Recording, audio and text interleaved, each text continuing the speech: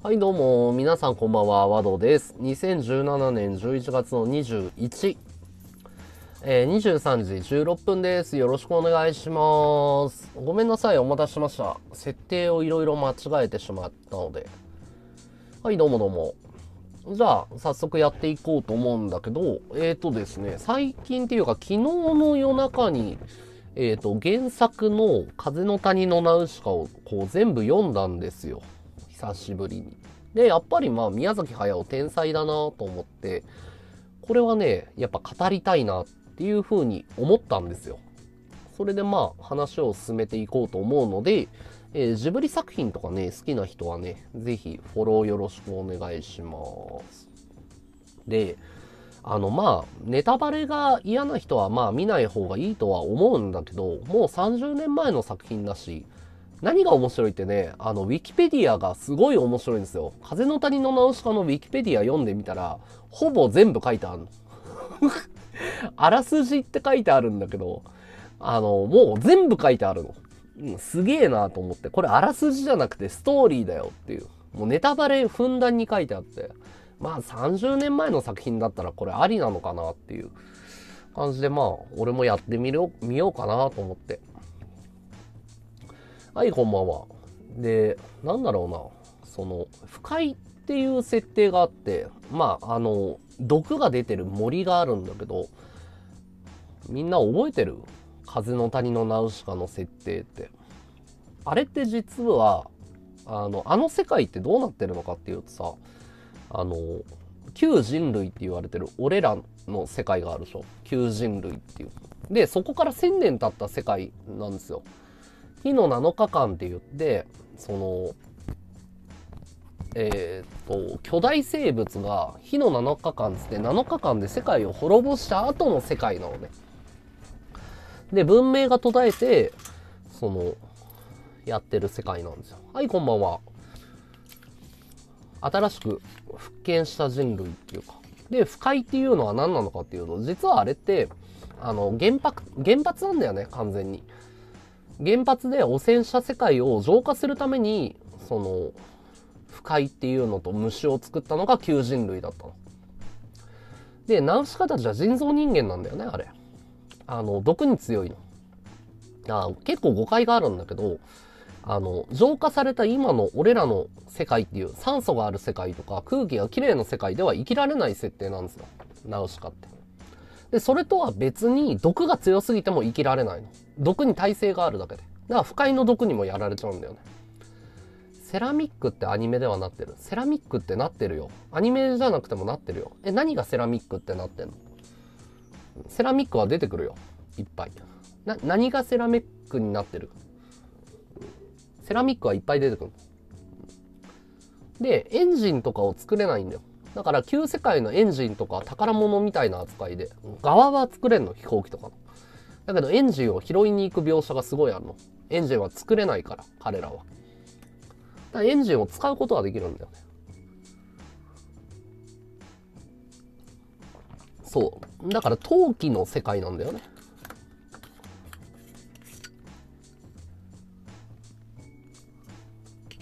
虫がセラミックのガス。セラミックのガス。そんな描写あったっけ？毒がセラミック、正気だよね毒って多分。がセラミックのガス。うん。すごい面白いよ。で、ナウシカは、まあ、あらすじはね、アニメ版の方とほぼ変わらなくて、あの、戦争をするとか一緒なんですよ。で、まあ、風の谷のジルの子供、ジルっていう王様の娘で、で、ナウシカっていうのは、その、まあ、王女なんだけど、男の子がもう全員上の人たちが死んじゃってて生まれなかったから、あの、ナウシカが引き継いでいって。で、あの、クシャナって出てくるでしょあれが、えー第三王女なのかな第三王女で。で、戦争に駆り出されるんだけど、えっ、と、風の谷の姫がナウシカなんだけど、属国なんですよ。で、あの、風の谷はガンシップって言って、その、戦闘能力の高い戦闘機を持ってるのね。だから必ず、その、クシャナーの国が戦争を起こすときに、その同盟国として参加するっていう設定なのね。で、戦争に行くんだけど、ナウシカは実はその不快のほとりで生きてるのね。風の谷っていうのは不快のほとりで生きてて。で、子供の頃からなぜか虫は普通怖い。要は毒を出したりとか人間に凶暴な存在だから恐れられてるんだけど、子供の頃から虫と仲良くなる性質があったの。で、オウムは世界で一番綺麗な、その、生き物だっていう考え方があって。で、ほら、ユパ様って出てくるでしょ。ユパ様はその、いろんなところを旅してる旅人なんだけど。で、深い一の剣士って言われてるんだけど、ユパはなんで旅をしてるのかっていうと、その不快の謎を解くために不快っていうのはその森のことなんだけど、不快の謎を解くと。だから序盤にさ、その、ユパ様がさ、また不快に飲み込まれたか、みたいな描写出てくるじゃん。森。で、ナウシカが研究をしてて、自分の地下室で。で、不快は実は毒は出さないっていうことをユパに教えるの。ユパ様って。そう、綺麗な水と綺麗な土で、あの不快の植物を育てると毒は出ないんですって言って。で、その時ユーパーは気づくの。もう戦争に駆り出される前日で、その水道を止めるシーンなんだけど、その研究室の。私が長年求めていた答えをこの子は持ってるって言って。でも戦争に行ってしまうっていう。そういう設定なの。で、ナウシカは戦争に行くんだけど、その、不快の謎とかをこう解いていくのよ。どんどんどんどん。で、なんて言ったらいいのかな？出てこないのがその虫使いっていうのと森の人っていうのが出てくるんだよ。後半に。で、森の人、え、虫使いって何なのかっていうと、簡単に言うとさ、オウムを召喚したの覚えてる？あ、じゃあ、わかった。はいはい。虫使いって何なのかっていう。その、虫使いっていうのは、虫を自在に操る、その人間要は虫を兵器にすることができる種族がいたの。で、その、オウムを大召喚する。要は虫を殺して吊るし上げて、その、オウムを、あれなんて言うんだっけ？大解消だっけな？なんかその、何？薬、薬剤っていうの？最悪っていうの？なんかそれ出てくるんだけど、うん、で、虫使いがすごい崇めてるのが森の人っていう伝説の存在がいるのね。実在するかどうかわかんないんだけど。で、その森の人っていうのは虫とと、虫と不快と共に生きてる人がいるのよ。で、ユパも見たことがなくて、世界中旅してんのに、本当に実在したんだ、っつって。で、その森の人が教えてくれるのよ。不快の秘密を。そうそうそう、ドルクとかね。うん、ドルクっていうのは、あの、クシャナの反対側の敵国のことなの。ドルクは。合ってるよね。ドルク、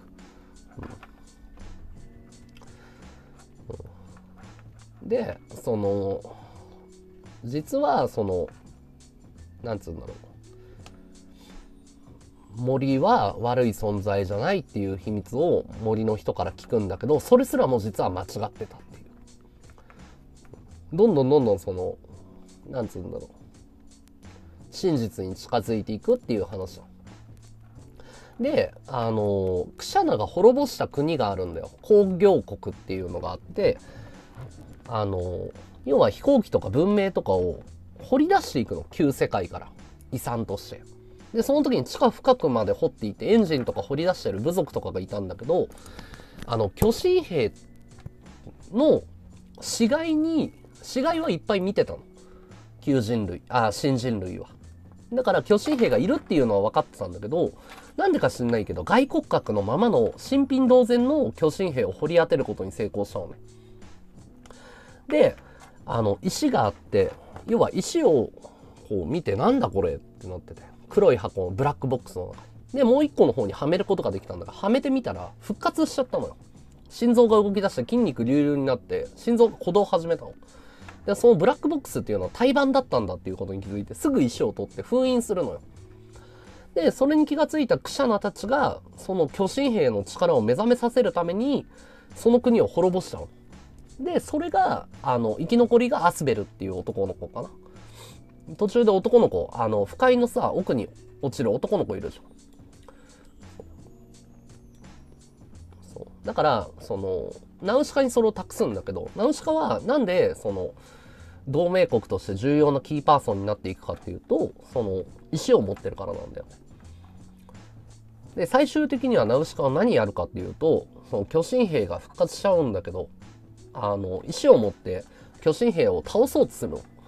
あの、戦争っていうか世界が滅んじゃうことに気がついて。で、その時に巨神兵がその石を取り込んじゃって、あのナウシカのことお母さんだって言うんだよ。で、ナウシカはその巨神兵を止めることができなくて、その旧世界の秘密？要は、その、王の墓みたいなのがあるんだけど、王の墓のところに近づくと。要はそこに世界の秘密があるっていうことにもう終盤気がついた。で、その巨神兵と共に私はこの巨神兵の力を使ってその真実を解き明かすって言ってその王の墓のところに飛んでいくんだよね。アニメと全然違うの。で、その旧世界の王の墓っていうのはもうピラミッドみたいなその石の塊なんだよ。で、そのクシャナのお父さんも実はそこにたどり着いてて、クシャナのお父さんは、その、世界の覇王になるために、そのクシャナとかを暗殺しようとしてたぐらい、その、自己顕示欲が強いんだけど、その、王も入るんだよ。うん。はしょったなはしょったどこをはしょったどこをはしょったうん。どこを説明してほしい全然説明するよ。で、あの、ど、どこを説明してほしいのはしょってるかな？うん。どこが足りなかった？別にディティール話せるよ。うん、どうぞ。訂正してください。ちゃんとやり直すんで。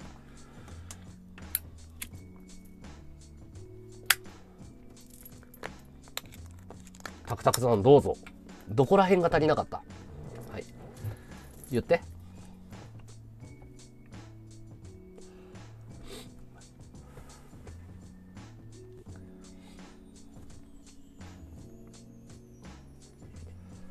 アニメだけだと思ったんじゃなくて、アニメを作るために実は原作は用意されてるのね。で、原作が売れてアニメが作れましたっていう、本来アニメ作りたかった。アニメーター、要は鈴木敏夫っていうアニメージュの編集者が、この人天才だって気がついて、この人のオリジナルストーリーを作らせようって映画で。要は東宝から独立してたんだけど、あの、鈴木敏夫が買ったんだよ。でも、その実績がないからっていうことで、じゃあアニメ版売らせて、それを映画化しよう、人儲けしようって考えたのは鈴木敏夫だった。アニメージュで連載してたの、原作を。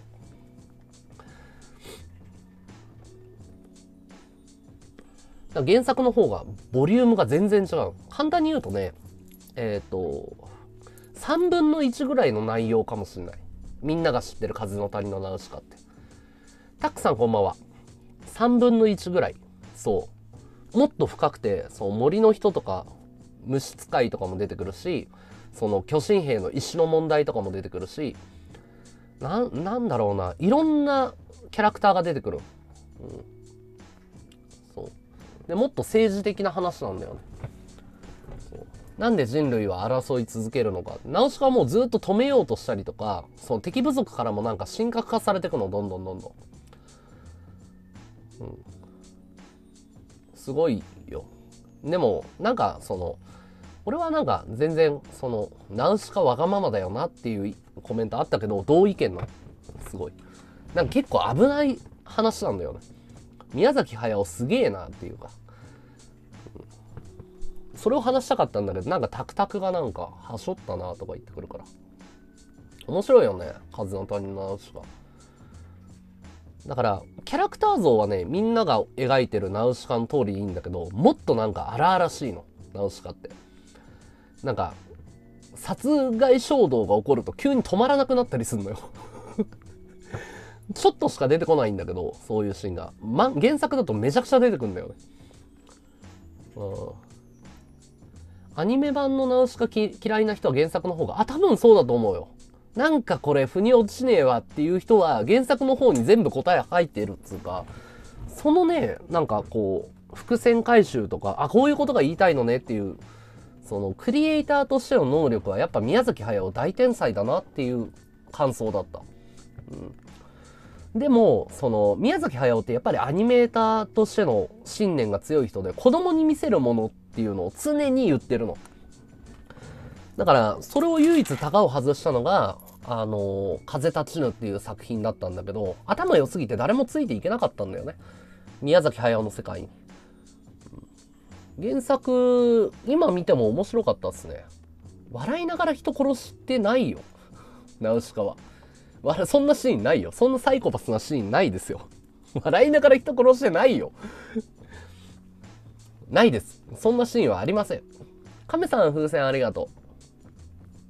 そうそう、劇場で何人か瞬殺すんの。要は、決闘とか、要はその女とかにこの女気に入ったとか言って、俺の嫁にするぞとか虫使いにされるんだけど、汚れた体で触りよってみたいな感じで、そ、そいつのことぶっ殺しちゃったりするんだよ。最初のところでないです、ないです。ないです。キャラクターが崩壊しちゃう。笑いながらじゃないですよ。それ多分ね、クシャナの兵隊と一騎打ちをするシーンだと思うんだけど、笑いながらじゃなくて、その急に髪が逆立って激高して殺すの。で、ユパが止めるの。で、ユパがこうやってナウシカのナイフがここに刺さって、これまでだってやるんだけど、相手は死んでるんだよね。あれは笑いながらじゃないよ。ずっと震えてるの。怖いっつって。笑ってないです。それはもう完全に撮り方ミスってる。そこで笑うキャラクターだと、あの、ナウシカの設定が崩れちゃうから。絶対書かないと思う。ないない。要は殺人衝動があるんじゃなくて、激高すると止められなくなる。すごい誇り高いから。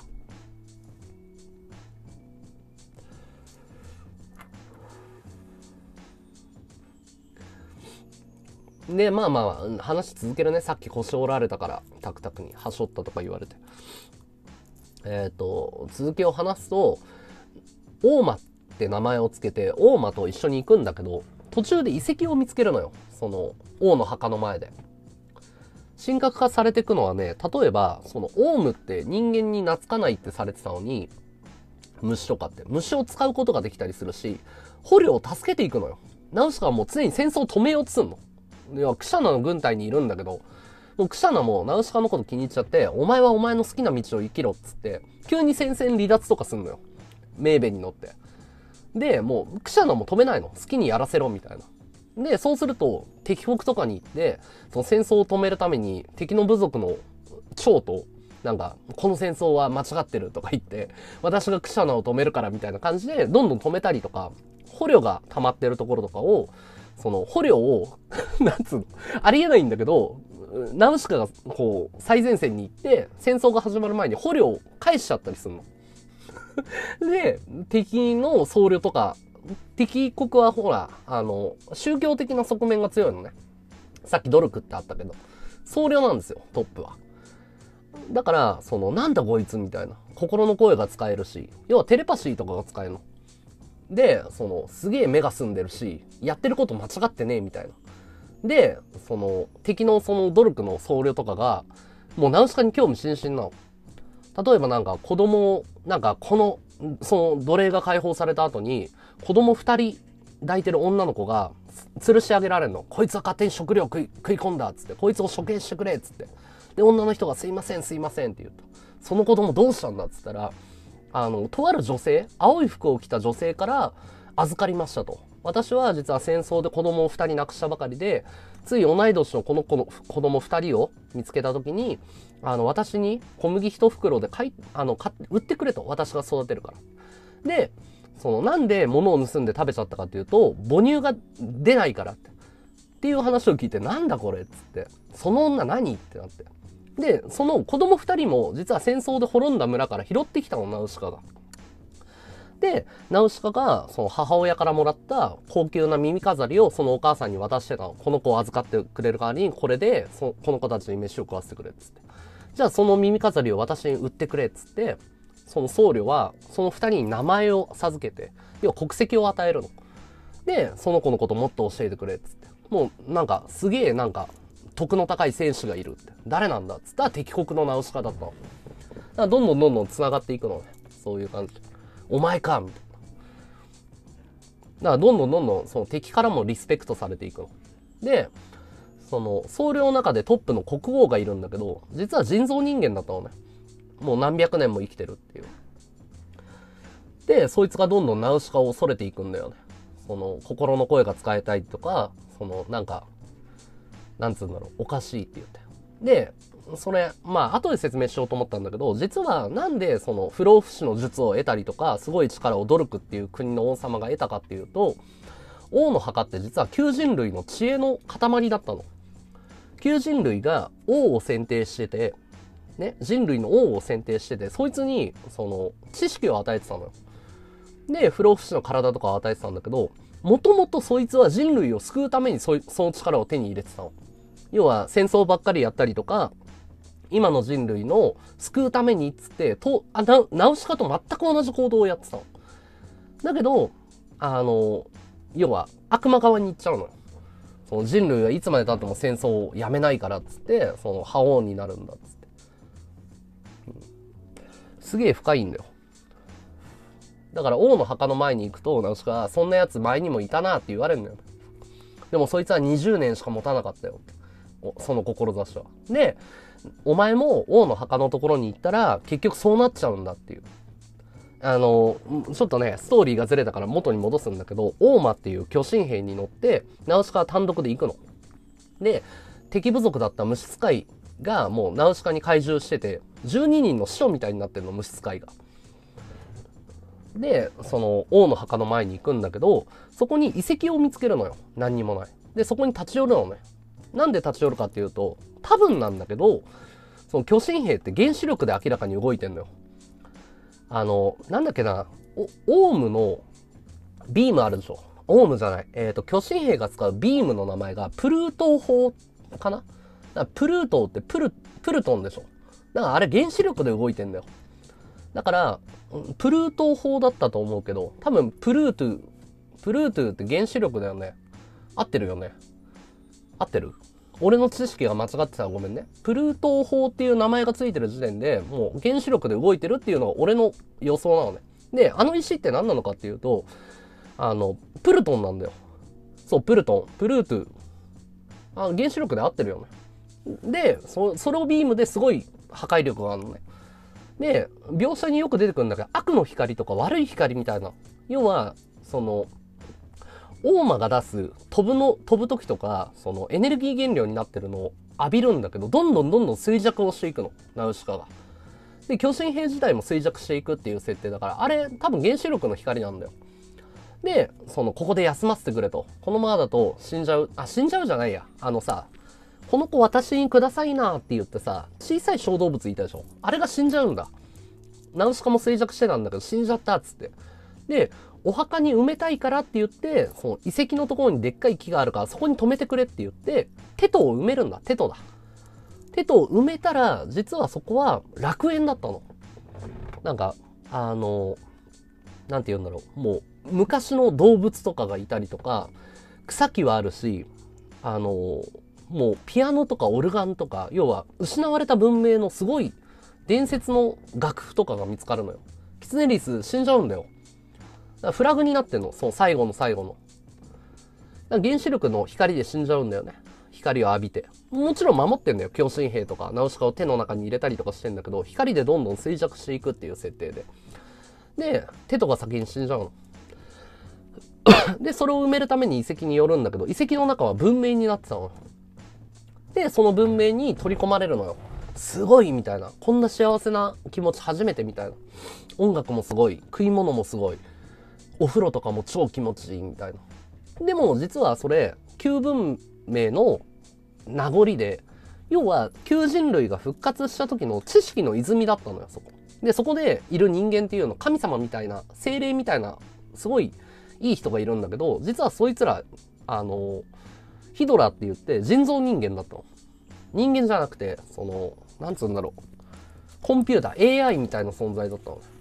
で、そのナウシカを止めるの。王の墓の前に行くなって。ここで幸せに永遠に暮らそうよって言うんだけど、そんなまやかしには通用しないっつって。で、王の墓の前に行くと。で、王の墓の前に行ったら、結局、神様と会うんだよ。で、ナウシカは、その、要は、選ばれるのね。その、何戦争を仕掛けてた努力の僧侶みたいに永遠の命だったりとかその人類を導くためにお前を神に選定するっていうんだけどナウシカが最後何するかっていうと、旧人類滅ぼしちゃうの。要は王の墓をオウムで破壊するっていう話なの。すごくない？俺びっくりして。結局、あの世界って何だったかっていうと、人類が戦争をやめませんでした。原発で世界が汚染されてました。で、もう止められませんと。で、ある一方はテクノロジーで王の墓って言って、人間の DNA とかノアの箱舟みたいに知識とかを詰め込んで人間の DNA とか卵を残してたの。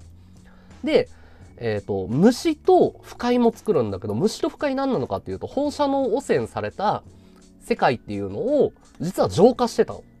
で、何千年後かに、要は俺らの住んでる地球みたいに復活するのよ。で、ナウシカが、その、遺跡のほとりで見た世界っていうのは、幻想なんだけど、実はその旧世界の世界観の。こんなに素晴らしいところがあるなんてって言ってたのは、実は旧世界だったのね。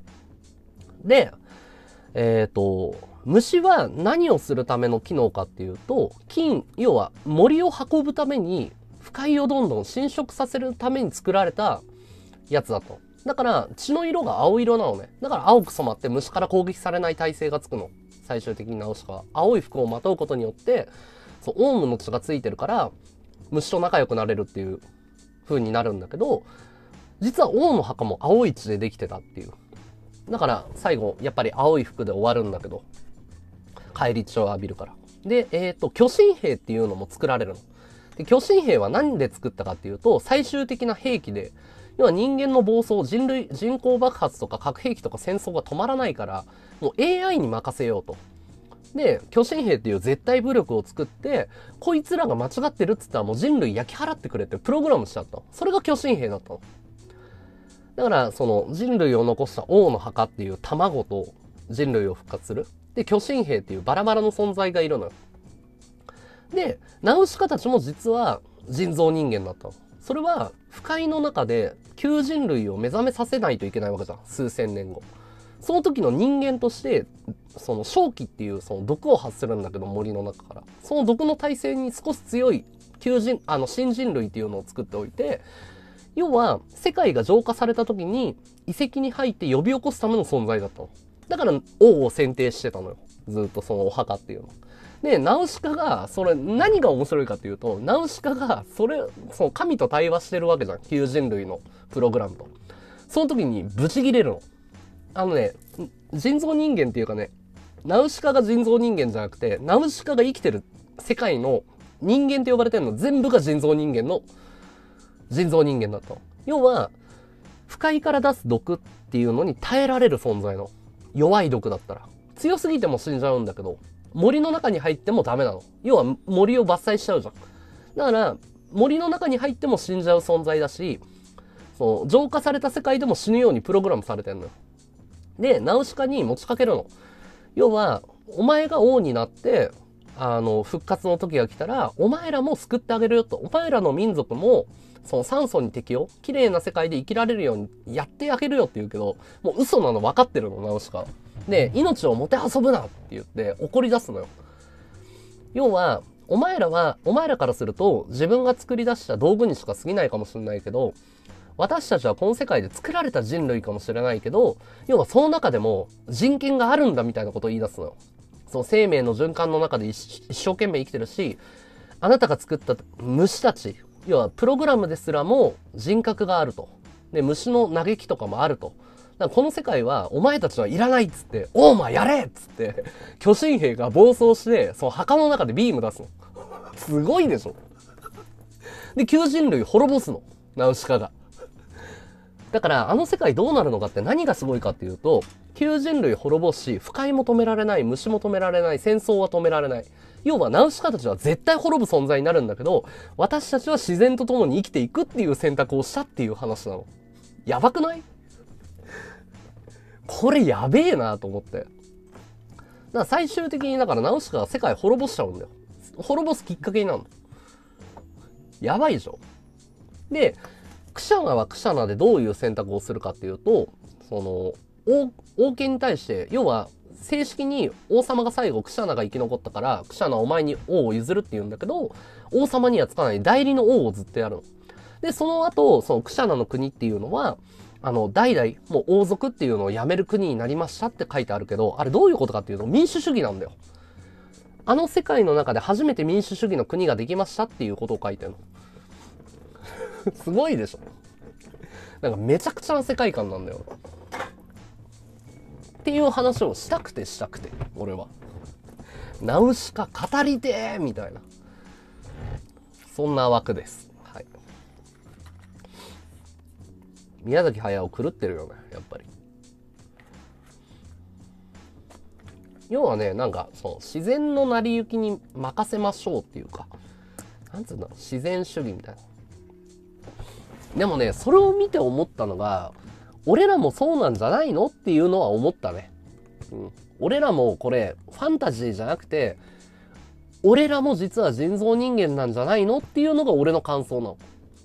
こっからファンタジーだよ。こっからワドワールドだよ。本当に、うん、考えさせられるよね。うん。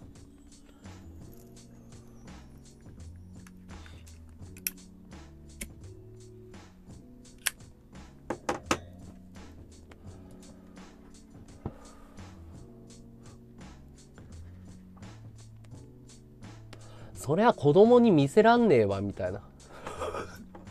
だって神殺しの話なんだもん。完全に。完全にだから権力大嫌いとか、その、要はお、人間は愚かだけど、その、人間は愚かだけど、ダメだよっていう話なの。トルメキアだね、クシャナの国は。そう、トルメキア。まあ、アメリカがモチーフでしょ、多分。で、その、クシャナっの設定も、あの、5体満足で全然違くて、実は、その、あの、スパイの男の人が来るでしょ。あの、参謀になる男。あれは民間の出の兵隊なんだけど、あの、クシャナはもう気づいてんの。中盤ぐらいで言うのよ、クシャナが。いつ私を殺すんだって。そしたら、その、参謀のやつが言うのよ。俺は平民の出だと。で、今回どうやって生き延びるか考えてたと。要は、平民の出から、その、生き残った試しがないと。俺も死にたくないんだって言って。すごい優秀なのよ、あの参謀。で、クシャナが笑うの。そうかっ、つって。だから、クシャナ、要は、スパイなんだけど、参謀として国から、トップから送られてくるスパイなんだけど、要は、クシャナ側につきたいっていうの。だから俺のこと殺さないでくれっていう駆け引きをしてきて。その時クシャナが一個だけ教えてくれたら、あの、お前を部下に入れようと。要はお前のこと殺さないで、要はこっち側につけって言うんだけど、その時のセリフがめちゃめちゃかっこよくて、兄が二人いるのよ、クシャナに。クシャナは、その、お母さんが違う兄が二人いるのね。確か。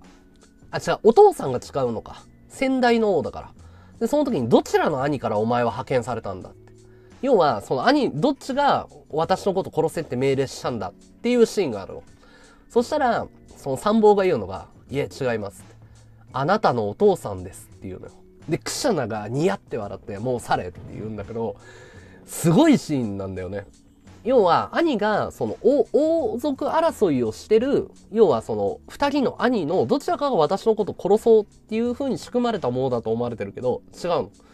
親が、クシャナのことを殺す。要は、親が一番その王権に固執してて、自分の子すらも殺すっていう設定なのよ。超かっこよかった、あれは。すげえいいシーンだったね。え、閲覧少ないと何なの？バッター5さん。閲覧少ないと何なんすか？な、何の問題があるのか？わかんないです、僕は。あの、強がりとかそういうことじゃなくて、なんでリスナーがその閲覧を気にしてるのかがよくわかんないんですけど。もうやめたら、そういうの。めんどくさいから。まさかのだよね。すげえ面白かった。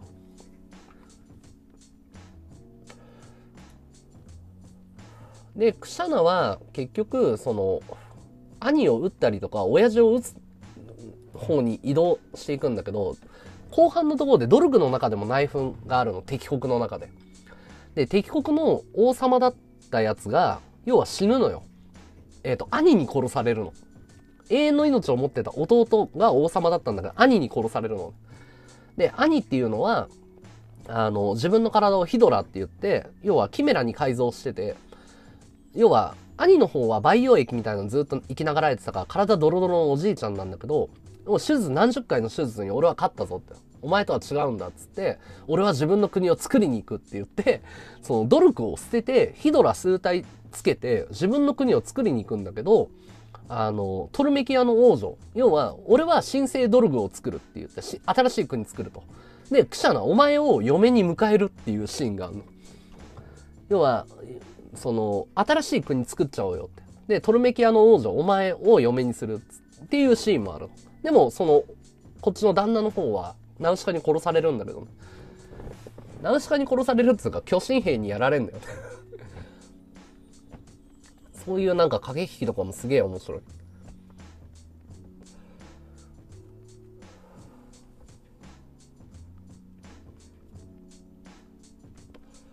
で、ドルクがなんで宗教主体の国だったかっていうと、その王の墓から知識を得てたから、その宗教的な、その、何念話とかができるようになってたっていう。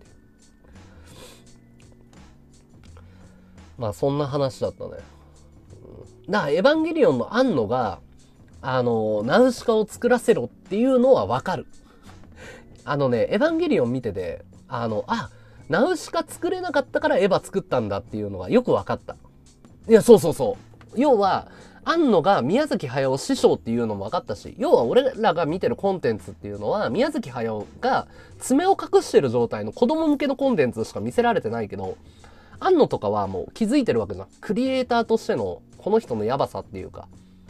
だから、あの、クシャナのお母さんのシーンって、クシャナ、クシャナっつって人形にクシャナに語りかけてて、もう、要は自我が崩壊してるの。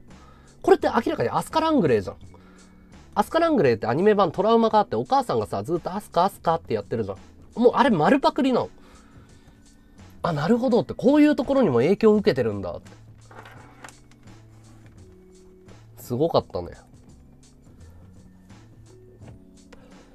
でもね、多分ね、安野がやりたかったのってやっぱり巨神兵のシーンなんだよね。あの、巨神兵がと無理やり出てきて無理やり解けるじゃん。で、巨神兵が何なのか書かれてないじゃん。そんなシーンあったね。うん。だから、巨神兵が結構活躍すんのよ。それがめちゃめちゃかっこよくて、もうなんか、暴走しまくるんだよね。で、何がかっこいいシーンかっていうと、生まれたばっかりの頃は、なんか、ナウシカにお母さん僕だよみたいな。お母さんを攻撃するのは誰？助けてあげるよみたいな感じでビームでどんどん投げ払っていくの。で、やめろみたいな。やめてって言うと、うん、分かった、やめる。敵はどこ？みたいな。ちょっと頭悪いのよ。だけど、その、ナウシカが、その、要はお母さんお母さんって言うから、パッて立ち上がって手の中で、お前に名を授けるお前の名はオーマって言った瞬間、その、覚醒して、その、巨神兵が急に IQ 上がるシーンがあるの。五光がさして、我が名はオーマみたいな感じで。あれはすごいかっこよかったね。なんか、その名を与えると、その、急に知能が、レベルが格段に上がって、その、覚醒するっていうシーンはめちゃめちゃかっこよかった。まあ、ラピュタのロボットっていうか、その、世界観から言うと、ラピュタが旧世界の世界の。ラピュタが旧世界。要は、その、滅んだ方の世界の。世界観は繋がってるんだよね。ナウシカとラピュタ。いや、笑うっていうかかっこよかったよ、あのシーン。名を与えると知能が上がるっていうのはなんかね、すげえいい設定だなと思って。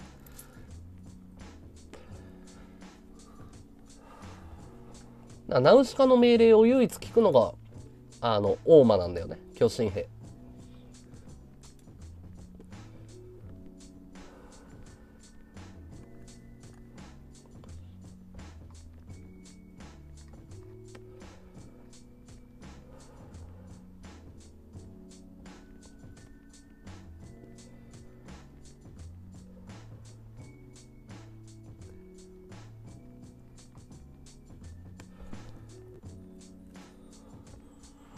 で、ちなみに言うと、あの、ラピュタと、えっ、ー、と、ブルーウォーターってあれなんだっけな。えっ、ー、と、アンノがさ、エヴァの前に作ってたの。なんだっけ。ナウシカって結局何だったの旧人類が作った、えー、人造人間で神殺しをした女。一言で言うとそんな感じ。ナディア。ナディアの原作を考えたのは宮崎駿の。NHK から宮崎駿に依頼があって原作を書いてたの。だから設定が酷似してるでしょ。ナディアと、その、ラピュタって。で、途中まで書いたんだけど、こんな面白いのは自分で作るわっつって引っ提げちゃったの。途中で書いてたの。だからさ、ジャンとさ、あれも設定が似てるしさ、あの、ブルーウォーターとさ、飛行石とか設定が酷似してるよね。だから、庵野とね、宮崎駿のつながりすごいあるんだ。それを作ったのが、NHK 版のを作ったのが庵野だったんだよ。ナディア。だから変な縁だよね、本当に。で、あの、東京巨神兵現るっていうさ、映画作ったじゃん、庵野が。特撮で。あの時の宮崎駿は、ナウシカを出すなっていうのが命令だったらしいよ。ナウシカを絶対出すなって。そうそう、ジャンイコールパズーだね。うん。だから飛行機好きの男の子とかさ、設定がすごい似てるじゃん。最初の頃ね。途中からはほら、庵野が担当してるから、脚本とかも書き足してるから、途中からずれてくんだけど。だから、ナウシカの答えの出し方と、あの、ラピュタの答えの出し方って、その作家性がすごい出るんだよ。原作は一緒だと思っていいんだよね。監督が違うとこんなに作風変わるんだ、みたいな。そうそう、宮崎駿の下で働いてたの。だから、あの、ナウシカの巨神兵が投げ払うシーンあんじゃん。あれは、庵野が書いてるのね。アニメーターとして。現場で書いてる。ちょっと水取ってくるね。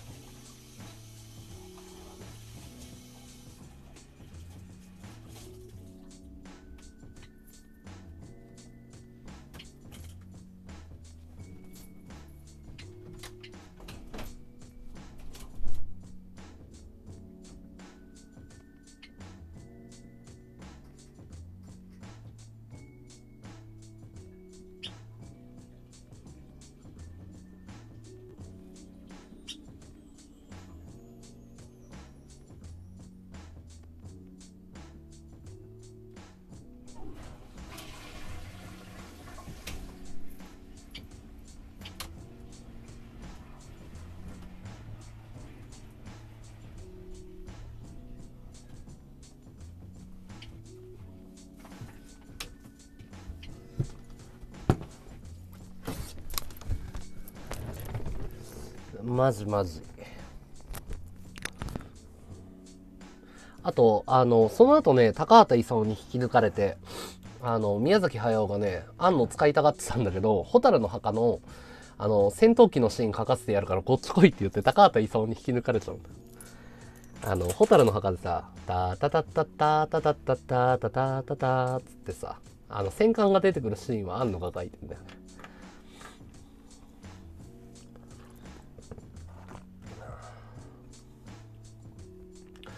戦艦書かせてやる。お前好きだろ。っつって。ひょいひょい言っちゃうんだよね。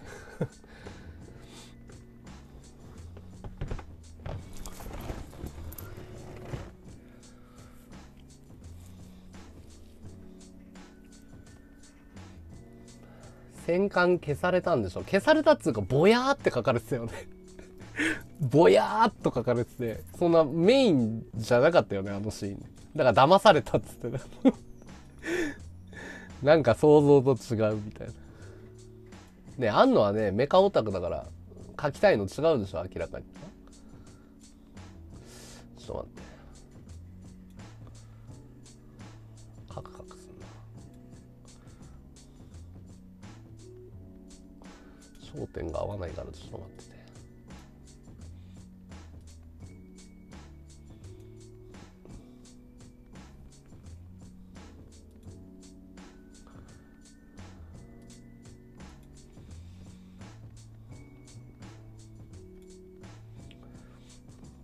消されたわけないでしょ思ってたシーンが書けなかったんだよ多分人物描くよりも爆破の案のって言われてて、爆破シーンとか戦闘機とかそういうの描かせたらもう天才だって言われてた。だからその破壊シーンを描かせたら、要はさ、あのゴジラとかエヴァンゲリオンとかさ、全部そうなんだけど、ビルをなぎ払うとか、爆破をするとかさせたら超天才なんだよね、やっぱり。マミリーいらっしゃい。久しぶり。そう。爆破の案のっていう異名を持ってたぐらいなの。だからもう人物は全然描くの下手みたいな。興味ないみたいな。よく庵野がアニメーターとして評価されるときに、庵野さんが、あの、なんだっけ、使いどころを間違えると全くの役立たずだけど、その使いどころをもうちゃんとピンポイントで書かせたら大天才って言われてる。そう。で、あのシーンは失敗だったって安野が言ってる。要は、うわーって丘から出てきて、それでも巨神兵、巨神、なんだっけ、神殺しの末裔かとか、クシャンが叫んで、ブイヤーンって投げ払うシーンあんじゃん。あの時の体が溶けるスピードが速すぎたのかなコマ数が、なんか、その宮崎さんの指定でああなっちゃったんだけど、本当はもっとドロドロゆっくり溶けるシーンが描きたかったらしいよ。だから今でも恥ずかしいって言ってる。俺らには分かんない世界だよね。ぐわーって出てくるけど、溶けるのが早すぎるんだって、あれは。もっとおどろおどろしく、今でも書き直したいって言ってるぐらいの。もっとゆっくりドロドロ溶けてくるんだって。だけど、その制限時間とか、そのカットの関係でできなかったっつって嘆いてたよ。いや、あんのはなんかね、まあでももうこく、ね、あの、宮崎駿のお墨付きもらったような人だからね。うん、だからスタジオジブリを安野が引き継げばいいんじゃないのかっていう。うん、だから後継者育てらんなかったよね、結局。あ、世界で一番邪悪な一族の末裔かっていうシーンか。声優、声優がもう事実上のあれはもう継承だよね。こいつに任せるっていう。日本の、俺の歴史はこいつに託したっていうことだね。すっごい仲悪かったんだよ。エヴァともののけ姫やってた時。もうディスり合いだよ。知ってる？もう安野と、当時の安野と宮崎駿のディスり合いが半端じゃなかったんだよ。お互いがお互いなんか小馬鹿にし合ってて、すごかったよ。あの頃の V は見応えあるよ。なんか、宮さんはもう終わったコンテンツですよ、みたいな。で、もう、安野が、要は、その、宮崎駿に対して喧嘩売りまくってんのよ。もののけ姫って超大作なんだよ。ジブリの社運をかけた。なのに、その工業かぶせるってありえないじゃん。要は、夏だったらこれがメインで集客見込むから冬にずらすとか、業界のお約束ってあるんだよ。それをさ、エヴァンゲリオンのエアーっていう作品をぶつけたりしてるんだよね。うん。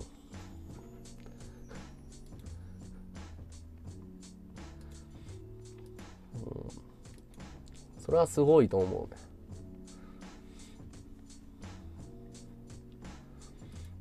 スタジオカラー作ってスタジオジブリのスタッフクビになって人拾上げてましたよ。まあまあまあ、アニメーターはね。やっぱ無理だったね。その、だってさ、スタジオジブリってなんで作ったかっつったらさ、もともと東映で働いてた宮崎駿がさ、要は、あの、労働階級の運動を起こして、春闘って言うんだけど、要は、あの、自分たちで立ち上げてさ、その、終身雇用みたいなことをやろうって言って作った会社じゃん。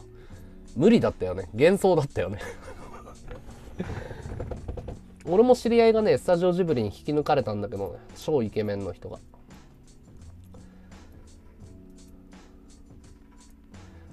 雑誌で対談じゃないね。VTR 残ってるよ、それは。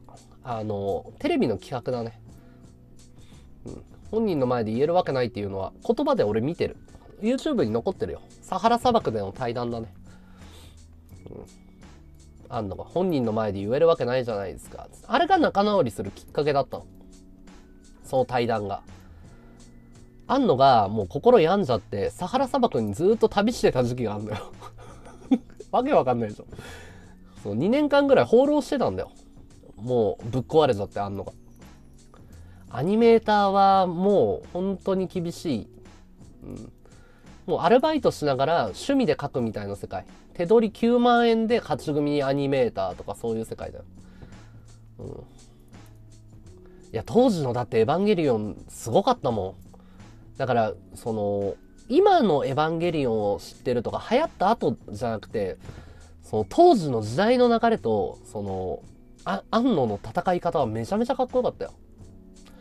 トトロはね、あの世の話ではないんだよね。なんでかっていうとね、あの、メイのぞ、あの、まあまあ、あの世の話で合ってるんだけど、一応公式の見解としては、あの、続編が出てるのね。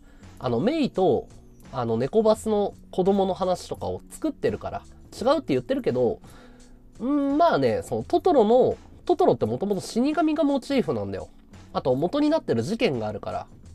だから子供にはそれ悟られたくないんだろうね。宮崎さんとしては。うん。だからまあ、千と千尋はね、風俗嬢の話ですよ。あれは。簡単に言うと。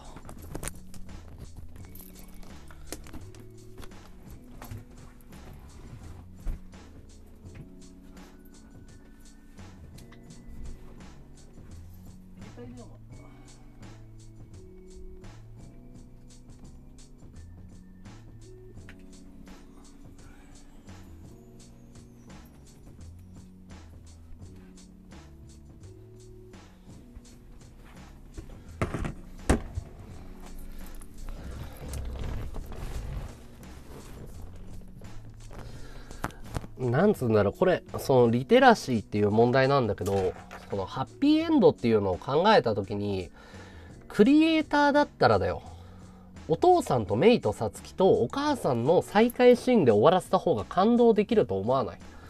あ、じゃあ次、千と千尋の風俗嬢の話するけど、冷静に考えて、あのエンディングが、お母さんって言って、メイとサツキが抱き合ってお父さんが見守るとか、そういうシーンの方が感動できるでしょ。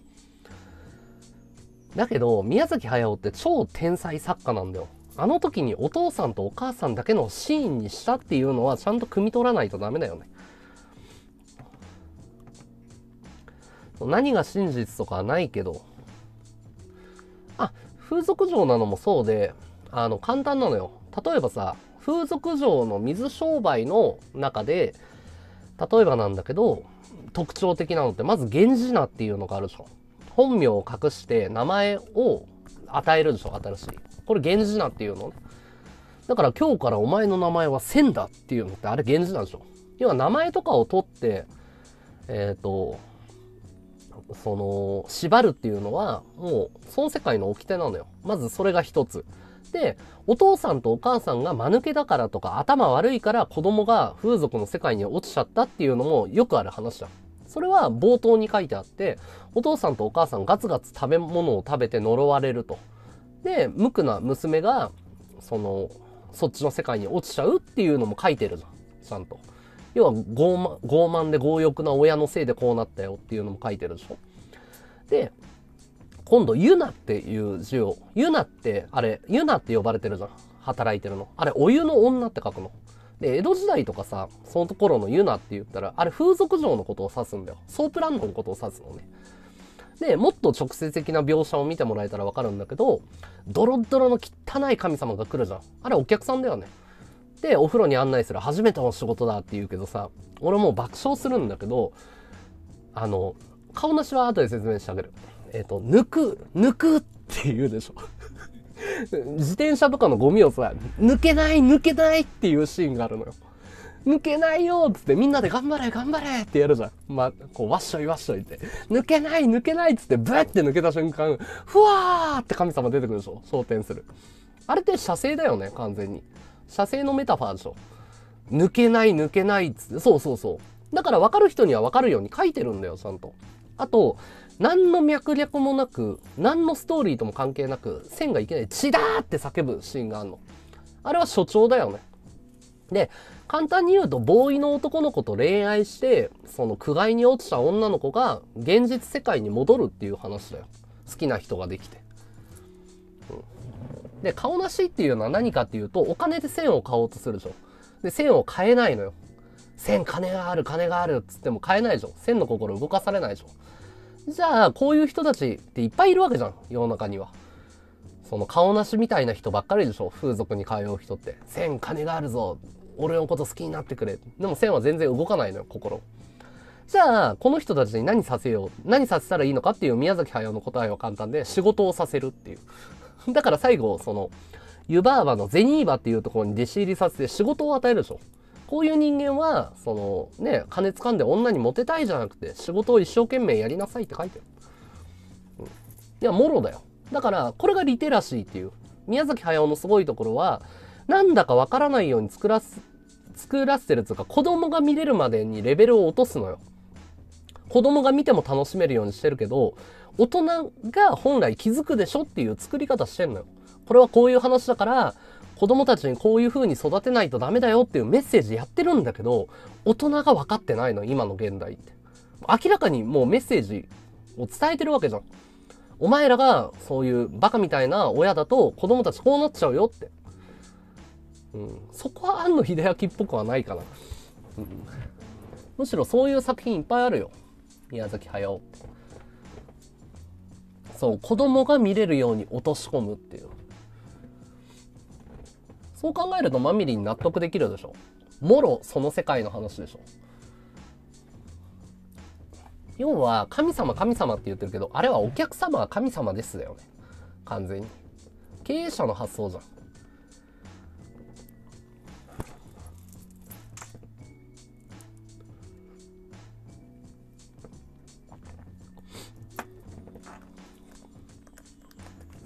うん。俺はそういう風に見てる。うんジブリ作品を。わかんないよ。それは解釈の問題だから、これは別に公式の話じゃないから。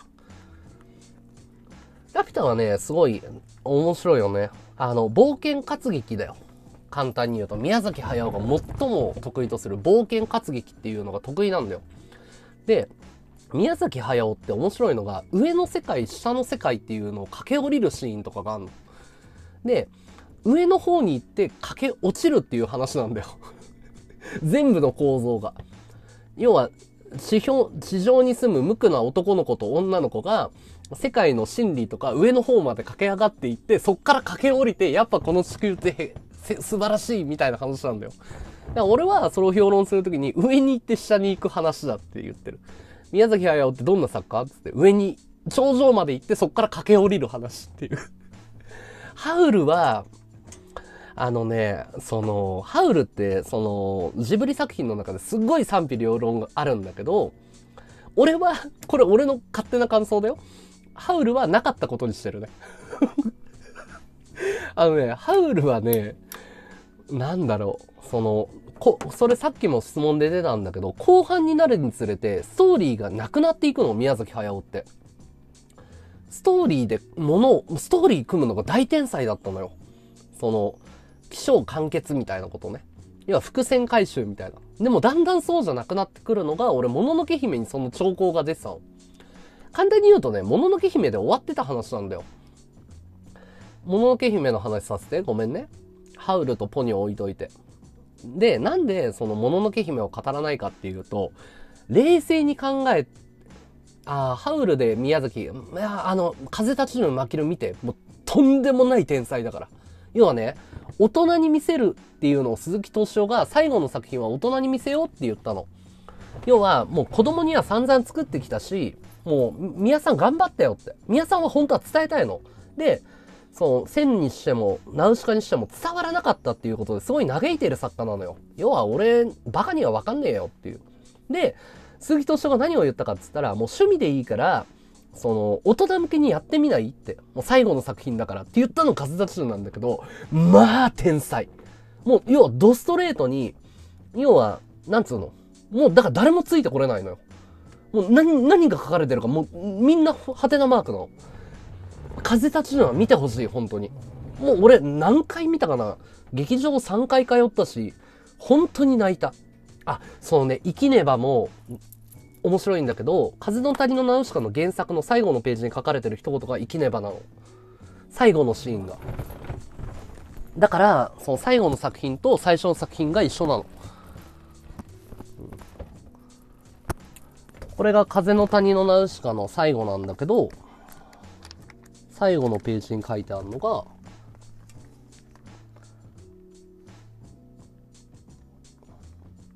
ちょピントが合わないね。ごめんね。ちょっと待って。生きねば。これ生きねばって書いてあるの。ちょっと待って。ピントが合わないね。これ生きねばって書いてあるのね。うん。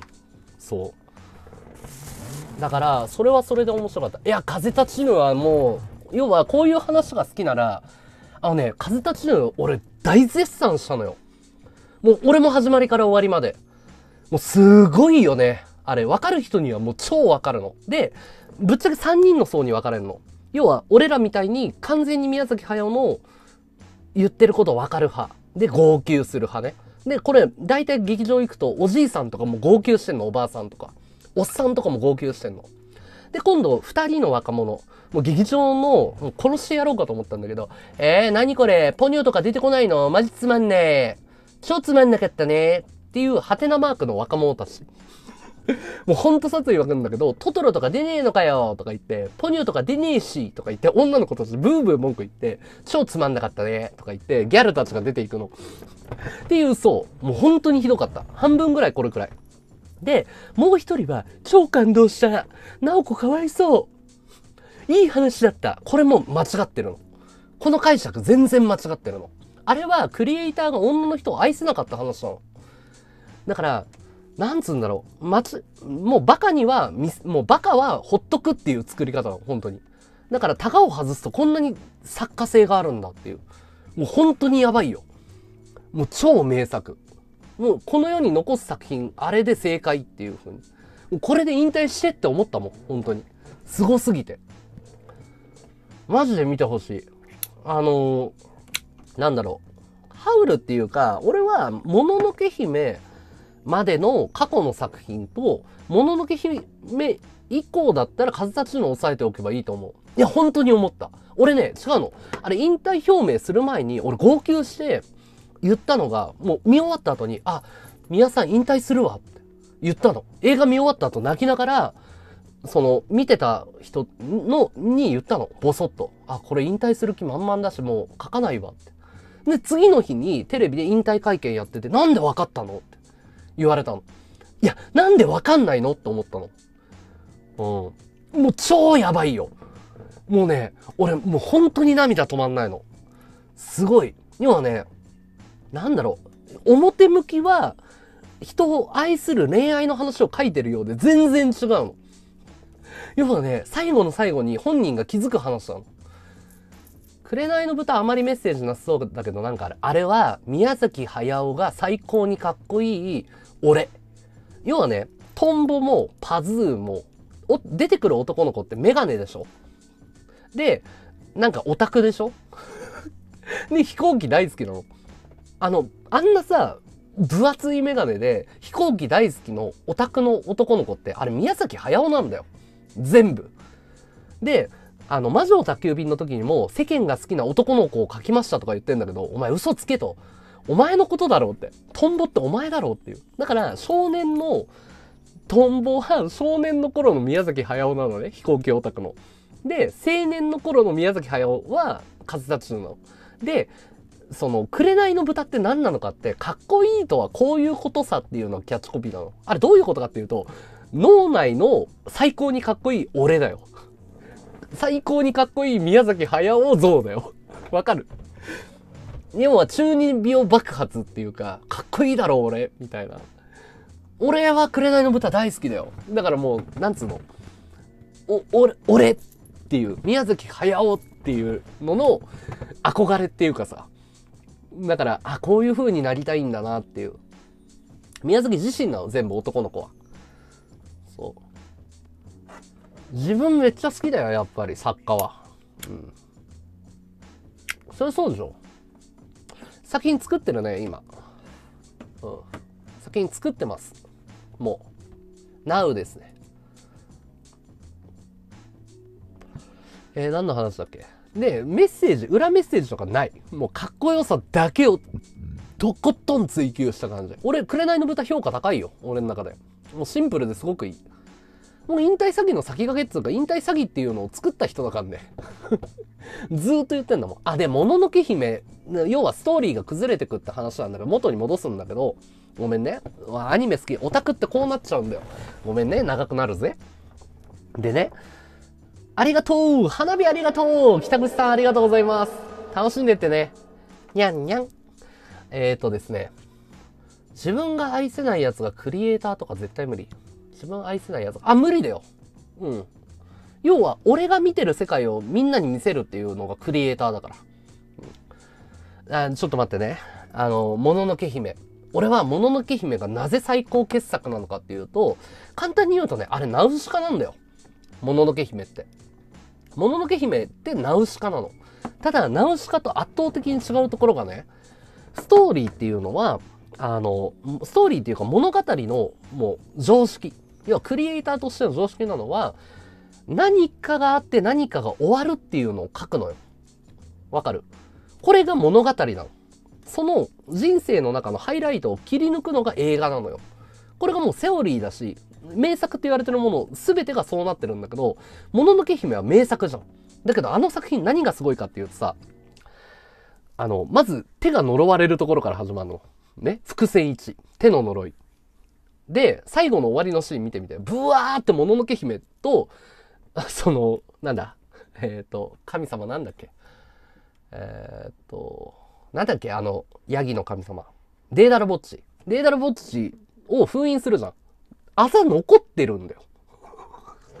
俺びっくりして、えー、って。あ、呪いを解くための旅の物語だよね、これっていう。まず呪いが解けてない。これがすごいところ。で、今度、えー、恋愛っていう視点で見ようか。普通、もののけ姫と結ばれるんですよ。どう考えても。だけど、最後のシーンが面白くて、そなたは森に帰れ。私はタタラバで暮らす。また会おう。え えー、結ばれないの？なんか、また会いましょう。みたいな。なんか、ふわーっと終わるのね。恋愛の方も。で、じゃあ、えっ、ー、と、エボシっていう、その天皇にもともと仕えてた革命を起こそうとした、その、弥生人がいるじゃん。こいつは、その、神殺しが目的だったんだけど、あの、神を殺せなかった話だ。森が復活しちゃってるから。おーんって。で、今度天皇を撃つために神殺しをしてたんだけど、たたらば崩壊するんだよ。要は、何一つ伏線を回収しないって終わらす方をしたの。あれ何を伝えてるかっていうと、世の中ってこういうもんだよねっていうことを言ってんのよ。すごくない？永遠と続くんだよって。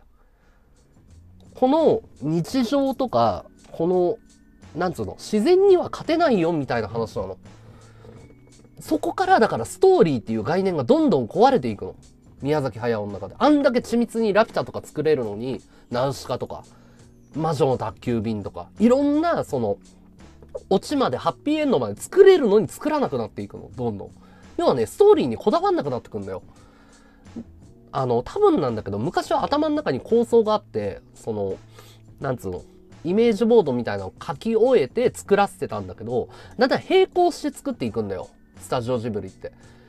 宮崎駿が、その、脚本を書きながら、アニメーターがそれを現場で拾って作っていくみたいな。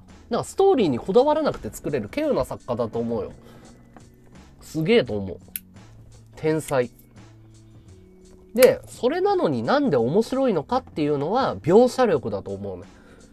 なんかこう、絵的な動きであったりとか。ああ、もののけメイキング面白いね。いや、勝田氏はストーリー緻密だよ。めちゃめちゃ緻密だよ。とんでもなく緻密だよ。あれびっくりするもん。うん、でも、最後のセリフが、あの終わり方は俺最高に良かったけどね。あなた生きて。直子、ありがとう。っていうシーンがあるんだけど、あれ最高だったよね。あもう集大成だよね。で、多分、あの、み、風立ちぬつまんねえっていう層は、俺の層、俺の放送もつまんないっていうと思う。要は、もう完全に見る人選んでんの。あれね、多分ね、劇場版見に行った人の中で怒ってる人相当いると思うよ。金返せっていうレベル。要はね、偏差値35とか子供とかに向けて作ってたのよ。今まで。それがね、やっぱ国立大のエリート層が、俺別に、お前らバカにしてんだろみたいな。本気出すぜって言って、偏差値60ぐらいの、なんかもう、いや、お前らわかるだろみたいな。うん風立ちぬは、だから、その、わけわかんないシーンがいっぱいあるのよ。何これっていう。説明が一切ないの。だけど、頭のいい人っていうか、普通の社会人だったらわかるんだよ。あ、これこういうことだよねっていう。宮崎駿はテレビで小学生に空を飛びたいと思いませんでしたと力説してて飛行機は相当好き。あ、だってもともとゼロ戦作ってた会社の子供だよ。宮崎駿ってすごくて、あの、もともと、あの、コックピットの、なんだっけ、この、なんつうの、このガラスの部分作ってたの、ゼロ戦の。で、飛行機マニアでとんでもない飛行機オタクなのよ。もうコレクションがやばいぐらい。だけど中学生の時に全部プラモ燃やしてるの。それくらい業の深い作家なの。どういうことかっていうと、僕の大好きな飛行機は反戦に目覚めるわけじゃん。戦争反対に。だけど、僕が大好きなこの飛行機は、僕の考え、要はその平和を壊す兵器だってことに気づくのよ。だから、その自分がもう愛してやまなかった飛行機とか、だから飛行機、全部飛行機の話じゃん。全部燃やすんだよ。すごいよね。それ、やっぱ天才ってやること違うんだよ。自分のコレクション全部燃やすんだよ。そう。そう。戦争の悲惨さだけど兵器が好きっていう。だからその矛盾がすごいの。だからもう、なんつうの？どの、紅の豚にしろ風立ちぬにしろ何にしろ飛行機の飛び方とか天才的じゃん。風の描写とかさ。そう、なんつうの？もう、好きなのがわかるんだよ。だけど、その戦争の兵器だっていう矛盾。それを答え出してんの風立ちぬだよ、簡単に言うと。うん。そうだから、あの、あの人は風の作家だって言われてんだよね。スカートを、女の人がスカートひらひらするのとか、その、書くの天才なんだよね。風を表現するっていう。その、木がざわめくとか。うん。ジブリ作品には老いと病が必ず出てくる。あのね、いいいね、そういうのね。いい、いいね、やっぱり。牛若さんありがとうね。ほんと助かる。あなたみたいなリスナーがいると。あのね、それもそうなんだけど、俺ね、その問いかけで一個ね、気づいたことがあって、あのね、宮崎駿が、安野をディスった時のセリフ、要はエヴァンゲリオンともののけ姫被ってディスリ合戦してる時に、宮崎駿のディスりがすごくて、なんて言ったかっていうと、お前らさ、消費ばっかりで生産しないんだよ。そんな世界あると思うか？って怒ったの。要は、これディスなんだよ。要は、現代作家、要は、安野を代表して言ったんだけど、エヴァンゲリオンに生産してるシーンなんか一個もねえじゃねえか。って怒ったの。これね、やっぱインテリのディスり方ってすごいよね。要は、世界の構造をかけてないと。なんで、その、生産をしなくてエヴァが生まれると思ってるんだって。で、よくよく考えると、スタジオジブリの作品って現場労働者ちゃんと書いてるんだよ。消費も書くんだよ。破壊も書くんだけど、創造と生産を必ず書くんだよね。俺そういうところに宮崎駿やっぱすげえと思っちゃうの。その、世界のこと考えて作ってるんだよね。わかる？そう。病とか老いもちゃんと書くっていうのもそういうところで、要は世界に対して世界ってこういうもんだよっていう、そのいいとこばっか書いてもしょうがないよねっていう。だから美人が出たらブスも書くっていう。痩せてる人がいたらデブも書くっていう。だからエヴァンゲリオンにデブって出てこないんだよ。ブスも出てこないんだよ。だからそういうところが俺、クリエイターとして天才だなって。世界をまっすぐ捉えてるっていうか。うん。消費があるなら生産あるだろうみたいな。すげえみたいな。そうっすよねみたいな。ああ、面白いね。でもあれはだから幼少期の自分の子供がさ、そのゼロ戦作ってる工場だったっていうのが、まさしくあれ戦争で女性が作ってたっていうのをまさに表現してるよね。うん。その体験から来てるよね。うん。要は都合の悪いところを消さないんだよね。ーリー単純か？マジで言ってる。俺、宮崎駿ほどストーリー書ける人見たことないけどな。全然単純じゃないよ。要はね、単純に見せてるだけ。綺麗じゃないところっていうか、その揺らぎみたいなのを書くんだよ。うん。その、ダメなところとの葛藤を書くの。主人公に葛藤させるんだよね。それが面白い。なんか。要はね、宮崎駿の矛盾って自分の呪いだって言ってるんだけど、要は宮崎駿はアニメを見せて何を子供たちに伝えたいかっていうと、外で遊べってことじゃん。宮崎駿だから保育園とか幼稚園やってんだっけ？だけど自然の丘とか、その泥んこ遊びとかできるようにすげえ木とかも生やして木登りできるようにしてるんだよ。で、宮崎駿のメッセージは、外で遊べなんだよ。だけど、宮崎駿の業の面白いところで、トトロを見れば見るほど外で遊ばなくなるんだよね。トトロ見ちゃうんだよ。俺ね、その、なんか宮崎駿の葛藤っていうのがすごい好き。なんか外で遊べっていうことをずっと言ってるし、自然いいよねとか、情報コンテンツとか文明ってダメだよねって言ってるけど、その最先端で仕事するっていうのが、なんかこう、なんだろう。で、反原発なのに、なんか原発のビームとかめちゃめちゃかっこいいみたいな。なんかその矛盾だらけなの、宮崎駿って。で、その矛盾にずっと苦しんでる。から、だから引退するって減らるわけじゃん。要は誰も分かってくんねえ、みたいな。なんかメンヘラだよ、あのおじさん。メンヘラの気気難しい人だよ、本当に。頭が良くてこじらせすぎた天才だよね。でもちゃんと表現力があるっていう。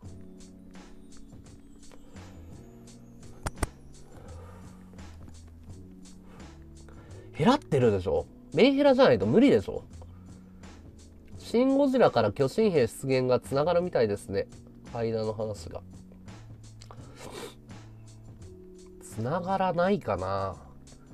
うん、いや、中二病なんだけど、だから本当に風立ちぬを見てほしいのよ。こんなに頭いいんだ、この人っていうのわかるよ。久石譲を見つけたのは、実は高畑勲なんじゃなかったっけな。あのね、高畑勲が見つけたものを盗む天才なんだよね。パクリ合いしてるんだよね、実は。ライバルなんだよね。ゼロ戦関連は泣けるけどね、実は反戦とか言われてたけど、数たちね、戦争と何の関係もない話なんだよね、あれ。うん。盗むっつうか、やっぱ引き抜いちゃうんだよね。才能のある人。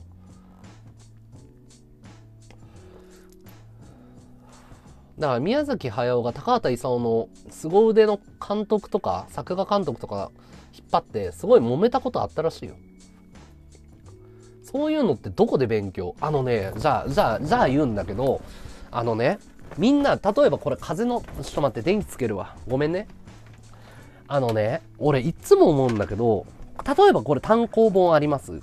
原作読まないじゃん。まず多くの人は。で、原作読むとしても、俺、こういうところ全部読むんですよ。ここが面白いの。ここが。あと、こういうところに答え全部書いてあるの。ここ読まないでしょみんな広告だと思って。あと、ここの枠の部分に書き足してることとかに全部メッセージがあったりするの。あと、こういうところ。読まないでしょここ、ここがすごいいいんだよ。かつて栄えた、えー、巨大産業文明の軍は、時の闇の彼方へと姿を消し、地上は有毒の正気を発する。えー、巨大菌類の森、不快に覆われていた。人々は不快周辺にわずかに残された土地に点在し、それぞれの王国を築き暮らしていた。風の谷。そこは人口わずか500人。ほら、書いてあるんだよ。風の谷って何人の村なの？って言われると500人って答え書いてあるの。ね？海からの風によって、あ、風の谷って海から吹いてるんだって、設定があるのよ。ねかろうじて不快の汚染から守られている小王国であった。ねこういうところがいいし、ね例えば、例えばなんだけど、第1巻の方持ってこようか。こういうところ読まないのもったいないんだよ。むしろ、こういうところに本当に言いたいことが書いてあったりすんのよ。例えばこれ1巻の方なんだけど、1巻の方の宮崎駿のインタビューこんなに書いてあるの。なんか本人の答え全部書いてあるの。ただね、小難しいんだよ。宮崎駿の読み上げてみようか。えー、ナウシカはギリシャの女子誌オデュッセイに登場するパイ焼き屋の王女の名前である。私はバーナード・エブリスキンのギリシャ神話古事典えで彼女を知ってからすっかり見せられてしまった。その後、ホメロスのオデュッセイアを小説化したものを読んでみたが、期待に反してそこでの彼女にはエブリスインの小辞典にあるような輝きはなかった。だからもう、ナウシカのモデルはこれですよって書いてるわけじゃん。えーえー、私にとってのナウシカはあくまでもエブリスキンが単行本3ページ半分で描写してきた少女なのである。彼もナウシカに特別の好意を持っているらしいのは、ゼウスやアキレウスのごとき、えー、対立物にも1ページそこらしか費やさない小辞典で、彼女にだけ前期のページを割いているところから十分に推測できる。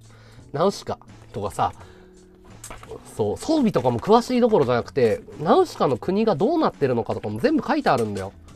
こういう設定で。国の地図とかも、腐海がどうなってるかとかも全部書いてあるの。で、トルメキア王国がどうなってどういう風に戦争を仕掛けていくのかとかも全部書いてあるんだよ。面白いんだよ。そう。で、元ネタになってるんだけど、実はあなたが元ネタ、あの、風の谷要は、このメーベに乗る小説っていうのが何年か前に発売されてるんだけど、その娘さんの名前がナウシカなんだよね、実は。うん。だから、こう言ってるけど、実は元ネタ違うよとかも面白いの。要は、前、これの元ネタになってる作家のリスペクトの、その娘さんの名前を主人公にしてるんだよ。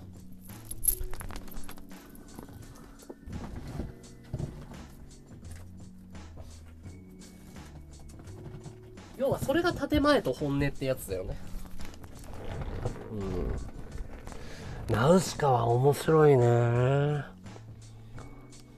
ていうかもう、だから勉強したっていうよりも、なんだろう、俺、なんつうの、ナウシカを見るよりも、宮崎駿の残ってる動画とかをもうあさってずっと見てんの。あの、雑誌の、そのこういう特集とか、対談とかの方が結構面白くて、面白い作品を作る人って、作品の方ばっかり見られるけど、その本人が面白いからそういうことができるわけじゃん。安野とかもめちゃくちゃ面白い人間なんだよ。宮崎駿って。うん。あ、そうなんだ。へえ、ナウシック。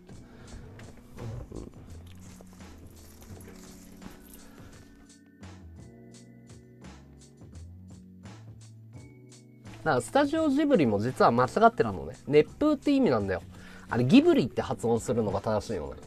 だから宮崎駿が間違ってジブリって言っちゃったの。本当はギブリなの。だからね、勉強とかじゃなくて、オタクって本来、なんかね、オタクってさ、今どういう使われ方してるかっていうと、俺すごいオタク論っていうのもあって、その、で、なんか気持ち悪いさ、女の子のフィギュアを持って、なんか萌えとか言ってるのがオタクだと勝手に思われてるけど、オタクってそうじゃないの。金にならないのに圧倒的博士レベルの知識量を持ってて、その、もう話し出したら2時間でも3時間でも話が止まらなくなった人をオタクって言ってたのよ、本来は。だから今ね、オタクってほとんどいないんだよ。アニメ好きっつったら、あ、オタクだとか言うの、オタクじゃない。もう、なんつうの、情報量が止まらなくなくて、知識マウンティング仕掛けまくるやつがオタクなんだよ、本来の。うん、ドワンゴで説教じゃなくて、あの、ドワン、え、なん、なんつうんだろう。えっ、ー、と、ドキュメンタリーの特集で、川上さんが怒られるシーンがあるっていう感じ。うん。オタキングっぽくなってきた。オタキングっつうか、だからそう、岡田敏夫さんは正しいんだよ。あの人が正統派オタクなんだよ。あの人は SF オタクだけど。うん。アニメオタクっていうか、そのアニメの現場にいた人だからね。メーベだね、メーベ。カモメ。あとガンシップだね。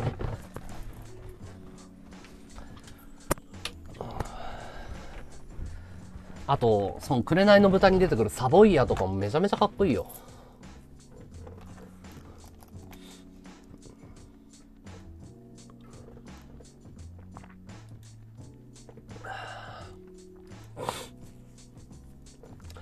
だからなんつうんだろうな。なんでこの人こんな天才的な発想ができるんだろうみたいなところにすごい惹かれるんだよね。この人の頭の中どうなってんだろうみたいな。だってナウシカって神様殺すんだよ。すげえよな。いや、怒られるでしょ、そりゃ。だから宮崎駿を全く理解しなかったんだよ、あれ。気持ち悪いですよね。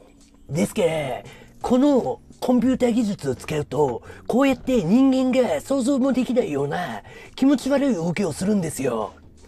どう思いますか？それはもう怒るでしょ。俺は宮崎駿であのプレゼンするカワンゴが大好きだけどね。いや、そう、はい。めちゃめちゃ笑ったよ。うん、不愉快だっつってね。いや、あれは、カワンゴのコミュ力不足だよね。あれは面白かったね。でも、俺は川上さんが偉いって思ったのが、あの人、上場企業の代表を務めてるぐらい優秀な人なんだよ。で、本来だったらあれ恥だから、あの、絶対やっちゃいけないことなんだよ。だって会社の株価に影響することじゃん。だけど、川上さんはあれ出していいよって言ったんだよ。だからネット民の味方だよね。要は、俺がいじられて面白いっていうの分かってて許可したわけだから。あれは大人の対応だと思うよ。あの映像絶対普通だったら出さないでって言うも。俺だったら言うよね。なんか川上さん偉大だなって思ったのは俺はそこ。うん。自分の恥を世間の財産だっていう判断をしたっていう。あ、やっぱすげえなと思ったよ。あれ普通の上場企業の社長だったら絶対 NG でしょ。かっこよかったね。あれを惜しげもなく出したっていうのは。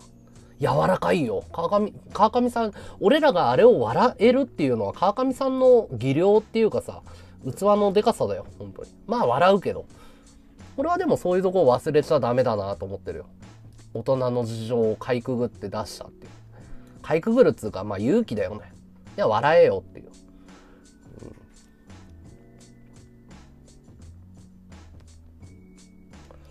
宮崎駿の愛煙してるタバコはチェリーで試しに吸ってみたらクソきつかった。タバコは脳にいいと確信。だからもう、バカバカ吸うじゃん。宮崎駿の。愛煙家だもんだよ。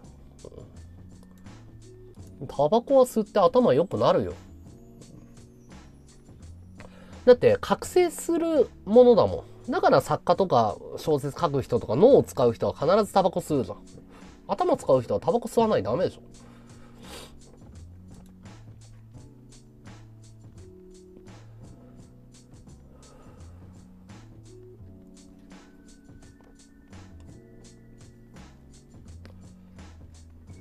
脳にいいっていうか覚醒剤だからこれは。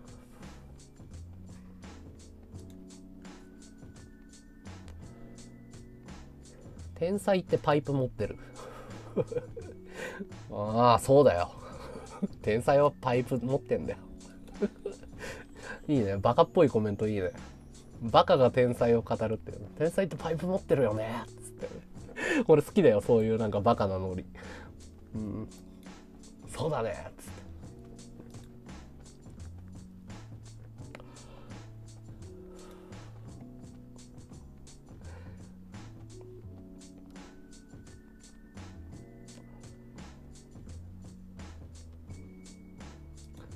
なんだろう。まあまあまあ、楽しいね。こういう枠はね。俺好きだよ。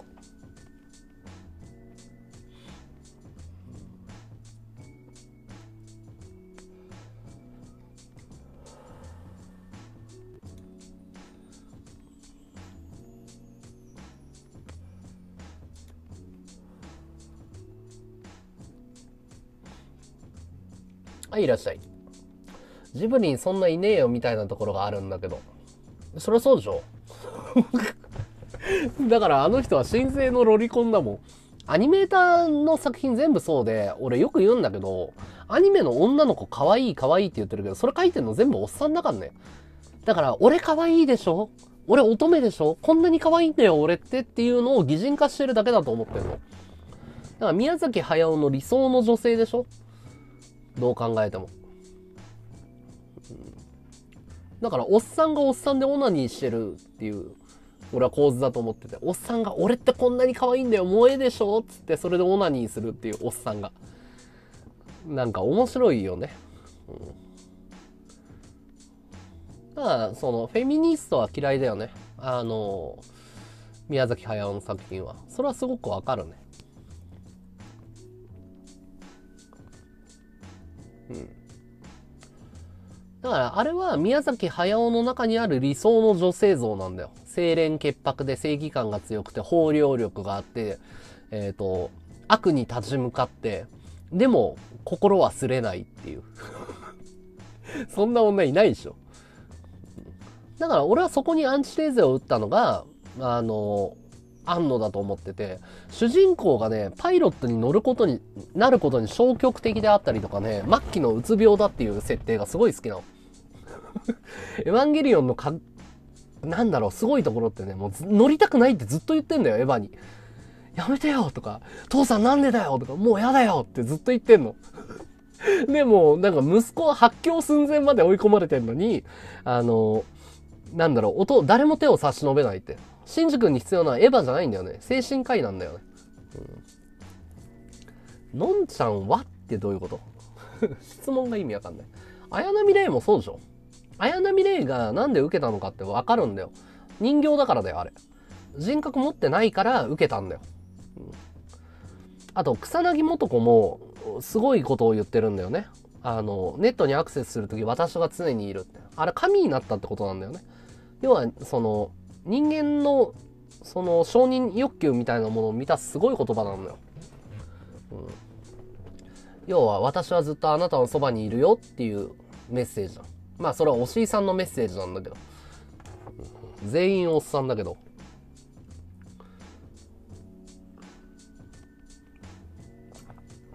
ニコ生でボイジェン使ってるおっさんと一緒だよ。そうだよ。うん。だから、その、あれだよ。例えばさ、少女漫画に出てくる美男子の男の子いるじゃん。あんな男いないじゃん。それと一緒。だからその女をディスるとかじゃなくて、作家ってそういうもんでしょ。あんな目がでかくてさ、八頭身でさ、おい、髪の毛に何かついてるよ。キラキラキラってなる男の子なんかいないんだよ。それと一緒だよ。うんはい、どうも、若津。明日かしかり迷いがない。あー、やっぱりその、いいよね。明日かしかりつか、まあ明日かは別に呪いがかかってっていう、あれだけど、明日かはすごいかっこいいね。二代目綾波レイが玄道、二代目綾波レイが玄道を好きなのは理由があるの。うんなのは理由があるの。だってさあの碇玄道はさ結衣のことを愛せなかったわけじゃん。だけど愛してるわけじゃん。だけどそのアイラングとして育てたわけじゃん子供の頃から。でずっと愛してくれてるんだよ。恋人でしょ。完全に。だからその玄道が作り出した妄想でしょ。うん、うん。あれはわかるよ。だから三代目レイに裏切られるっていう設定は良かったけどね。俺はね、俺はね、綾波アスカ、綾波アスカ、綾波アスカ、ミサトさん、綾波、ミサトさん、綾波アスカ、マヤとかいろいろ浮気して、俺はりっちゃん、そう、もう200周ぐらいしてるから。俺はもう赤木先生になってるから。お前らのそのアスカ、綾波どっちがタイプ議論とかくだらないと思ってるから。そこのレベルにいない。俺は、あの、りっちゃん。もうそのレベルの議論はしたくないです。レベルが低い。俺が何回エヴァ見たと思ってんのっていう。そういうのは他でやってっていう。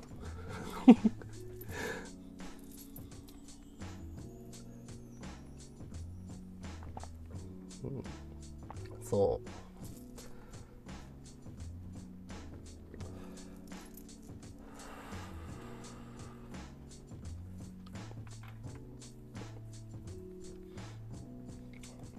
でも、風立ちぬほら見よう見ようって言ってくれたけど、風立ちぬ解説シーン、ネタバレシーンだったらとことんやるよ。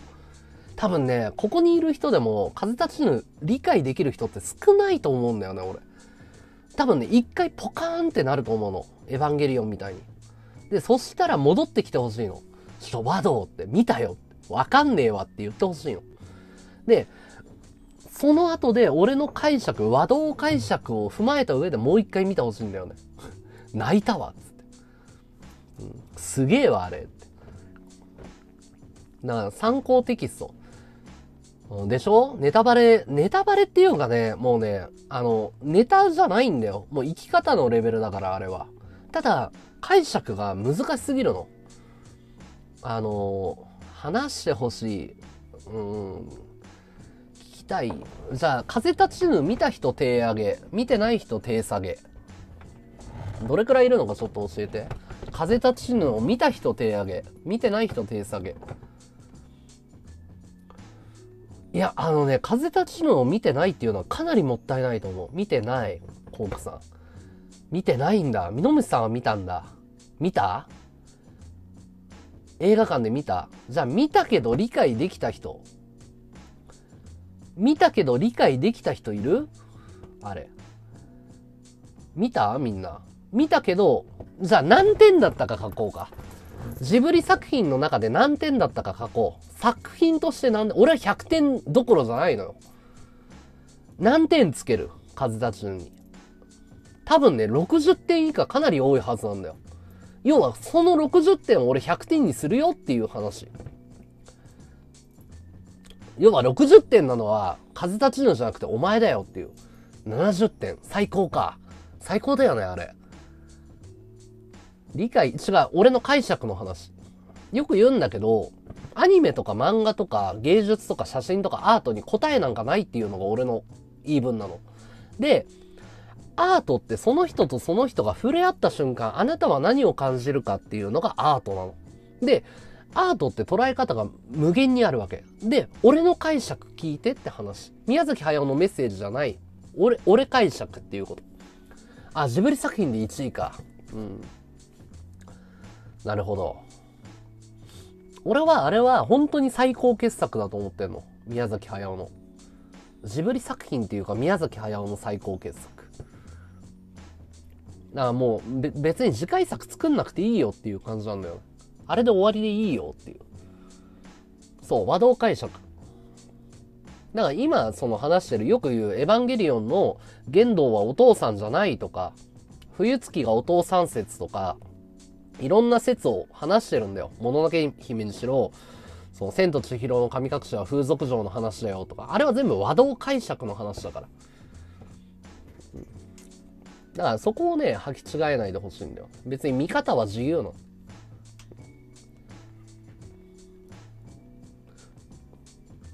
要はその解釈が深いかどうかが俺は面白いと思ってんだよ。1位ラピュタ、2位カリオストロ、3位ナウシカ、にわかかな。にわかっていうか冒険活劇が好きなんでしょ。だから、そ、そこに向けて作ってるから、宮崎駿は。要は、その、宮崎駿がこういうの。でも、それって子供向けに作ってるの。だから、その、子供の時見てそれが正しいっていうのありだと思うんだけど、ミノムシさんがその辺好きだったら多分、その、カズたちのはあんま面白くなかったと思う。姉ちゃんいらっしゃい。ジブリ一個見たことないですか？まず何がおすすめですか？わずか。うわー、来たいいね。姉ちゃんいらっしゃい。まず、ジブリの、まず一番最初のおすすめか。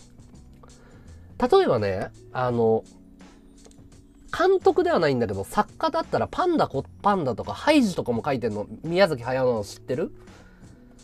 アニメーターとして結構、その、え？っていうのも作ってんのよ。ハイジとかも書いてるんだよ。あの、もともと東映の人だったの。だから、え？ー、って、あの、私見た作品、パンダコパンダとかもって、どうなんだろう。で、監督としてデビューしたのは、実はカリオストロの城なんだよ。ジブリ作品ではないんだけど。ジブリ、あのね、姉ちゃんが好きなのは何だろうな。姉ちゃんの性格を踏まえて言うと、俺、紅の豚好きそうだけどね、姉ちゃんは。姉ちゃんは絶対多分、紅の豚の世界観好きだと思うけど。そうそう、あと好みの。別にどう解釈しようと結構の。正解はない。アートに。うん。あと、あの、ジブリ作品もそうなんだけど、一言言わせて。あの、花火ください。あの、ごめんね。うん。それは置いといて、いろいろ置いといて、あの、花火ください。続けます。帰ってきました。どうぞよろしく。みんな花火よろしく。あの、食えないから。えー、風立ちぬ、いざ行きや、もうめ、あ、い、池袋北口さん、花火ありがとうにゃん。ありがとう。えー、行きやもめは監督の葛藤そのものだと感じた。あのね、要はね、あれ、俺って感じだよね。負ける花火ありがとうにゃん。ありがとうにゃん。そう、あれは、っていうか宮崎駿だよ、全部。俺は、風立ちぬは最高傑作だと思ったけど、まあまあ、受けないよなっていう。ミノムシさん、ありがとうにゃん。ありがとう。え、風立ちぬの話をしていいですか？していい？えっ、ー、と、賛成か反対か書いて。あのね、これね、見てから話したいの。見たけどわかんない人に話したいのよ。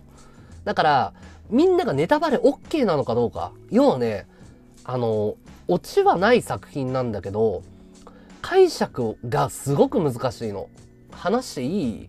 あんまり閲覧が落ちるのがすごい嫌だから、え、ネタバレすんなら見たくねえって言われたら嫌だから、鈴木敏夫さんどう思いますか？鈴木敏夫がいなかったらジブリはできてないね。うん。で、鈴木敏夫がいなかったら宮崎駿も世に出なかったっていうのが俺の考え方かな。牛岡さん、アイテムありがとう。うん。ミュートする？うん、オッケー。えっ、と、ネタバレ平気？うん。でも、あの、俺のネタバレはね、いいと思うよ。あの、すごく、その作家に対する、その、なんだろう。見方を伝えたいから、別にあんまり影響ないと思う。で、まずね、あの、じゃあ、見てる前提で話すんだけど、今から話します。えっ、ー、とね、あの、主人公の像をつかめてないと思うの、みんな。あの人さ、女に興味がない人だと思われてるでしょ。えっ、ー、と、なんだっけ？主人公の名前なんだっけ？えっ、ー、と、えっ、ー、と、主人公の名前は、ど忘れがひどいな直子と、堀越二郎、二郎さんね。二郎さんって、クリエイターなんですよ。で、めちゃくちゃ女にモテたいっていう描写気づいた？あの人は、あの、自己顕示力のすごい強いっていうのを描写で書いてるのよ。そこに気づいてない人は、純愛系の話だと思ってしまうの。そうじゃないんだよ。あの、もっとドロドロした話で、まず子供の頃に、夢の中で飛行機に乗るシーンが出てくるの。その時に街の人、要は街の中を飛ぶんだけど、女の人が、キャーって言って振り向くシーン覚えてる。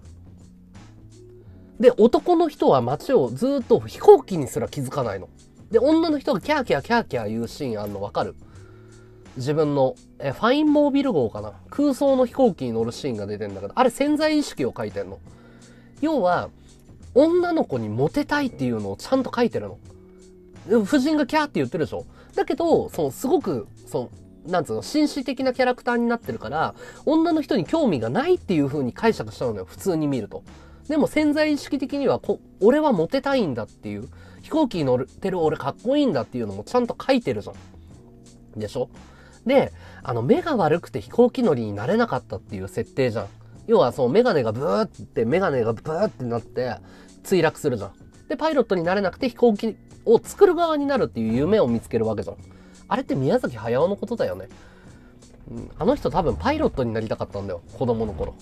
だから中学生の時に、要は、プラモデル全部燃やしたってさっき説明したじゃん。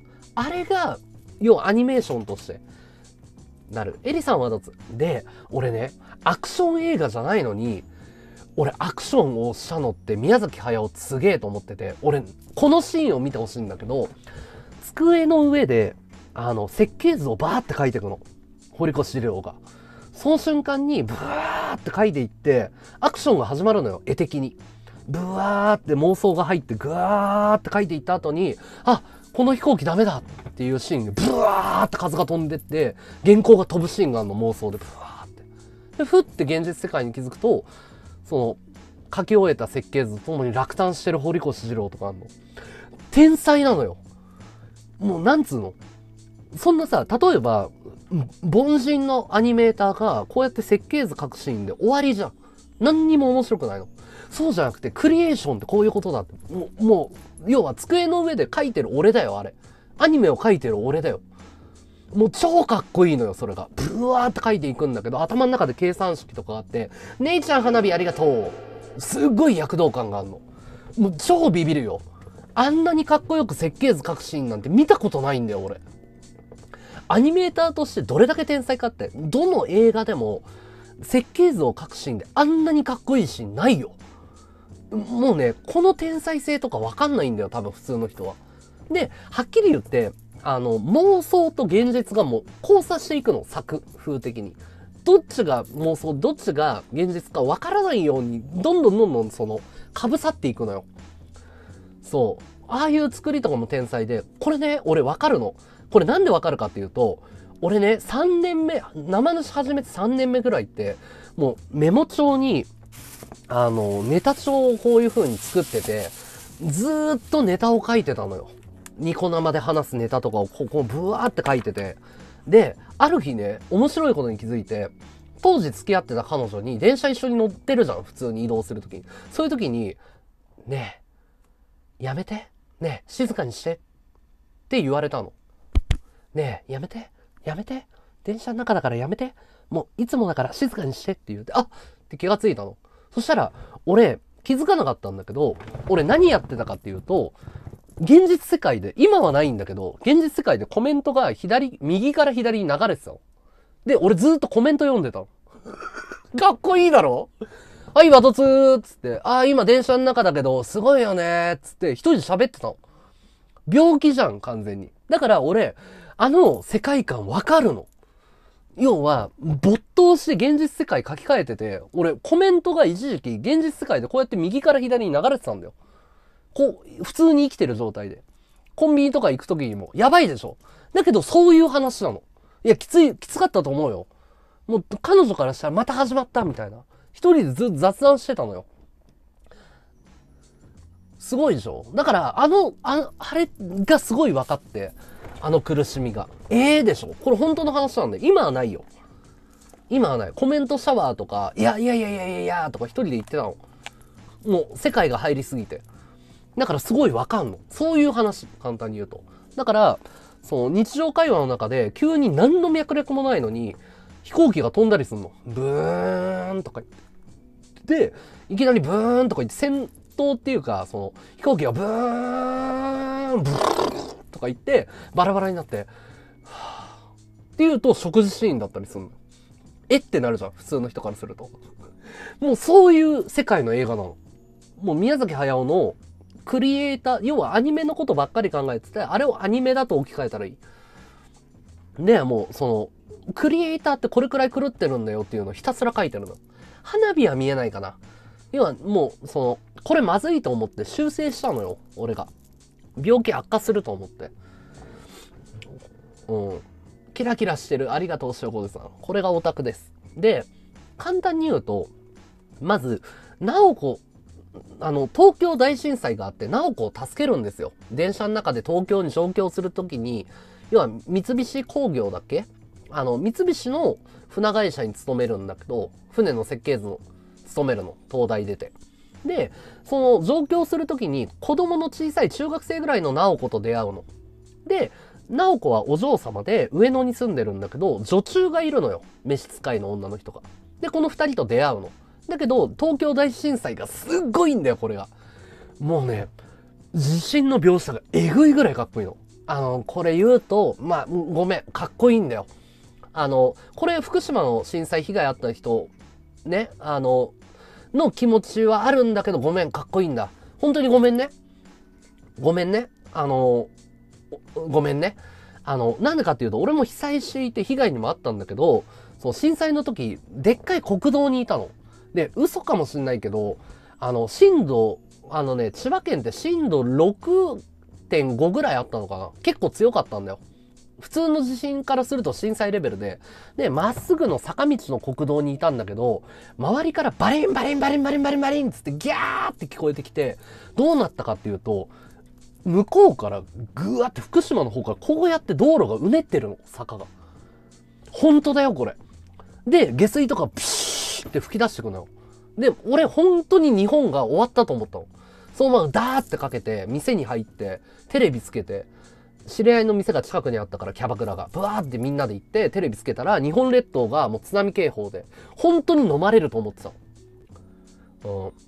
うん。で、それと全く同じ描写をちゃんとやってんのよ、東京大震災。この瓦が崩れてくシーンとか、ポフつってこう波動が広がって、震度、震、あの震える波動でブワーってなって汽車が揺れて止まってって。で、直子と女中を助けるんだよ、簡単に言うと。あの、おんぶして、女中さんが足骨折して、こう、届けるの。で、簡単に言うとなんだけど、直子のこと好きじゃなかったんだよ。あの、堀越二郎って女中さんが好きだったのこれわかるこれ見逃す人多いんだよ。なんでかっていうと、女の人が分度器届けてくれましたよってお礼にって言った時に、はっって言って、影を妄想するんだけど、それ直子じゃないのよ。明らかに女中なの。だから恋してたのは女中なんだよ。そう、マジかよってなるでしょ。だからすごい恋愛の話ですごいピュアな話に見えるけど、男と女のその性をちゃんと描いてるの。女中、女中っていうか、なんていうの？あの人。付き人じゃなくて、女中じゃないの。なんていうの？あの人。女中じゃないの？犯人。な、なんていうの？あれ。職業。あの、付き人じゃなくて、えっと、召使いだよね、要は、女の。な、なんていうのあれ？誰か訂正して？で、だけど、再会するんだよ。とあるシーンで。数年後。要は、綺麗な女になってんの、直子が。奴隷ではないわ。奴隷ではない。その時に、初めて会った時から君のことが好きだったっていうの。で、それを分かってる直子は、お手伝い戦っていうか、もう羊だよ、簡単に言うと。金持ちの。女中って言わない？合ってるかな？まあまあ、っていうか、コークミュートしてねえじゃん。で、そう、それを見逃しちゃう人が多いの。だから、直子と結ばれたらよかったって言ってるけど、いやいやいや、堀越二郎、最初に好きだった女、あれじゃんっていうのを見逃すんだよ。ね？よく、よくよく言われたらそうでしょ？はって、クラスのさ、端に追っかけるシーンあるじゃん。ああれ完璧にさ、あれ直子じゃないじゃん。なのに、直子と再会した時に、しかも直子も女のいじらしさがあるのよ。それ分かってるから、再会した時に一目会った時から君のこと好きだったって言った時の返しが、あの子は幸せになりましたよ。今結婚して子供が生まれてますっていうことを一言目で言うの。いや、釘刺してんだよ。お前好きだったの私じゃないじゃん。あの人幸せになったからもう脈ないからねって釘刺してるの。すごいでしょこういう駆け引きがあるの。もう超ドロドロしてんのよ。で、あのね、簡単に言うと、なんで堀越二郎はあの人を好きかってクリエイターだからだよ。ねすごいよね。早尾ってすごいよね、浅毛さん。本当に天才だよね。そうなの。もう、要はね、なんて言ったらいいんだろう。すごいんだよ。すごいの、本当に。それをさらっと書くから普通の人つまんないってな、なっちゃうのよ、女子高生とか。ポニョ出ねえしってなんの。トトロとか出ねえし、猫バスはってなんの？ないのそういうの。一切。一切ないの。で、なんで妹に冷たいのかって妹ブスだからだよ。妹にめちゃくちゃ冷たいのよ。あれブスだからだよ。ブスにめちゃくちゃ冷たいの。だから全然、なんつうの、理想の旦那じゃないよ、あれ。クリエイターで綺麗なものしか愛せないんだよ。綺麗だから付き合ってんだよ。で、その、まあまあ、結ばれていくんだけど、また結婚のシーンがいいんだよな。俺もう大好き、あれ。もう本当にいいよね、あの結婚のシーンね。すごい。で、まあ簡単に言うと、直子は白血病なのかな？要は重い病だけど、それでも結婚しますかって。で、君のことを愛す。で、内縁の妻つうかカップルになるんだよ。もう直子の寿命は限られてんの。だけど、親の反対を押し切って結婚するんだよ。もうそのシーンは見て。もうね、あれはもう泣くよ。すごいいいから。でもね、結局、どんどん幸せになっていったり、初夜を迎えたりっていろんなのあるんだけど、直子は療養所に行くの。要はもう悪化して肺炎が。血をドバドバ吐くのよ。で、その山にこもるんだけど、ね、簡単に言うと、直子がなんで山を降りたかわかる？あれ映画見た人ね、直子がなんで山を降りたか分かってないんだよ。結核だ、結核だ、ありがとう。結核だ、ありがとう。誰かにありがとう。ごめんね、俺、あの、喋るのに集中して、あの、ディティール間違えるから。あの、どんどん指摘して、ありがとうね、誰かにね。はさくせいじさんはこつアイテムありがとう。つるこさんもアイテムありがとうね。ごめん、今脳内爆発してるから、アイテムありがとう忘れてるから。でね、あれは、直子が、せい、えっ、ー、と、えー、堀越二郎を愛してるから山を降りたと思ってる人多すぎるんだよ。それはそれで合ってるの。もっと深いの。あのね、その前に手紙のシーンがあるの。あの、せ、二郎から手紙が来るんだよ。それを楽しみにしてんの。布団の中で、山の中で布団かぶって、ね、手紙を楽しみにしてるけど、はって喜ぶの。すごい演技力なんだよ。2行目まで読むと、なお、書いてある文字は読めないんだけど、なおこ、どうだい？君を愛してるよ？みたいなことは言る喜ぶのよ。だけど、その後、これが宮崎駿すごい。2行3行読むと、はぁで、直子が死んだ顔になる。要はね、何が書いてあるかっていうと、飛行機のことばっかり書いてんの。わかる？要は、いつもそうなの。飛行機のことばっかりの。で、気づくの。このままだと私死ぬって。この人、この人、このままだと私死んじゃう。愛、愛してるんだけど、この人のために、って言って山を降りるんだよ。なるほどでしょ？もう伏線が書いてあるの。だけど普通は、手紙を読むシーンを書いちゃうの。普通の凡人な作家だったら、直子へ。直子、君はどういう風に過ごしている？君のことをいつも思っているよ。ところでなんだけど、飛行機の仕事がうまく、はっこういう風にやるのよ。普通の作家は。要は、政治、えー、堀越二郎の声を読み上げて、こういうメッセージがあったから落ち込んでますよっていうのをやるんだけど、文字が読めないし、演技力だけでやるの。だから普通の人がわかんないの。え、直子なんで山降りたの？みたいな。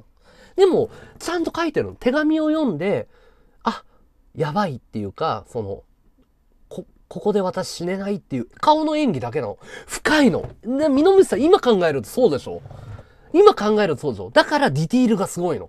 もうそういう、え、え、えっていう、ハテナマークの連続なのよ。簡単に言うと。なんでこの物語こうなんのって。例えば、その、あの、そういうシーンの一つで言うと、外国人がいるのよ。多重スパイの。で、堀越二郎は、その国から、あの、追われるの、国の警察から追われていて、身を隠すんですよ。飛行機の設計が終わった後。で、その時に直子と出会うんだけど、外人のスパイがいるんだけど、外人のスパイなんで帰ったか知らないでしょ？あのシーン意味わかんないでしょ？あの、クレソンばっかり食べてるさ、あの、スパイ、スパイツがドイツ人のやついるでしょ？あいつスパイなんだよ。スパイドルゲなんだけど、あいつがなんで別れる時に、意味がわかんないじゃん。あの登場キャラクター何なのってわかんないでしょ？あれ、堀越二郎が飛行機の設計図をドイツに売ってるんだよ。そう、スパイゾルゲだ。そう。だから、密約を交わしてるんだよ、あれ。っていうシーンの。意味わからなかったでしょそう。っていうのもちゃんと国の成り立ちの歴史とかから書いてる。だから国の警察が動いてるのも正しかったんだよ。わかる？だからこの戦争を負けるよっていう情報とかと交換に飛行機の情報を売ってるのよ。だからそのシーンを普通は書いちゃうの、かっこよく。要は、俺と密約しないか、二郎くん。この国の戦争では、みたいなセリフを入れて、かっこいいシーン入れるんだけど、インテリ宮崎駿はそんなダサいことできるかつって。こんなん帰るシーンでわかるよっていう。わかんないでしょだから、ハテナマークが多い。だし、最後のシーン、感動のシーンって、みんなよくよく考えて。あのさ、最後飛行機ゼロ戦が、ゼロ戦じゃなくて、えっと、旧式、なん、何戦闘機できるじゃん、翼のやつが。で、直子が死ぬじゃん。ね？めちゃめちゃかっこいいの、あの作品は。うん、わかる人から見ると、いい、そうっていう。例えばね、これは、日本の映画って、例えば、うん、例えばなんだけど、うん、例えば、じゃあ日本の映画によくありがちなシーンやるね。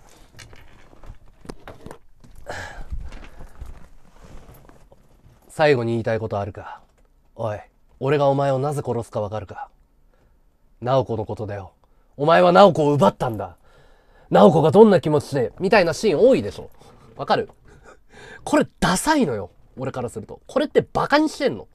見てる人をわからないからセリフに入れるの。こういうの多いでしょ。なんであいつを殺したかわかるか。で、現実世界でこんなセリフ起こんないんだよ。説明するなんてありえないの、今から殺す相手を。こういうことずっとやるの。そう。説明させるの。登場キャラクターに。待ってくれ直子は本当は俺のことを愛していたんだとか。いや、ないじゃん、こんなの。だけど、宮崎駿はどういう風に作るかっていうと、タンわかる？これでしょ、映画って。え、何今のシーン？で、俺や、これがかっこいいんだよ。そう。ひたすらこれをやってる感じ。そう。え、なんで殺したの？みたいなのが連続なの。ずっと。そう、そういうこと、そういうこと、ハニーさん。堀越二郎は女が好きで、奥様よりも飛行機を愛して、愛国心より自分を作、作、天才を売る天才ってこと、そういうこと、そういう作品なの。ただ、この作品がなんで泣けるかっていうと、最後のシーン見てほしい。ずーっと妄想を続けてて、最後、煉獄っていうところ、要は妄想の世界で飛行機の、要は飛行機の世界に行こうっていう天才とずっと会話をしてたの。要は妄想、統合失調症なのよ。クリエイターだから。だけど最後そこに直子が来るっていうシーンがあるの。で、その時の最後のセリフが、あなた、生きて。空に憧れて。もう号泣。これ何を意味するかっていうと、死んで初めて飛行機の夢ばかり見てたけど、かけがえのないものを失ってしまったんだって二郎が気づくんだよ。夢の中に初めて直子が出てくるの。妄想の中に。行かないでくれ、直子って。あなた生きて。うわ直子の愛が死んで届くの。直子が飛行機と一緒になるの。泣けるでしょここで初めて泣けるの。直子かわいそうじゃないのよ。直子を愛してなかった男が直子を失って、直子を夢、自分のずっと追いかけてた夢と同じぐらいの夢になったって話なの。だから、直子の純愛で泣いたっていうのはレベル低いの。そうじゃないの。直子はずっとけなげに、要は自分が愛されてないのを分かっていながら、要、そうだよ。のんちゃんは、俺はのんちゃんのこと愛してるよっつっても配信のことをずっとやってるわけよ。のんちゃんは気づいてるよ。私のこと愛してないって。あなた配信ばっかりじゃないって。そうだよ。そういう話なんだよ。俺は、どんだけのんちゃんのこと愛してるっつっても、のんちゃんよりも配信のことが好きなんだもん。毎日配信いやばっかりやってんだもん、のんちゃんのことほったらかして。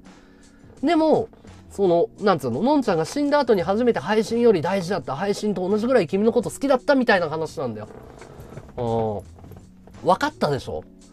だからちゃんと書いてあるからもうね、あのね、はっきり言って瞬きする暇なんか一個もないぐらいの映画だよ。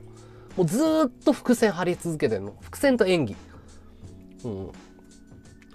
俺らの愛は深いよ。うん。っていう話です。コーラさん帰ってきていいよ。うん。ね、全然違うでしょ全然違うよ。うん。あの、めちゃくちゃ名作だから。もう演技一つ一つ見逃す暇なんかないよ。うん、他にもいっぱいある。うん、例えばその、あのね、なんで、あの、あの、なんだかシベリアっていうお菓子を子供にあげるシーンが出てくるんだよ。で、なんでそれを女の子だけ受け取らなかったとか、あの後のピラミッドの話が出てくるんだよ。要はね、あの、自分の好きなもののために貧民を作る葛藤があるの、あれ。要はアニメを作ってる宮崎駿だよね。要は、その、貧乏な子が亡くなる、格差社会がなくなるっていう左翼思想を持ってるわけじゃん。だけど、アニメーターの仕事ってさ、9万円とか10万円で部下雇って書かせて過密な労働させて食わせられなかったジブリのことなんだよ、あれ。だけど俺はアニメ書くっていう宣言だよね。でも自分の業だよ。あれは、要は、飛行機をジブリに例えたり、アニメーションに例えると、本当にすごいよ。要は、宮崎駿自身の葛藤とか恋愛観をずっと書いてんの。すっごい天才だよ。あれ、飛行機をアニメに置き換えてみてほしい。もう宮崎駿の自伝だよ、あれは。すごいよね。本当に最高傑作。全部答え書いてる。その作家として恋愛、生きること、死ぬこと。クリエイターとは何なのかとか。もう本当にすごい。だからドキュメンタリーとかに近いと思うよ。うん、だから、その、大人向けに作るとここまでタガ外すんだっていう。で、はっきり言うんだよ。もうね、結核の奥さんなんだよ。ずっとタバコ吸うから。なおこ、愛してるよって言いながらタバコ吸いたいっていうもうね、もうね、どこが直子のこと愛してる映画なんだよって。うわ超感動した、直子幸せでよかったねとか言ってバカな女子高生に言いたいの。お前、結核の女がいて、ね、山から降りてきて、あなたのために尽くしますって言ってる女の横でタバコ吸っていいっていうクズ野郎だよ、本当に。すごいよね。うん、外でタバコ吸うとかじゃないから。結核の女の前でパカパカタバコ吸う話だから。全然愛してねえよ。戦争、飛行機が戦争に利用されることに対する悲しみがテーマだと思ったけど、自分の作品が壊される。そうそうそうそうだから、その宮崎駿のことを知らないといけなくて、宮崎駿ってゼロ戦を作ってた会社の生まれなの。宮崎工業だっけな。お父さんがゼロ戦作ってたんだよ。だから子供の頃から飛行機大好きなの。ゼロ戦のここの部分作ったの、コックピットの。だから、ジブリアニメって飛行機がテーマなのよ。飛行機大好きでコレクションも知識も半端じゃないの。でも中学生の時戦争は良くないっていうことで全部捨てるんだよ、あの人。そう。反戦活動をするために自分の思想を有言実行するために大好きだった飛行機を全部捨てるの。もうね、宮崎駿の天才性はそこなんだよ。だけど、未だに飛行機を描き続けるんだよ。すごいよね。すごい。だから戦争について何も触れてないの。はっきり言って。反戦とかじゃないんだよ、もう。要は、その、なんだろう。兵器とか大好きなんだよ、あの人。だけどね、それが世界を壊すっていう矛盾を書き続けてんの、ずっと。だからね、ある意味ね、俺ね、宮崎駿が原発とか運動してるじゃん。森を取り戻す運動。あれはね、呪いなんだと思うよ。自分が機械とか原子力とかさ、だってさ、なんだ、あの、もののけ、あの、巨神兵のビーム、プルート砲って書いてあるじゃん。あれ、原子力で動いてんだよ。巨神兵って。いや、もう超オタクじゃない。もうオタクの上に高学歴。宮崎駿って国立のどこ出てるっけ？超インテリなんだよね。あの人って。オウムの目の部分が飛行機に使われるのはお父さんの仕事。オウムの目の部分が飛行、そうそうそうそう、まさにそうそうそうそう。オウムの目の部分、飛行機のコックピットのここに使うもんね。奥が深いっつうか天才作家だね。うん。だけど、宮崎駿の天才性はそこじゃないのよ。要は、もうね、はっきり言って、あの、押井守とか比にならないぐらい分かりづらい作品作る人なの。天才すぎるのよ。知識量が膨大すぎるの。それを3歳の男の子、女の子が喜べるまで落とせるの。それが天才なの。要は、ただ走るだけですげーってなるのよ。その、海とかが魚になったりとかすごいの。車が生きてるみたいに運転できるの。あの、こう、ぴょんぴょん跳ねたりするのよ。キュキューとか。車体がぐにゃんって曲がったりするのよ。ブレーキするときにギューって縮まったり。そこが凄さなのよ。インテリなのに、その、子供を楽しませることだけをやってたの。学習院だっけ？学習院だっけ、うん、学習院、宮崎駿、ちょっと見てみようか。うん、宮崎駿。めちゃくちゃインテリなんだよね。えー宮崎駿。えー学習院大学か。学習院大学だわ。私立だ。ごめん、間違えた。国立じゃなかったわ。ごめん。申し訳ない。訂正します。すいません。私立です。でも学習院って頭いいよね。合ってるよね。ホタルの墓はね、高畑勲ですね。えー平成たぬき合戦、ポンポコとか、えーかぐや姫の物語。要は宮崎駿が稼いで、高畑勲が予算かけて食いつぶすっていうのがジブリです。はい 宮崎が稼いで高畑勲が、えー儲けた、宮崎駿が儲けた金で食いつぶすっていう。俺は中卒ですよ。はい。僕は中卒です。はあ、まあまあまあ、まあそんな感じですよ。あの、カズタチューンに関しては。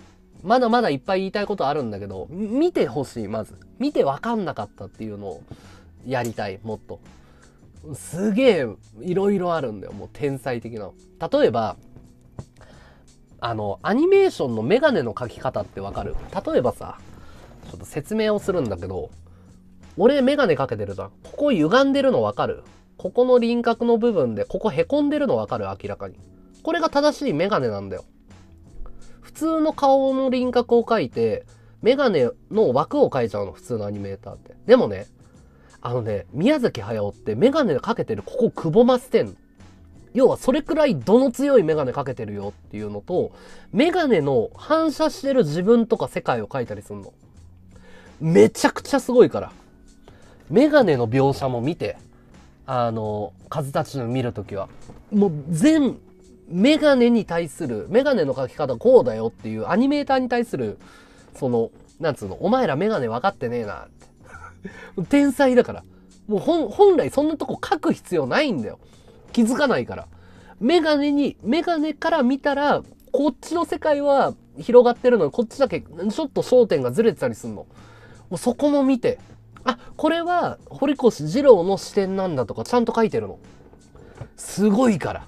天才だから。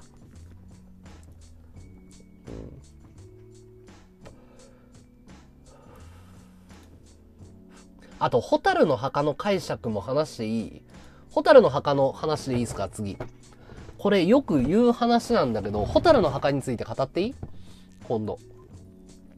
いいっすか？これ、揉める話なんし、嫌な話なんだけど、ちょっとね、賛否両論あるっつうかね、この話をすると、あの、割れるんですよ、意見。和道解釈いい？ホタルの墓。あれは戦争の話はモチーフになってるんだけど、どちらかっていうと、あの、セータが節子を殺した話ですよ。あれ、戦争で被害に遭った兄弟の話で戦争の残酷さを書いてる話じゃないですよ。これ和道解釈だから、その、あの、あんまり突っかかってこないでね。あくまで俺はそういう風に見たよっていう。だそうでしょ。うん。そうでしょ。いや、違うよ。俺はそういう風に見たって話よ。ミスケはどつそう。あれはどういうことかっていうと、戦争が元になってる、もう大まかに言うと戦争が悪いって話なんだけど、もっと人間の業を書いてて、セータが節子よりも飯を食ってたって話なの。だからカニ光線とか。そう。あのね、兄が悪いじゃないんだよ。そこが複雑なところなの。だけど、セータがなんで懺悔をしに行くかっていうところを見てほしいの。まずね、冒頭こうやって始まるの。駅のホームでガリガリになって餓死寸前のセータがこういうの。今、何月何日何曜日やろう。って言って死んで。で駅員が佐久間ドロップスを拾い上げるところから始まるでしょそれをセータが死んだばかりのセータと節子の霊が見守ってるところから始まるでしょ要は懺悔の旅なの。節子殺してごめんねっていう。うん。実際本人そう言ってるしそういう話なんだよ。だけど間違って解釈してる人めちゃめちゃ多いんだよ。気ぐらいだけは高い兄と聞いたことある。あー、プライドは高いけどね。まあでも、両家の出だからしょうがないよ。セータの懺悔の話なの、あれは。節子ごめんねっていう殺したって。だってさ、よくよく考えて、あのさ、節子って虫食べてたんだよ。鍋の中に虫のシーン出てきて、男の子3人がさ、うわー虫食ってるーっつって。あれ、おままごとだと思ってるでしょ？泥団子とか虫を食べてるって。芋とか盗んできてるけど、セータの方が食ってるから生き残ったんだよ。でしょ？いや、それも、それもそうなの。あの、戦争に対する怒りと悲しみなんだけど、メインテーマっていうか、裏テーマみたいなのがちゃんと書かれてて、なんつうの、戦争でこういうことが起こっちゃいますよっていう話では、大枠では合ってるんだけど、もっと深いっていうか、要は、芋とか盗んでたけど、ね、結局、節子は虫食ってたって話でしょ。だから、あの、節子が病気になって死んだと思ってる人多いのよ。違うよ。あれ、あの、背中にボツボツとかできてかゆいかゆいっていうシーンあるじゃん。あれ、栄養失調だよ。ガリッガリになってるじゃん。で、でも、セータは言えないんだよ。だから、その人間の生物の、その、本能の話なんだよ。野坂明はのんべえ。うん。そう。ちゃんと書かれてるから、それは。な簡単に言うと、両家の出で、お父さん、お母さん、ほら、軍人でしょ、お父さん。で、超位が高くて、お金も持ってるんだよ。だけど、その、なんつうの、プライドが高くて働けないんだよ、簡単に言うと。要は、貴族ニートみたいな話なんだよ。要は、ボンボンのお坊ちゃまで、ね、その、平民、親、両親が死んで平民まで落とされるけど、働けない話なんだよ。頭下げらんない。物は盗めるけど、助けてくださいって言えないんだよ。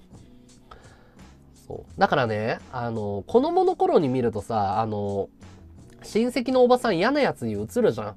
はい、お疲れ。親戚のおばさん嫌なやつに映るけど、大人からす、大人でみ、なって見てみるとさ、あのおばあさん正しいよねって思わない？働けって言ってるだけなんだよ。ただ飯ぐらいがあって。働けよって。そしたら反論するじゃん。いや、これ僕のお米ですよって。そんなん通用するわけないじゃん。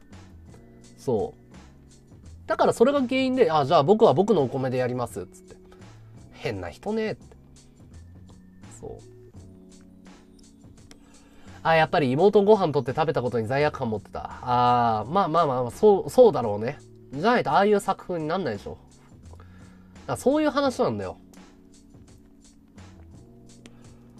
うん。ああれはおばさんが正しいんだよ。働けっていう。働かざる者食うべからず。俺はセーターならどうすあ、正しい見方だね。いい見方だと思うよ。それは作家、高畑勲さんがすごく喜ぶと思うよ。野坂明夫さんも。そうやって見てほしいんだよ。俺なら日本軍に参加する。え？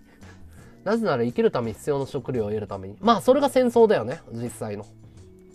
だって、まあ、アメリカでも、どの時代の戦争も子供が兵隊になったりとかさ、貧しい黒人が軍隊に入る大学に行くためとか、そういうことでしょ。うん。25日の練習って、えっ、ー、と、達彦の練習？行きますよ。はい。うん、来る、来るっていうか、はい。うん。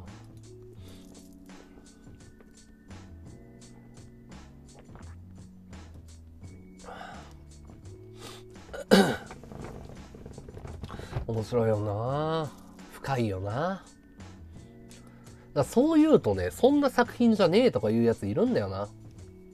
そういうこと。変なプライドでおばさんのところ飛び出して、物を盗んでたけど自分ばっかり食ってて妹を餓死させちゃいましたっていうのがメインテーマなんだよ。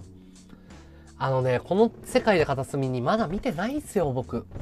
ごめんなさい。もう絶対見ないとって思ってるんですよ。あのね、でもね、この世界の片隅にはね、名作だと思うよ。あの、レビューとかひたすら見てるんだけど、まだ作品見てないんで、ちょっと待っててください。ごめんなさい。本当にごめんなさいなの。あれは見、見なきゃいけないんだよ。うん。他にもなんか作品でこれ語ってほしいっていうのあったら、何でも。見た作品であれば。覚えてないと思うけど、テルチャンピンのリア友。覚えてない。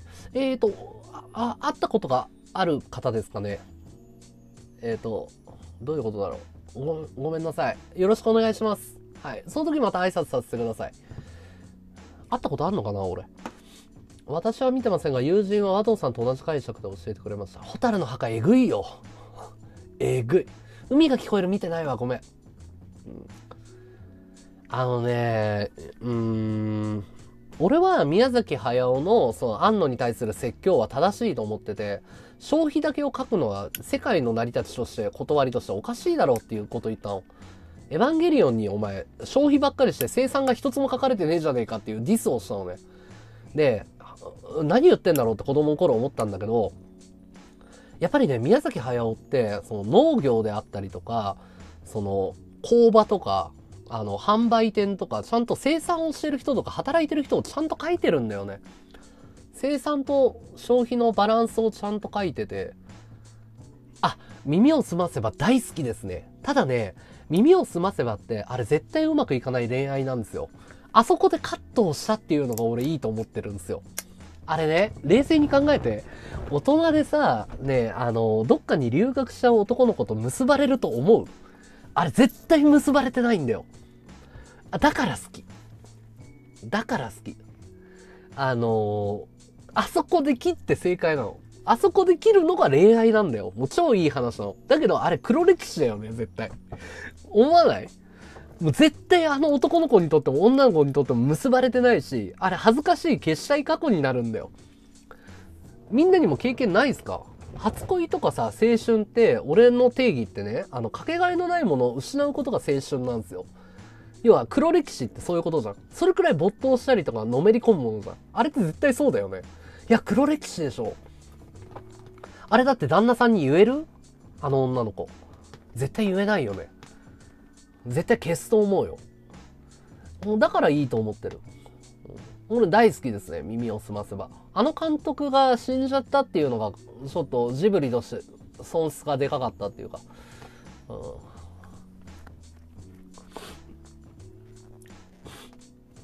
僕はああそこでああれはいい作品だと思ってますね、うん、高畑勲宮崎駿じゃなくてもう成立するんだと思って。すごい良かったね。ゲド戦記とかさもうさあれは見たよ。あれはあれでしょ？俺の解釈なんだけどあれテルーの歌のプロモーションビデオでしょ？あれ。あれはテルーの歌のプロモーションビデオを2時間やったんじゃないの？これはそういう風に解釈してんだけど。ラピュタでは地上を離れたラピュタ一族を批判的に書いてる。え？どういうこと？ラピュタ一族を批判的に書いてるえ、そう？書いてなくない？いや、もうゲド戦記はもう爆笑だよね、俺。もう、あの、DVD 見ながらポップコーン食いながら大爆笑だよね、本当に。やめとけって思ったよね。あの、要はね、作家性がない人がやっちゃダメなんだよ。要は、作家性って何かっていうと、世の中に対する恨みつらみなんだよ。言いたいことあるっていう人なんだよ。要は、その、変人で、俺のことけよっていう人じゃないとダメなの。何もないんだよ。いや、宮崎駿は席立つでしょ、そりゃ。いや、まるで成長してないって言ったもんだよ。うん。あのね、しかもね、ゲド戦記って宮崎駿が超作りたがってた作品なの知ってる？あの、ゲド戦記を作りたかったんだよ、宮崎駿って夢だったんだよ。それがナウシカとかなんだよ。その代わりのもの。要は、庵野が、ナウシカ作らせてもらえないからエヴァ作ったのと同じぐらいなんだよ。しかも、ゲド戦記って、あの、ほら、すごい長い小説なんだけど、後半のところ書いてるでしょ。だってゲドがさ、メインの主人公じゃないじゃん。それはまあ宮崎駿怒るよね。そりゃふざけんなってなるよね。俺が追い求めた青春の作品っていう。アリエッティは俺別に、あ、意外と良かったね。アリエッティはね、なんか、俺はありだったかな。うん。アリエッティはそこまでひどくないと思った。ただ、なんだろう。名作ではないなとは思ったけど。あ、が、頑張ったなみたいな。まあ、金払ってトントンぐらい。1800円の価値はあるって思ったけど。うん。まあ、まあいいんじゃんっていう。ゲド戦記は金返せだよね、本当に。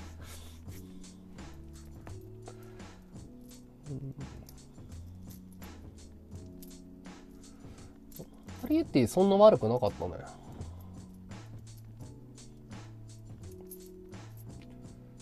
宮崎駿はあんのに嫉妬してるの分かる。すげえ分かる。分かる。分かる。すげえ分かる。私話かな？歌も設定もいいけど、産んで、私話。シュナの旅は見てないね。見たいと思ってるけど。うん。見てない。うん、あれも欲しいんだよな。俺ね、ジブリの、その、絵コンテ集っていうのが発売されて、一冊3000円ぐらいするんだけど、全部欲しいのと、シュナの旅も欲しいし、あの、あの、紅の豚とか風立ちぬの連載してた漫画も全部欲しいんだよね。読んでみたい。あの、もともとこの枠ってなんで、何をやってるかって、ナウシカの、あの、アニ、あの、原作を読んで久々に、やっぱすげえ面白いねっていうところから始めてんの。だから、なんつうんだろう。全部欲しいね。宮崎駿が書いたものは。コレクションしたい。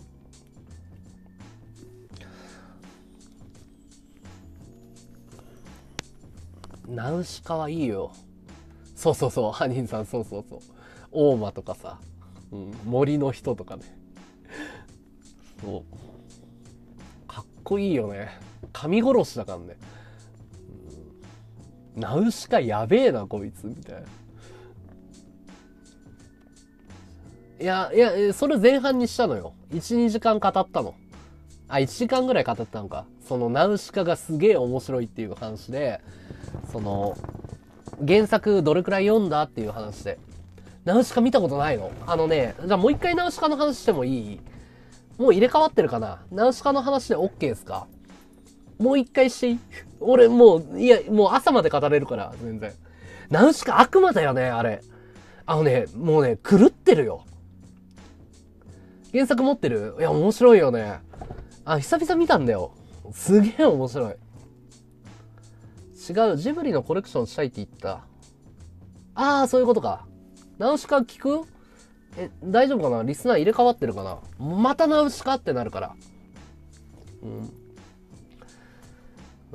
シュナの旅持ってないって。シュナの旅は知ってるけど読んでないって言ったじゃん。なんで説明できますかってなんだよ。僕の頭で理解できますか？全然できるけど、全然できるけど、あの、だ、でもな、おにぎり泥棒だからな。おにぎり盗むやつにはナウシカの気持ちわかんねえよ。うん、あの、話はわかるけど、ナウシカの気持ちはおにぎり泥棒にはわかんないと思うよ。所詮おにぎり泥棒だから、お前は。おにぎりを盗むコソ泥には、世界を変えようとしたナウシカの気持ちはわかんねえだろうな。いや、原作だよね、やっぱりね。うん、天才だよね、本当にね。うん。そう。所詮おにぎり泥棒だからさ、君は。天才だよね。だから、要はエヴァンゲリオンだよね、もう。本当に。うん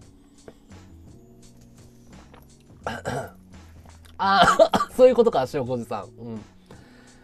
あのね、簡単に言うと、ナウシカって人造人間なんですよ。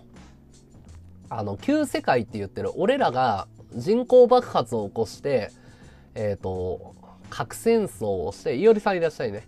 あの、核戦争とか続けたりとか、人口爆発でもう、もう、それはそれはひどいことになると。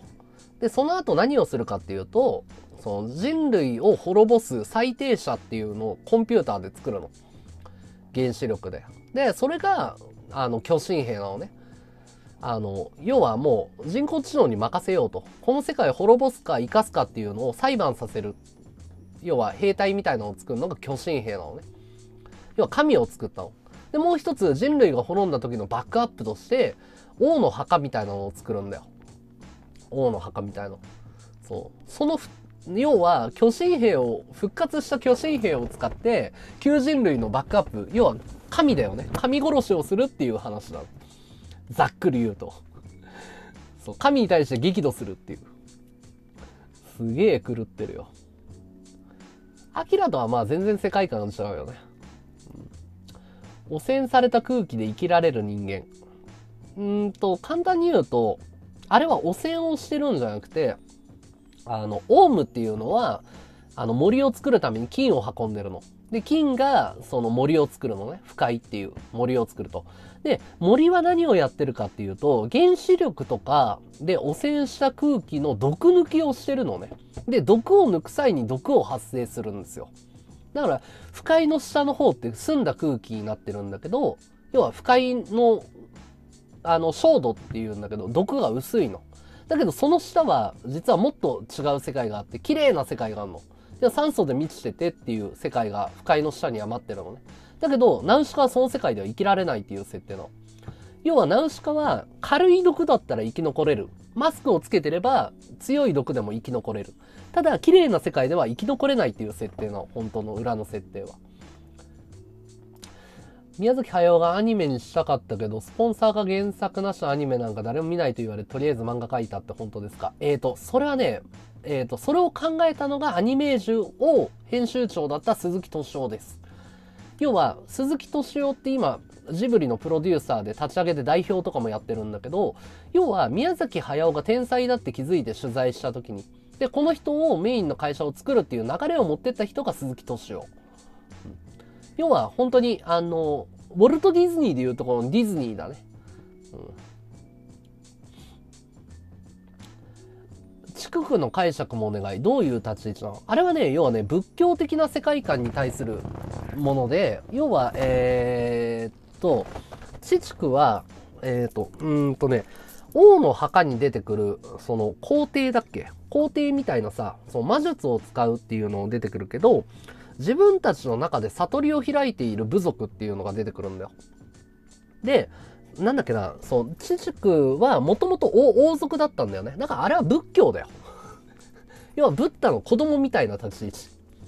あの、独立して、だからその森の人、えっ、ー、と、なんだっけもう用語が出てこないな。森の人は森の中で住んでる。風の谷は不快の辺境で生きてる。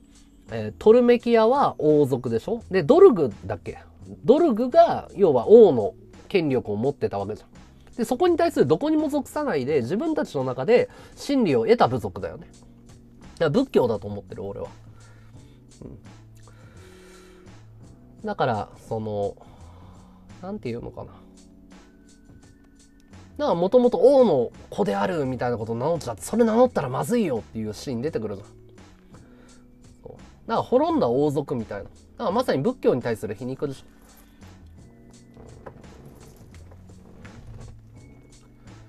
あー、時代と対局っていうか、対局っていうか、耳の痛い話をしちゃってるよね。うん。でもね、風立ちぬは皮肉だなって本当に思ったよ。うん、あれはだって前に作ってたわけだから、運命だろうね宮崎駿の。もののけ姫はだから俺はもうすごい好きなのよ。もののけ姫って最高だと思ってて、何も伏線回収しない面白い話を見たことがないから、呪いは解けない。神殺しは達成できない。タタラバは崩壊する。最終的には恋愛でもののけ姫とアシタカは結ばれない。これなんだと。何なんだこの話っていうもう最高に面白いのに、伏線を一切何も回収しないで、なんかまた会おうみたいな話。なんかすごい良かったよね。なんかすげえと思った。なんだこれっていう。物語として成立してねえだろうっていう。呪い解け、解けてないんだよ。あず残ってんの。なんなら、もののけ姫にも残っちゃってんの。さらっとえぐいっていうかね、なんか、その、宮崎駿の世界観で、要はそんな世の中うまくいかないよみたいな。なんかそんな綺麗事ばかりじゃなくて、俺らは続いてく、紡いでいくだけな、なんつうの、その繋がってるんだみたいな世界観ですごい良かったよね。また会おう そなたは森で暮らせ私はタタラ場で暮らすまた会おうなんだこれ？みたいな。あれはひどい男だよね。明日か、すげえなと思って。うん。また会おうじゃねえよな。責任取れよな。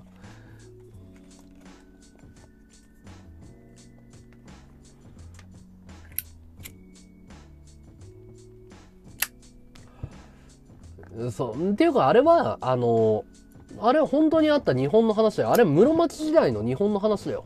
縄文人と弥生人の戦争の話だよ、あれは。だ縄文系ってさ、ほら、沖縄の方とかアイヌとかに分かれていくじゃん。本土が取られていって天皇がってなっていくの。だそういう話だよ。室町時代の日本の話だよね。舞台は。で、ちなみに言うと、小玉って出てくるな。カタカタカタカタっていう可愛いキャラクター。あれがでかくなるとトトロになるっていう設定なんだよ。あれトトロなんだって。トトロの卵っていうか子供みたいな存在。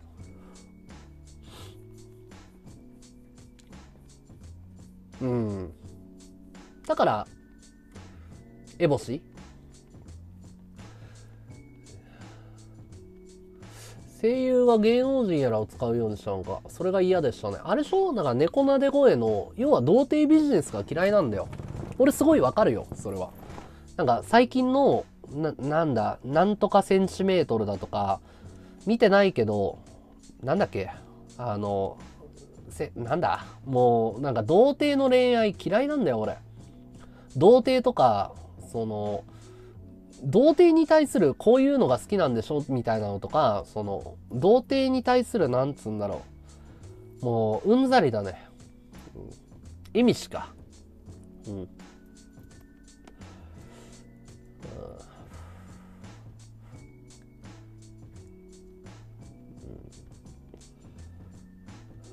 新海誠が童貞って話じゃなくて、最近多くない？なんか童貞向けコンテンツ。うん、わかるかな？明日からもらったお守りあげちゃうの、あれって言い名付けだからね。あの女の子好きだったんでしょ？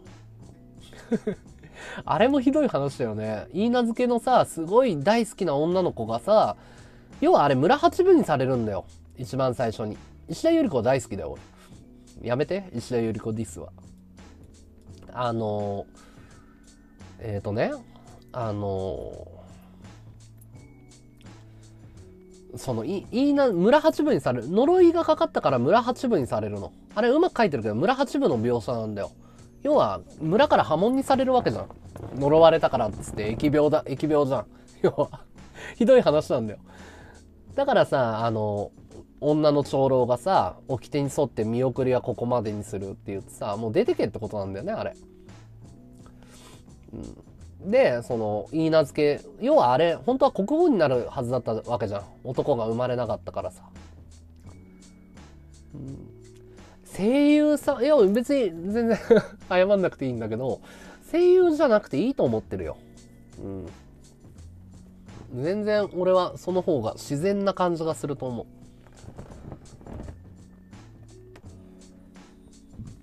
あのお守りをさらっとあげるからね。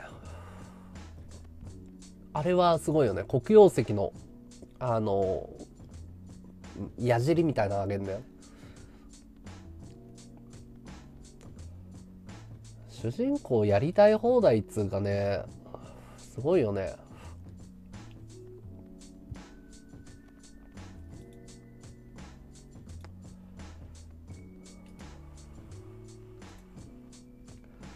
うん。なんかその声優がアイドルになってるのも俺はちょっと、なんだこれと思ってて。声優がアイドルにならないといけない理由が一つもないっていうか。むしろ容姿にコンプレックスがあるって声に磨きをかけるのが仕事だと思ってるから、なんだろう。萌え声とかもあんまり、そう、萌え声は好きなんだよ。のんちゃん萌え声なの知ってるでしょ。だけど、その、なんかあざといだよね。単純に宮崎駿が声優あまり知らないかららしいよ。ああ、どうなんだろう。いや、俺はなんかあざといなって思うよ。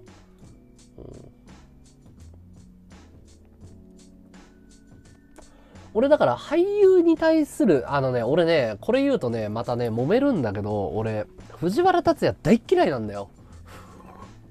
藤原竜也が映画に出ると爆笑しちゃうのね。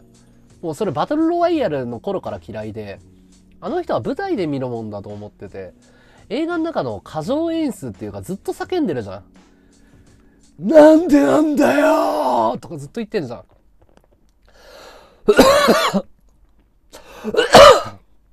うるさいって思っちゃうの。何見ても。うるさいもう、アップにならないでって思っちゃうの。もう全然入ってこれなくて。過剰、過剰な演技。うんいやもう、なんか、もう、なんか、世界観ぶっ壊れちゃうから、俺が映画監督だったら、大根ではないの。あれは、演技上手いんだけど、舞台向けなんだよ。あの、引きで見た時にマイク通さないじゃん。普通、あの、今は通すけど、めちゃめちゃ声張るし、もう大きい演技するの。遠くの人でも見れるように。だから、舞台でだからああなるの。だけど、あれが上手い演技上手いとされてるわけじゃん。下手だよ。映画の演技からすると。うん。どうしてだよ？なんでだよ？うるさい帰れお前がうるさい、そう、舞台でやって。舞台だったら相当感動すると思うけど、あんなでっかいスクリーンでさ、あなんでだよとか言われても、知らん知らん知らん消えろいや、もう、だからギャグだと思ってるのよ。もう、藤原竜也を使うっていうこと自体が全部ギャグだと思ってるから。うん、いや、俺、本当に嫌いなんだよね。うん。カイジもなしだよ なしだよ。全部なしだよ。そう。うん。なんか冷めちゃうっつうかうんわかる？冷めちゃうんだよ。なしだよ。あんなのありなわけない。あんな演技じゃないもん。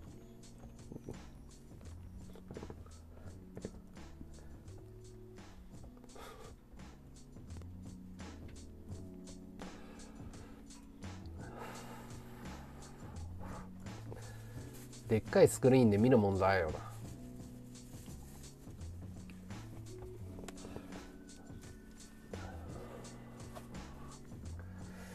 カイジは笑いじゃないでしょ。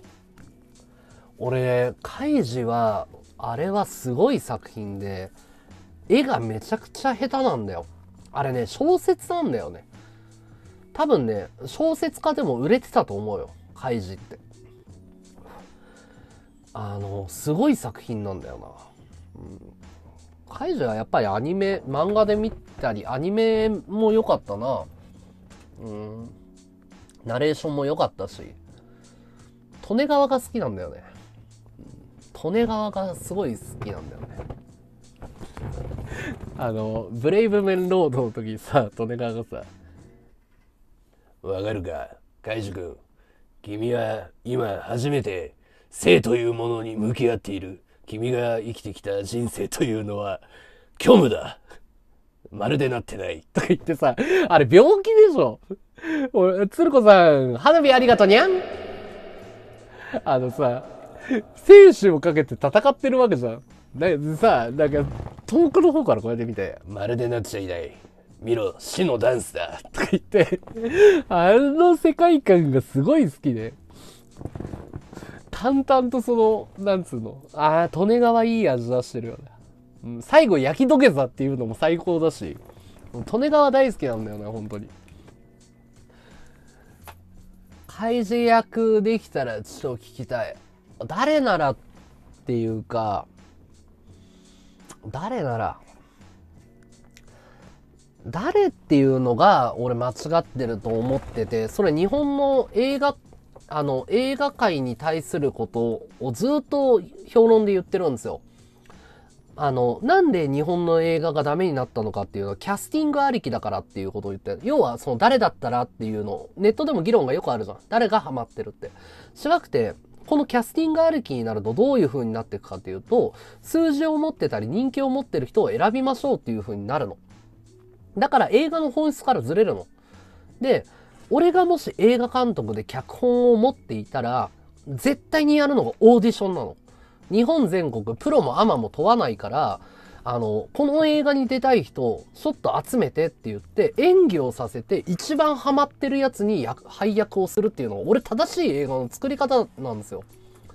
だから、その、キャスティングありきだと思ってるの。藤原達也とかを選ぶとか、AKB を選ぶ、ジャニーズを選ぶっていうの。そこがあるから、その映画界がダメになったと思ってるんだよね。うん、そう。だから、うん、怪示役じゃなくて、100人ぐらい怪示を探すのが俺映画監督の仕事だと思ってるね。こいつ俺の映画に出してえなっていう。で、これよく言ってるんだけど、俺映画作りたいと思ってて、あの、石野とクソカスカオスは、と浅井さんは、絶対必要だっていうことを常に言ってるね。カオスが持ってる独自、まあ、配信者で言うならなんだけど、別に彼らをその映画に出したいとかそういう話じゃなくて、もし配信会で配役で演技させたら面白そうだなと思ってるのは、医師の浅井さん、えー、カオスだね。で、カオスは主人公に使うだろうなっていうのが俺の考え方。絵になる。単純に。うん。金梅さんは使わないかな。うん。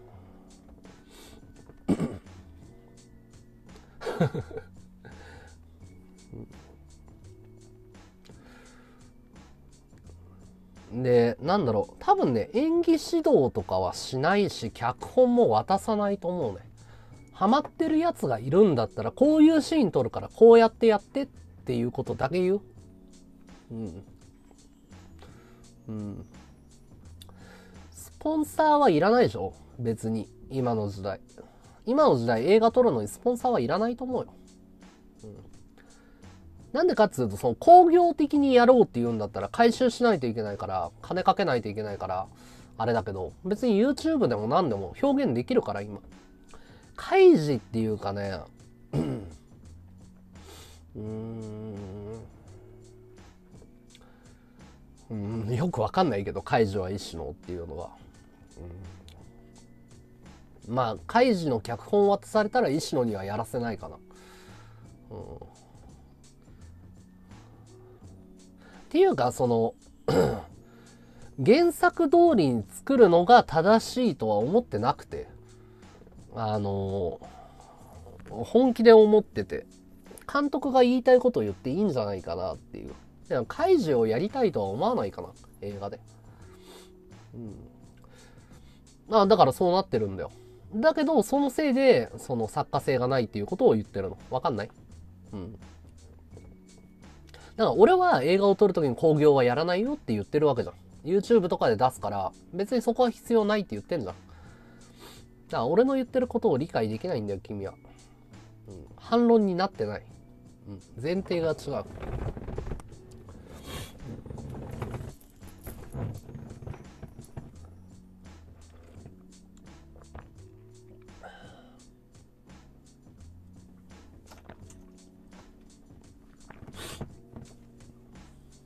うん。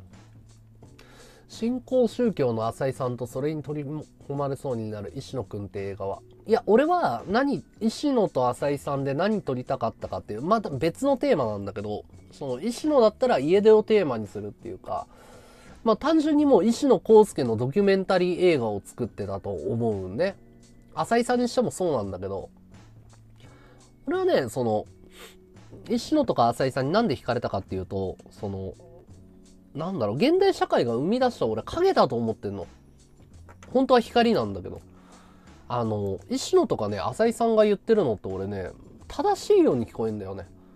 なんで働かなきゃいけないのっていう、その石野のメッセージをただ追求していきたいっていうか。うん。のんちゃん出すんだったらラブコメディだね。ラブコメにするね。いや、いや、あの、なんつうんだろう、石野と浅井さんに関してはドキュメンタリーしかないよ。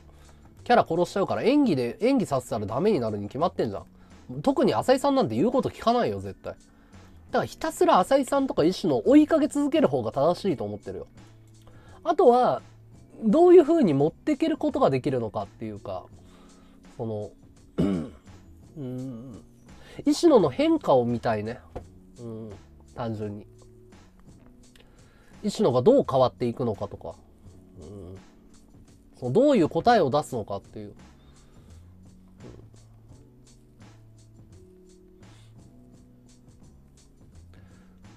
最後はだからエベレストの山頂で旗を石野っていう旗をザッて立てるシーンで石野の映画終わりだよ。もう極寒の地で石野がバーって旗を立ててエンディングだよね。超かっこいいよ壮大な壮大な映像でドローンで。俯瞰で石野を見るんだよ。ああまあまあまあまあまあまあ。それでもできるけど多分電波少年になっちゃうと思うよ、うん、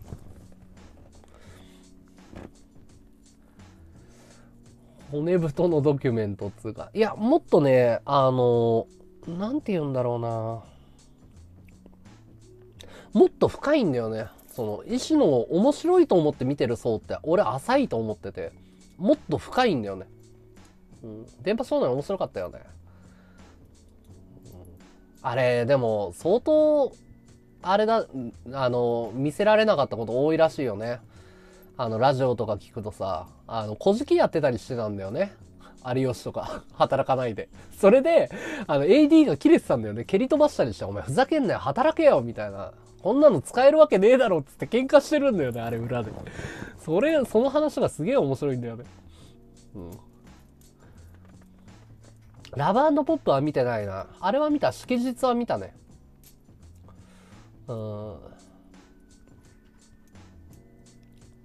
俺ね、一個やりたいのはね、やっぱね、あの、部屋の中のやつやりたいんだよね。定点カメラっつうかさ、セットが一個のやつ、映画あるじゃん。あれで勝負したいな。うんあの、ソーの1とかそうじゃん。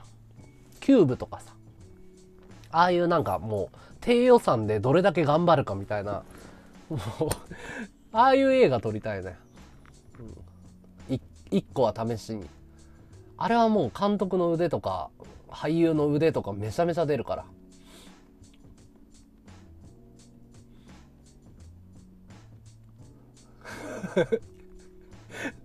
ワープしたからね。キューブはね、俺ね、実は反対派なんだよ。実を言うと、キューブ好きでしょって言われるんだけど、俺アンチキューブの。うん。アングラの安っぽいやつは作らないで、童貞捨てました的なやつ。アングラの安っぽいやつって何なんだろうわかんねえな。わかんないよ。その作りたいっていうだけでどうなるのか全然わかんないけど。うん、でも作りたいものは頭の中にずっとあるんだよね。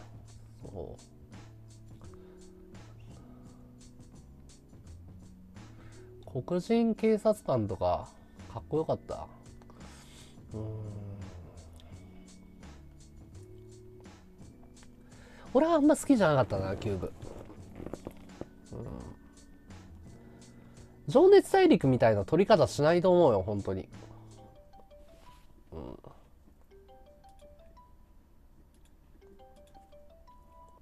もしもし。もしもし。もしもし。もしもし。うん。もしもし。聞こえます？聞こえるよ何してるんですか？何？何してんの？何してると思う？うん。放送。正解。うん。あの後ろのテレビの音切ってもらってもいい？ごめんね。ちょっと待ってよ。うん楽しいか？え？楽しいか？何が？放送。放送楽しいよ。うん。いいの？ああいうの？うん。特にこれと言ってないんだけど。うん。創価学会をうん。バカにしすぎた君は創価学会をバカにはしてないよ俺。バカにしとろ。してないしてない。そうなの。うん。でも入らんのやろ。え？今入らんのやろ。いや創価学会入らないよ俺。ずっと言ってるじゃん。うん。うん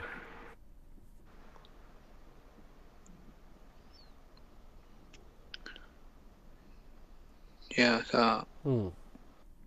南妙法蓮華経言える？言えない。言ってみて。やだ。なんで？いや創価学会員じゃないから。関係ないよ別に。いややだよ。そうなうん。うん分かった。はいいや。はい。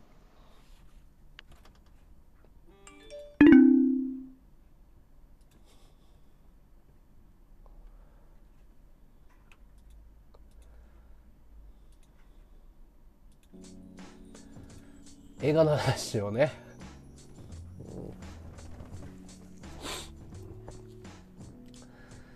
童貞をプロデュース。あー童貞ね。あ家をこじり出した？いやこじる時代だと思ってるっていうかあの俺の考えなんだけど多分ね働くってないよ。もう働くことがあの未来なくなる近未来なくなると思ってて。だからその資本主義社会とその働くことがなくなる社会の狭間にできたバグみたいなもんだと思ってんの俺は。石野康介って。あれはだからなんつうんだろう。世の中がね、変わるタイミングで、あの、先駆者なんだよね。バグっていうか。か早すぎてるだけだと思ってて。俺、石野が言ってることってただの本音だと思うよ。若い人が思ってる。石野の得意性っていうか、その辺の若者と違うところっていうのは、実行に起こしてるっていうか、社会長いものに巻かれないとか、でかいものに飲み込まれないっていうかさ、自分の生き方を実践してるところが偉いと思ってるね。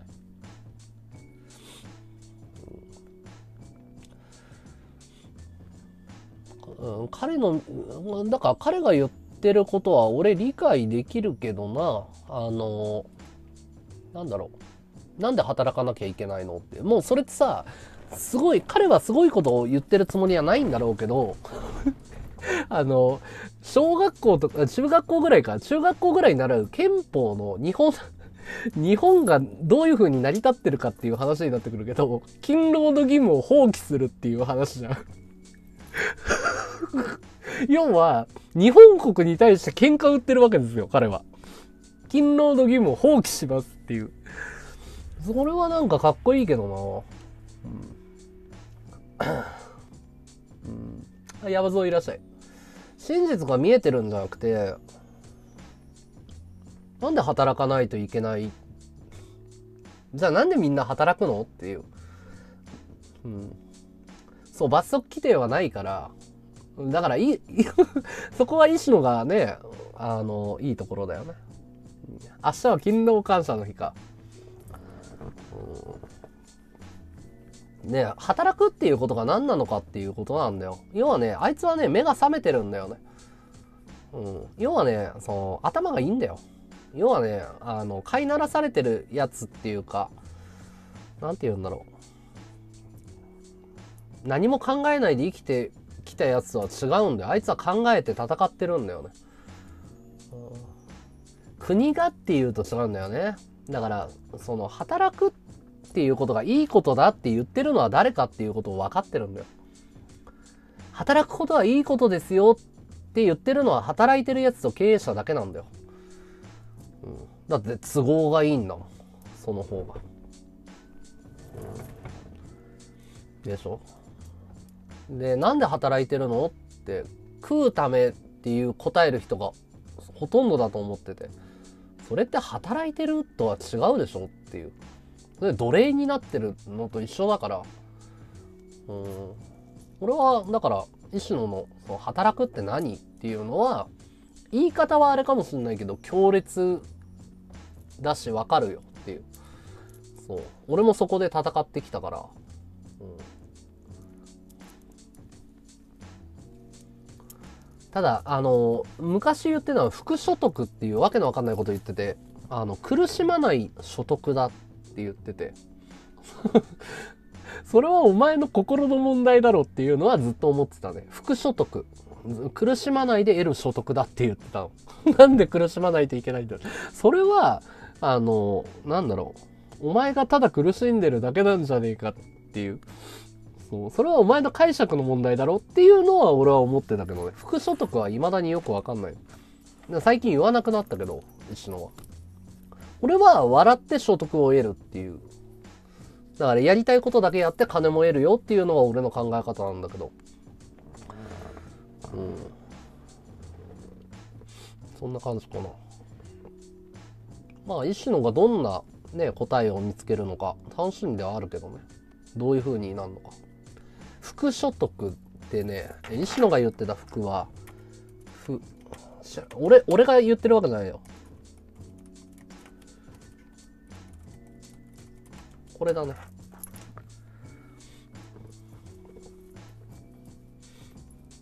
副所得。石野が言ってる副所得はこれです。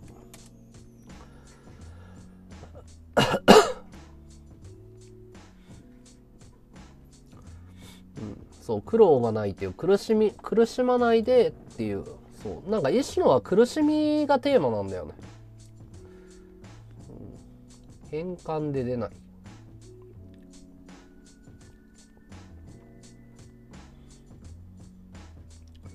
なんか俺は、俺自身は働くことはいいことだけど、そう働くっていうのと奴隷になるっていうのは全然意味が違うよっていうのが俺の考え方でやりたくないことで働くっていうのはなんか働かなくていいよっていうそれくらいそんなことやるぐらいだったら働かない方がいいんじゃないっていうのが俺の考え方かな。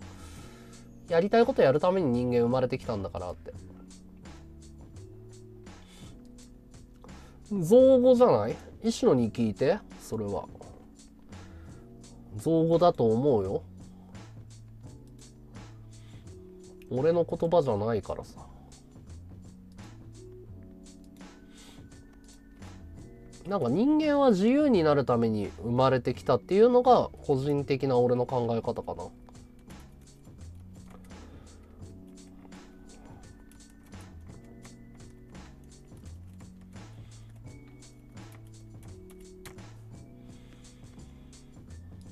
なんかこう自由を謳歌するためというのかな。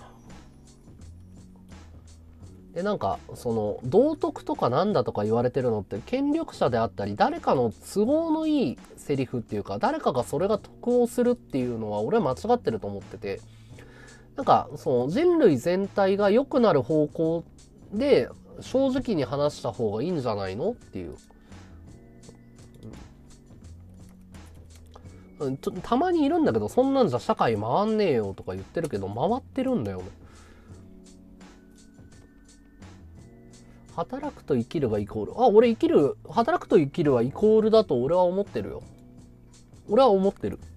うん、むしろ生きる場所を見つけるのが俺は働くことだと思ってるね。俺はだから配信っていうものを見つけたからいいんだけど。別に配信だけにとらわれてはないけどさ。和道さんの深みに入ってみたい。な、どういう意味それ？いや、いや関わって関わって。何でも質問して。何でも答えるよ。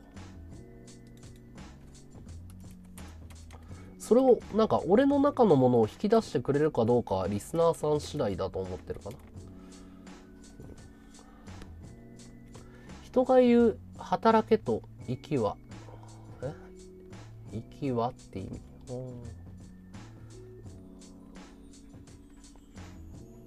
なんかその生きる場所を見つけられたらかっこいいなと思うけどね。俺はこのために生きてくんだっていう。まあアニメでも絵でも音楽でも何でもいいんだけど。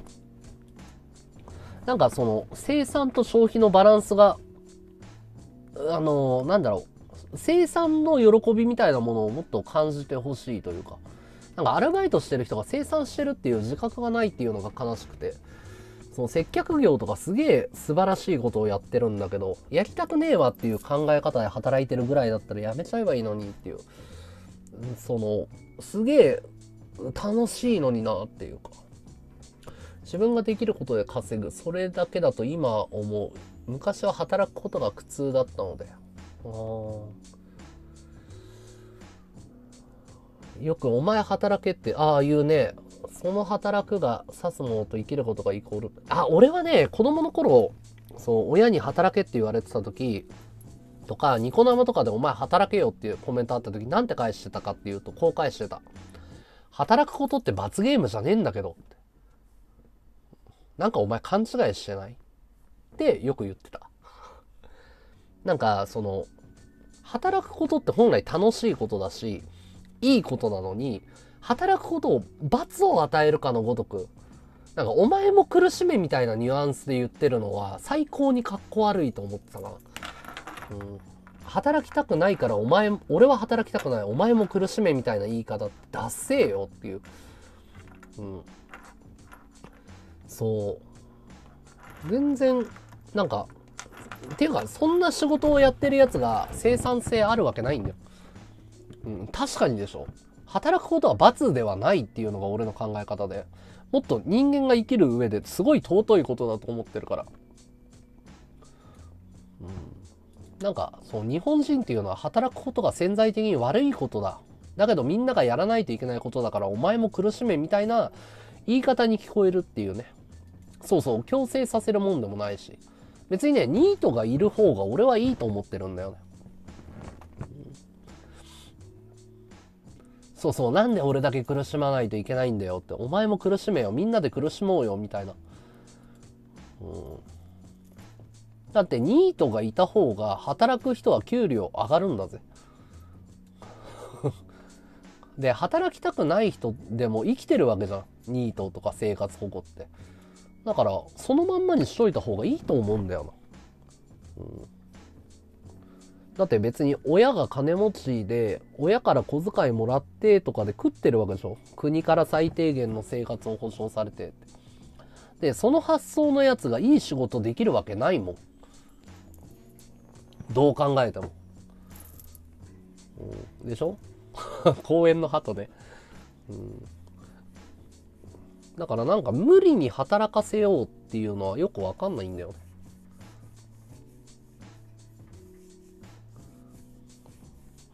か別になんかニートの人を悪く言うのは俺はよくわかんねえな。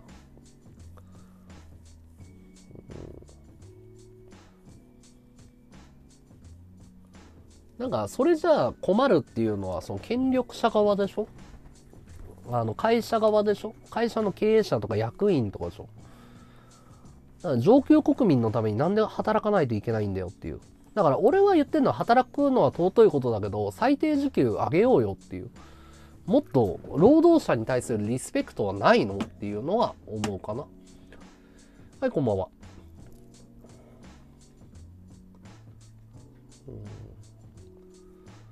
トイレ行ってくるわ。なんか働くについて語ろうか。じゃあ、働く。トイレ行ってくる。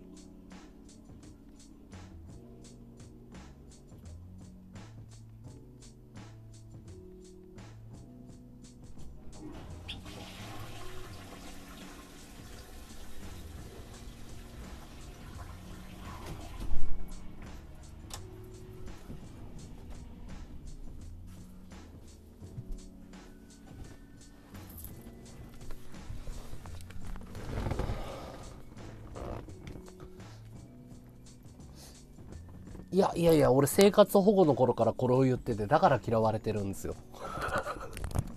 生活保護を受給しながら俺はこれを言い続けてアンチを増やしてきたんだよ。だからよく言われんの。和道頭もいいし間違ってることほとんどやってないし論理的に物事結構語れる方だと思うけどなんでこんなにアンチが多いのって。生活保護なのに働かなくていいってずっと言い続けたからだよ。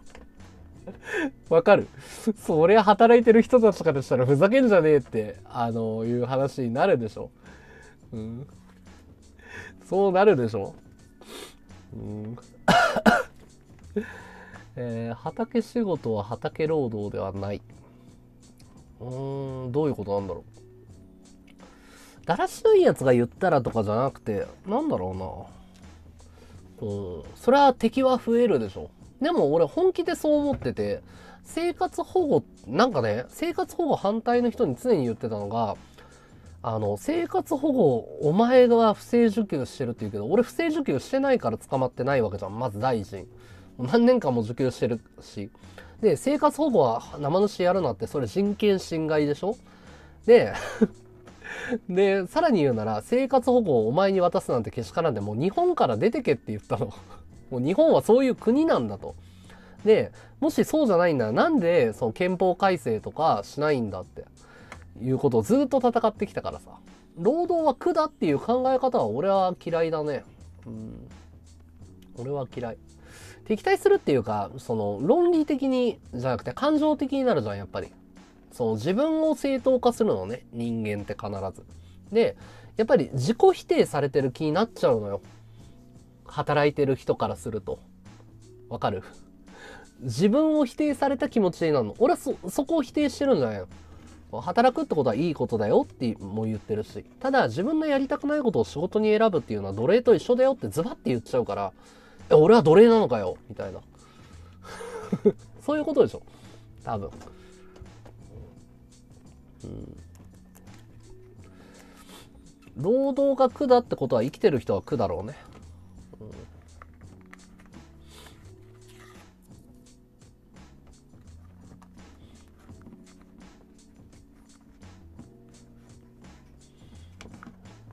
そういうことになると思うよ。まあカチンとくるでしょう。うん、それもわかる。わかるけど、社会を良くするためには言わないといけないと思ってて。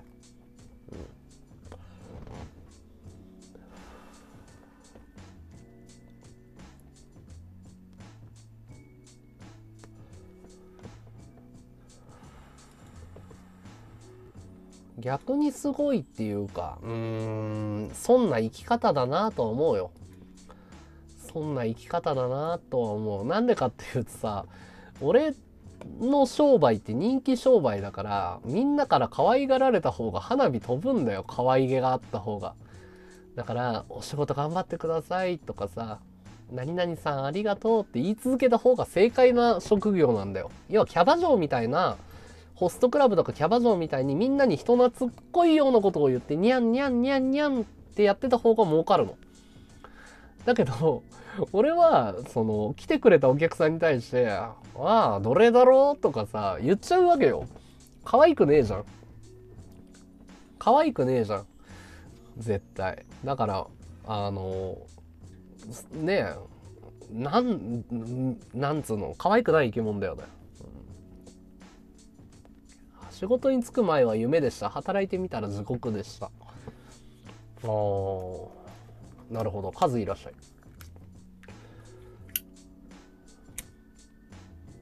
あのね、俺はね、あの、お金よりももっと大事なものを奪ってるんですよ。それはね、みんなの時間を奪ってるのね。もっと残酷なことをやってるんだよ。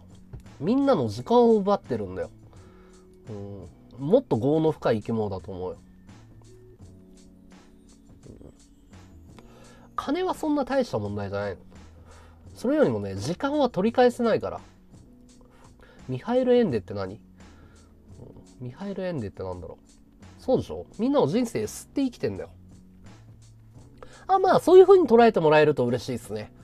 そういう風に捉えてもらうとめちゃめちゃ嬉しいけど、うん。あの、塩麹さんにそう言ってもらえると救われる。ただ、その、俺らは時間を吸ってる生き物だからっていうのは忘れちゃいけないなっていう。その、お金もそうなんだけど、もっとその取り返しのつかないものをもらいながら生きてる業の深い生き物だから。まあいや、でもそこの自覚は忘れちゃダメなんだよね。モモって動画の作家なんだ？時間泥棒と戦う亀と少女。いいね、なんかね。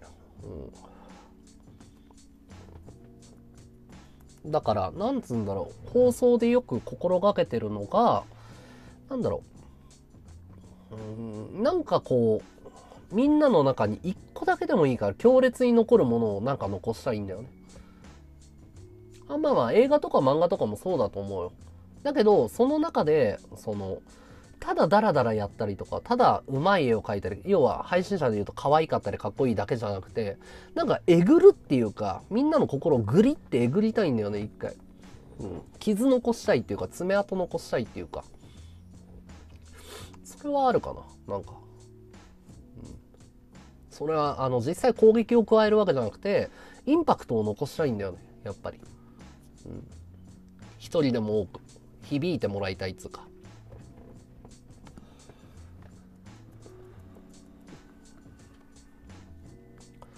なんか今成立してるからそんなに叩かれなくなったけど結構大変だったからさ。でまあそれこれを言うのもなんなんだけどさ結構その一個でっかい夢が去年叶ってしまって結構ふわーっとしてるんだよね俺が今。ふわーっとしてて配信者として。だからこれからどうやって俺は生きていけばいいんだろうっつうか。うん。なんかそこに対するね、例えばね、あの、これはもう深い話なんだけど、稼ごうって思うじゃん。稼げないんですよ。稼ごう、稼ごうと思ってやると稼げないの。で俺枠開く前何を考えて枠始めるかって今日は稼ぐんじゃない楽しもうってもう何呪文のように言ってんのお腹減ったね。バカありがとう。本当に。今日はそのすごく楽しめた日にしようって。でそういう日ほど稼げてるの。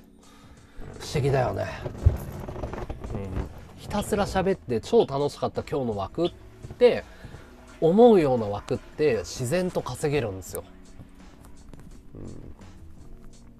うん、ずっとは見れないけど今日のジブリの話は魅了されたのでこの時間になってしまった。あありがとう。やっぱそれは好きなものを語ったからだと思ってて、例えばそれを政治の話とかだったらこんなに長く語れなかったし、そういうのはあるんだよ。楽しいよね。うん、だからその自分が好きなものをどれだけインプットするのかっていうのはすごく大事だなと思ってて。人生は天の弱っていうかね、あの、本質の問題だと思ってんの、やばぞ。あの、本質。例えば、その営業マンって稼ぐのが仕事じゃない。数字が高ければ優秀じゃん。だけどね、本当に優秀なやつってやっぱ営業自体を楽しんでたりとか、顧客のことを本当に考えてるやつが結果として数字が上がるっていうのが正しい論理だと思ってるの。僕、稼ぎたいんで契約してくださいっていうやつは稼げないんだよね。だから本質がどこなのかみたいなものはね、常に戦ってるよ。やっぱり。だから、イチローはバッターボックス立つ時に自分の年収のこと考えないっつうか。異端？どこが異端なんだろう。あんまりね、その、配信者に対するプライドっていうのはあんまりなくて、わ、今日も和道でいるかっていうか、今日も和道を演じれるかっていうか、なんか配信者として人気は別に出ようが出まいがあんまり気にしなくなってきたのね。閲覧がなこうがどうだろうが。今日俺でいられるのかっていうのはすごい大事なんだよな、自分の中で。今日も和道を演じきれるのかっていうか。うん、もっと言うなら演じきるんじゃなくて本質的に和道なのかっていう。そういうのはすごく考えるかな。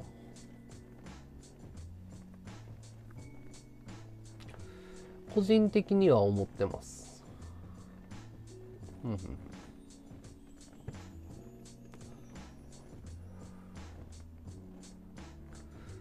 ああ、嫌、嫌な時はあるよ。すごく嫌な時はあるよ。それはね、あの、俺はね、基本的にね、やっぱ嫌な生き物なんだよな。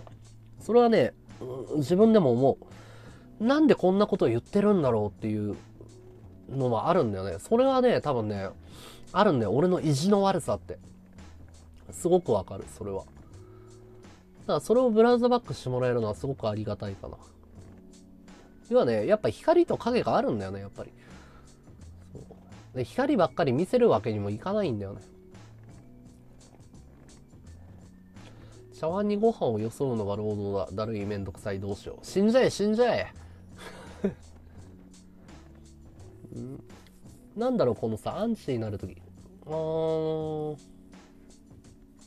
やっぱりね、それはね、ナウシカもそれと戦ってたりとか、そういう描写があるんだけど、俺の心の中にある矛盾みたいなものが、やっぱりその、あるんじゃないかな。うーん。うん、死ねばいいのに。死んじゃえばいいんだ。和道の本質って何ですか？例えばさ、こう、自分が、こんばんは。え、ー、と、自分が理想とする自分っていうのは人間必ず持ってるもんじゃないですか。僕にもあるんですよ。中学2年生の頃から追いかけてる自分の完成形っていうのがあって。で、その通りに生きられるのかっていうのが俺のテーマかな。子供の頃かっこいい、理想だとか楽しいとか、もう最高のキャラクターがいて、わかんないよ。みんなにそういうのがあるかどうかわかんないけど、俺にはあって。で、それが和道なんですよ。僕にとって。で、今日それでいられるのかっていう。それとも始末坂道になってるのかっていう。要は、ただの、ただの人になってるのかっていう。そういう戦いはずっと何十年もやってきてるかな。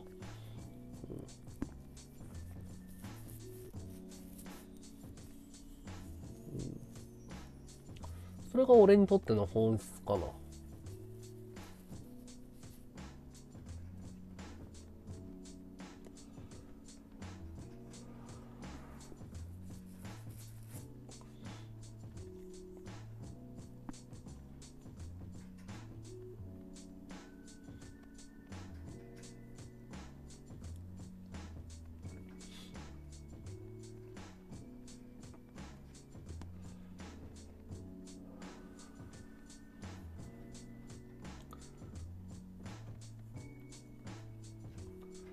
なんかその新宿のビルをさ夜中散歩すると思うところがあってすっごい遠くから見ると綺麗なビルなんだよ。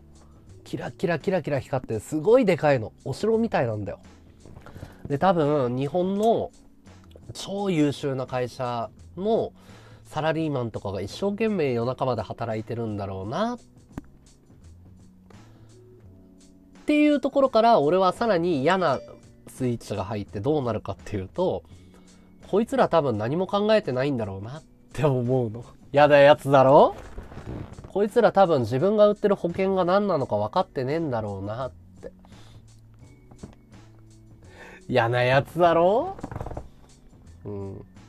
虚構に見えるんだよ。それよりもそのその下でそのホームレスやってて働く意味がわかんねえっていう一種のコウスケが最高に輝いて見えてるっつうか 超でっかいさ高層ビルの上場企業のさ超エリートたちが働いてるビルのちょっと脇で働く意味わかんねえよっつって凍えてる一種のが最高にかっこいいんだよ。うん知らないよ。俺のこと好きか嫌いか。俺はだって、コウジさんの心をコントロールすることはできないもん。で、もし俺がコウジさんに媚びを売り始めたら和道が終わったんだよ。でしょ？違うかな？俺がコウジさん大好きだよって。コウジさんって綺麗事ばっかり言ってさ、ニコニコニコニコしててさ。うん。で、アイテムありがとうって。アイテムもっと欲しいなって言い始めたら、俺は、その、和道っていう生き方に反すると思ってる。ナノさんこんばんは。気ままにやって気ままに稼ぐ。そうそうそう。なんかその、職業としてそれは正しいと思ってるの。配信者としてそれはプロだと思ってるのね。綺麗事ばっかり言って、リスナーにこう、媚びを売って生きていくのは、ある意味プロフェッショナルなんだけど、和道のプロではないと思ってて俺はその手段として配信っていうものをツールとして選んでるだけで自己表現の。あのそういう意味では何だろう配信者としてすごい劣ってるんだよね、そこが多分その誤解を受けてるところだと思ってて俺は別にその本質的に大手にあんまり憧れてないんだ。配信の中でじゃないんだよ。もともと配信を道具だとして捉えてんの。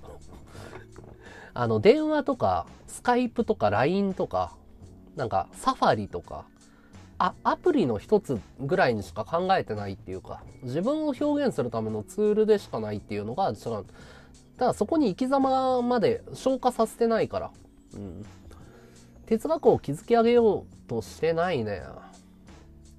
一応気づいたもの、どうだろう、試してるのと違い。なんかあんまりそのなんかなんかその配信者はこうあるべきっていうのがあんまり理解できない。うん、なんかその自分が正しいと思うこととか感じたものを伝えていくのが楽しいって思うからなんかでっかい電話ぐらいにしか思ってないんだ。でっかいテレビ電話みたいな。すげえでっかいテレビ電話っていうかさ人気の人気のないラジオパーソナリティぐらいにしか思ってないからでもまあこんだけ見てくれる人がいるっていうのはありがたいことだなと思ってるけどね。すごい楽しいしいいいい人生ですね。はい。僕は好きですよ。この生き方は悪くないな。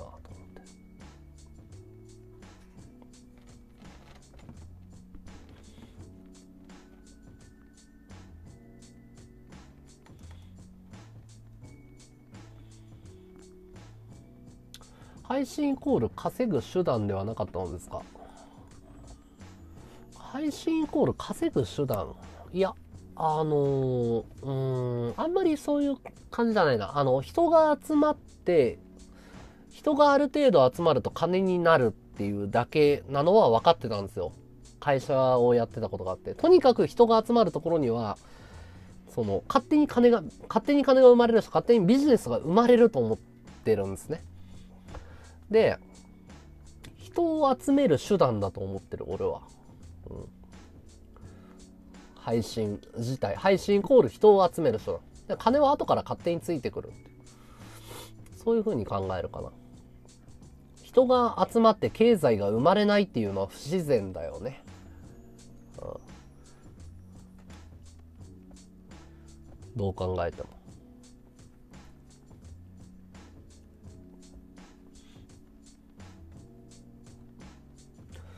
稼げるに決まってるもん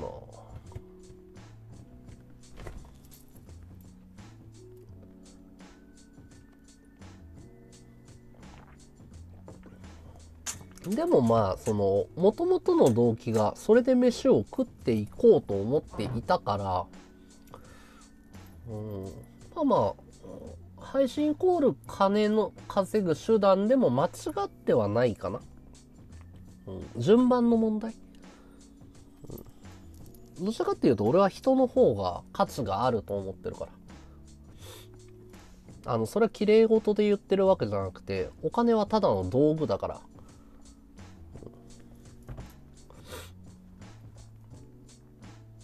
紙切れだけもらうって言ってもあんまり価値はないのかなっていう。なら生活保護受けてりゃいいじゃん。黙って。でしょ？そう。思わない。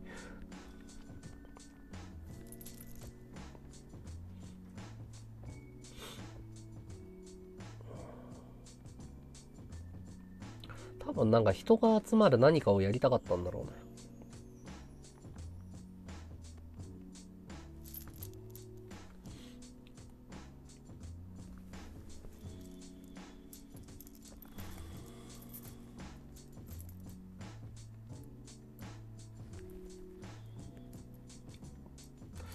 ふわっちで稼ぐのと太い支援者を持つのはどちらがいいですか？僕はふわっちで稼ぐ方がいいと思ってますね。うん。なんでかっていうと、うーん。太い支援者といえども、あの、支援者っていう存在が一生俺の面倒を見てくれるはずがないっていうことに俺はわかるから。うん。そんなの親ぐらいだと思うよ。金持ちの親ぐらいだと思ってて。一生俺のこと面倒を見てくれるなんて保証はどこにもないから、やっぱりその仕事として人を、多くの人を楽しませることができて、そういう実力をつけていって、そういう人たちから、こう、稼がせてもらうっていう方がスキルとして確立すると思ってんの。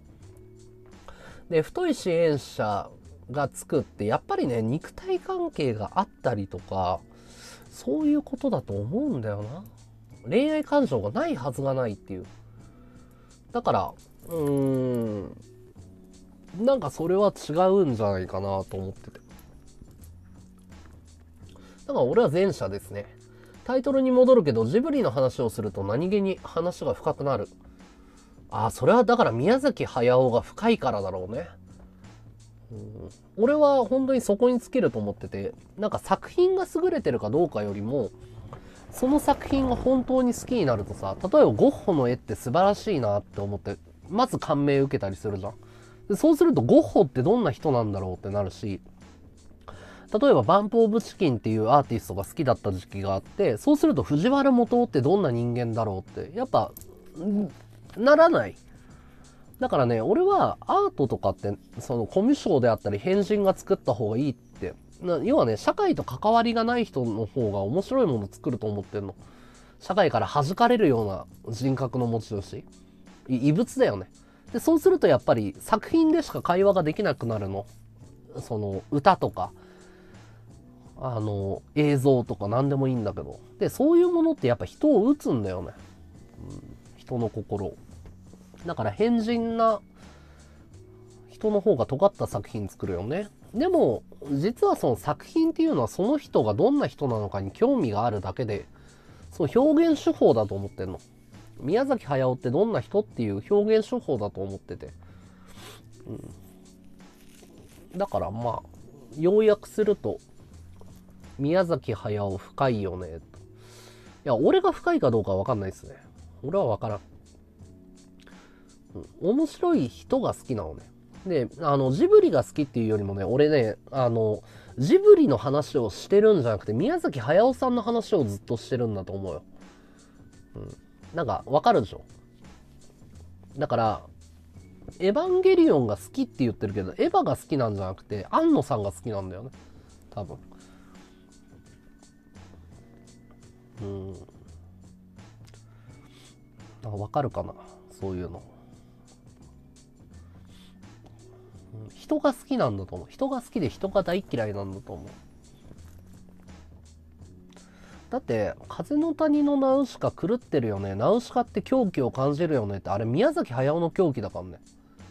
そうそうそうそう。自分で耳をそぎ落としたんだけどアブさんっていうお酒を飲みすぎたんだよね。飲むマリファナって言われてるっていうか。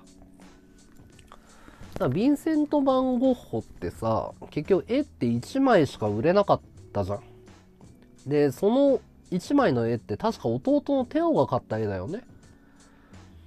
なんかすごくない？ゴーギャンと一緒に住んでたんだっけ？なんかそういうのもすごいなって思うし。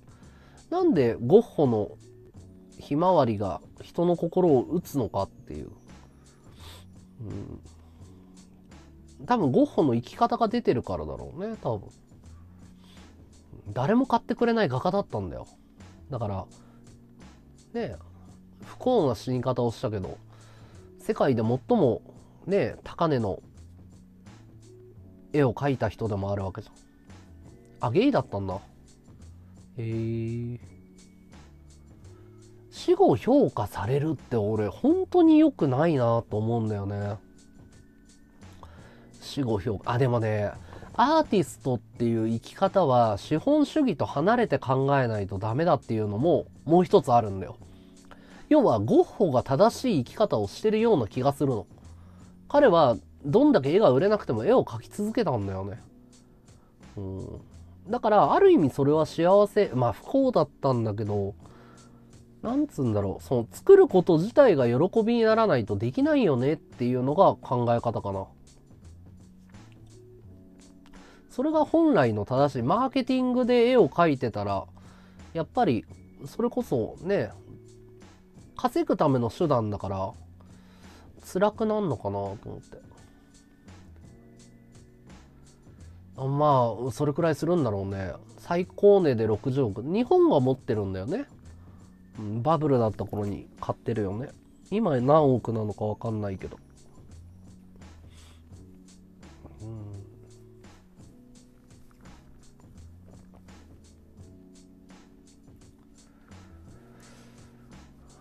腹減ったな。いや生きてたじゃんゴッホはいやあのね最低限の生活費は稼がないで生きていけないって言うけどね俺ね何回もホームレスになってるからわかるしそれこそね日本には生活保護もあるしあのねそんなことないよ。稼がないと生きられないしっていうのは嘘だっていうのが分かってるんだよね。実はねそのホームレスになったりとか稼ぐ能力があるのに働かなかったりってねその働かないと社会が回らないとか、働かないと生きていけないって本当かなっていうのを自分の中でアンチテーゼで嫌がらせでやってるっていうのはあるんだよ。そう、それって嘘だよねっていうのを証明したいっていうか、だから嫌な性格なんだよ、俺。なんか、その、本当に嘘なのだろうかっていうのを確かめるっていうか、そういう癖があるんだよね。常識と戦うっていうか。うん実際俺の中では嘘だったんだよね。最低限の生活費を稼がなくても人間って生きていけるんだよね。だいたいホームレスもいっぱいいるしさ、世の中。死んでないんだよね。うん、でもね、間違いなく言えるのはね、夢を失ったやつは死ぬよね。うん。稼ぐための絵を1枚も描けなかったとも言えるか。うーん、そうだね。でもそれが死後ね、とんでもない高値になるっていうのも面白いよな。うん、いや、まあだから彼の絵を理解できなかったんだろうな。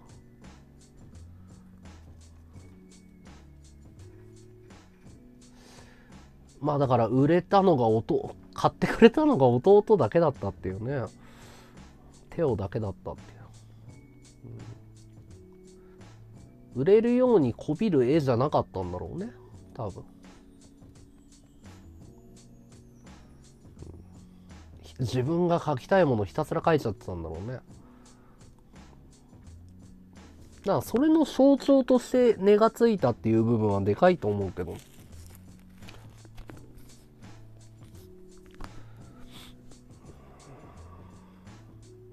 なんかよくさ絵がすごいとか俺よくわかんなくて。あのアーティストはすごい尊敬してるじゃん俺。ああみゆみゆいらっしゃい。アーティストとかすげえリスペクトしてるんだけど。あのなんかディスではないんだけど。なんて言うんだろう。なんかその何これっていうのもいっぱいあるわけじゃん。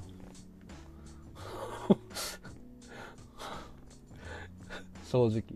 で俺別にあのゴッホのひまわりの絵はそんなにすごくないっていう風に思ってるんですよ。あの絵のこと何にもわかんないんだけど素人目で見てすごい太く塗ってる感じはあるんだけど 好きなんだよ。ゴッホの絵すげえ好きなんだけど別にそんなに絵上手くないよねっていう。ごめんね。嫌なやつでごめんね。でなんでゴッホの絵が高値をつけたかっていうとゴッホの生き方だと思ってるの、うん、そう。うまい絵を描くやつなんか腐るほどいるんだよ。まあまあそれが正しい芸術家でしょ、うん、でも俺は稼ぐ芸術家のねあのもうビジネス商法ばっかりやったらあれあんま好きだ。ラッセンも好きなんだよね。ラッセンはもうえぐいぐらい稼いでるからね。ラッセンビジネスだからね。今の世の中死んだら終わりってとこ多々あります。今の世の中じゃなくても死んだら終わりでしょ、うん、俺は死んだら終わりだと思って生きないとダメだと思ってるけど、うん、あまあまあまあそうそう。純ちゃんの見方が正しいと思ってて、うん、俺もそうそうだと思う。亡くなったら評価されるとかどうでもいいかな。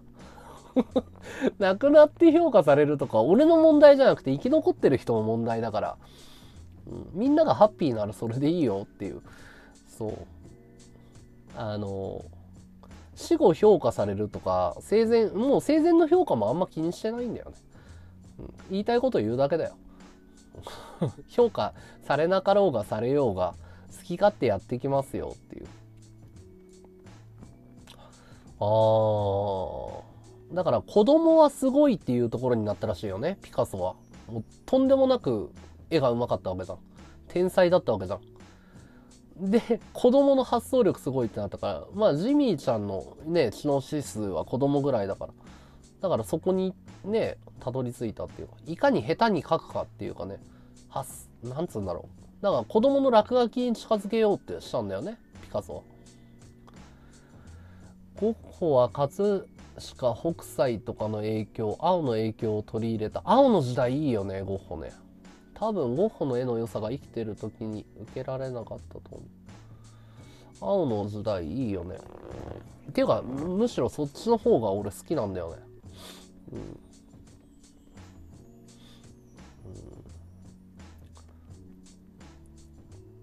うん、浮世絵とかの影響でも俺思うんだけどさやっぱデフォルメとかアニメとか漫画の凄さってさ完全に浮世絵の頃に頭角表してると思うんだよね。これってアニメとかの原型だよねって思わない？なんかさ西洋ってすっごい描写る写写真みたいに描くじゃん。だからさ日本人ってデフォルメでさなんつうんだろう？あれ漫画の原型だよね多分。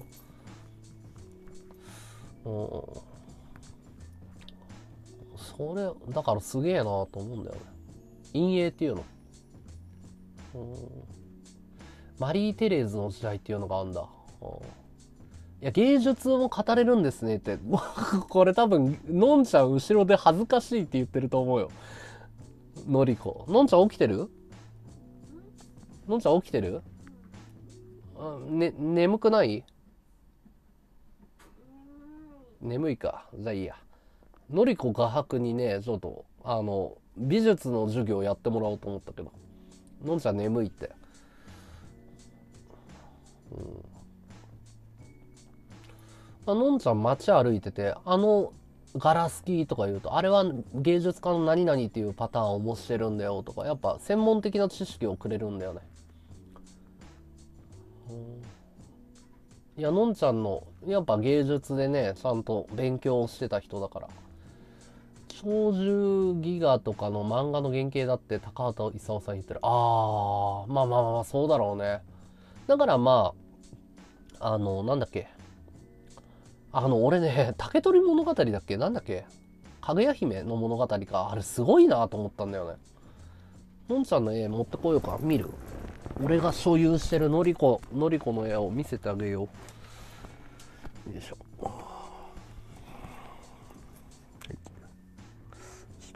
暗いから見づらいけどね。こんな感じですね。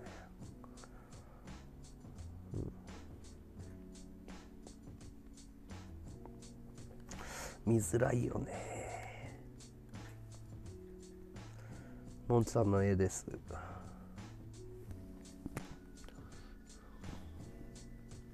うん。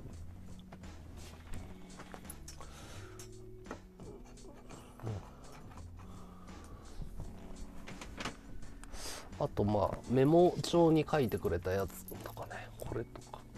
見えないか。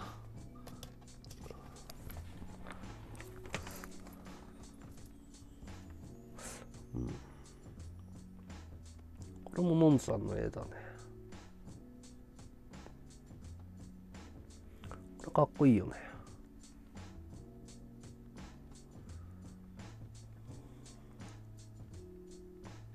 うん。これは気に入ってるかな。うん。かっこいいよねこれね。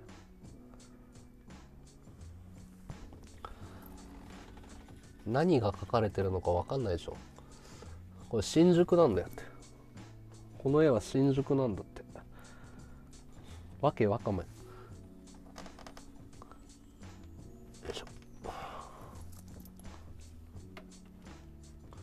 いやわかんない。デッサンがすごいとかもう俺はわかんないから。いいか悪いか好きか嫌いかだけでしか考えない。芸術は。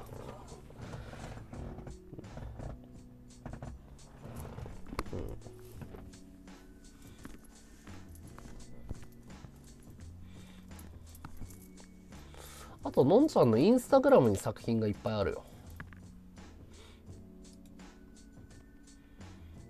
インパクトがすごいっつうか、何、なんだろうな。かっこいいかかっこ悪いかだと思ってるな、本当に。なんか、あんまり。かっこいいかかっこいい。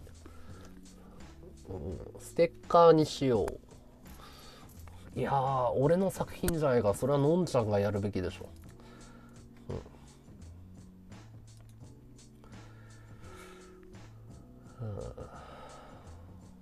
だからまあかっこいいかかっこ悪いかだけで考えるとすごいシンプルでよくない？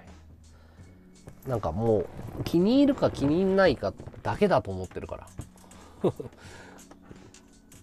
なんかなんだろうな。あんまり意味意味あのなんかその意味はないと思ってる。あのちょっとバカっぽい言い方になってるけどなんて言えばいいんだろうな。書いてる方も作ってる方も極端な話あんまり意味とかじゃなくてこうもっと深いところに迷走してると思ってるの。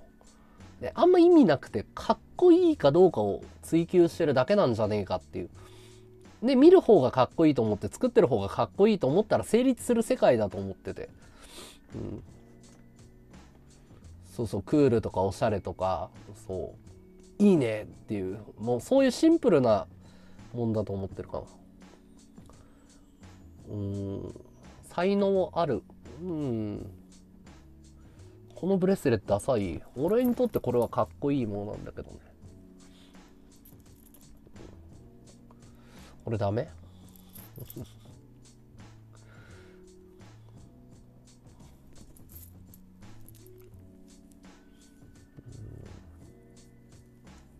なんだっけ？コカ・コーラのフォントと、あ、なんだっけ？チュッパチャップスってあれピカソが書いたんだっけ？チュッパチャップスのデザイン誰やったんだっけ？チュッパチャップス。えー、ダリだっけ？すごいよね。ダリがデザインしたってすごくない？ダリがデザインってすごいよね。うん。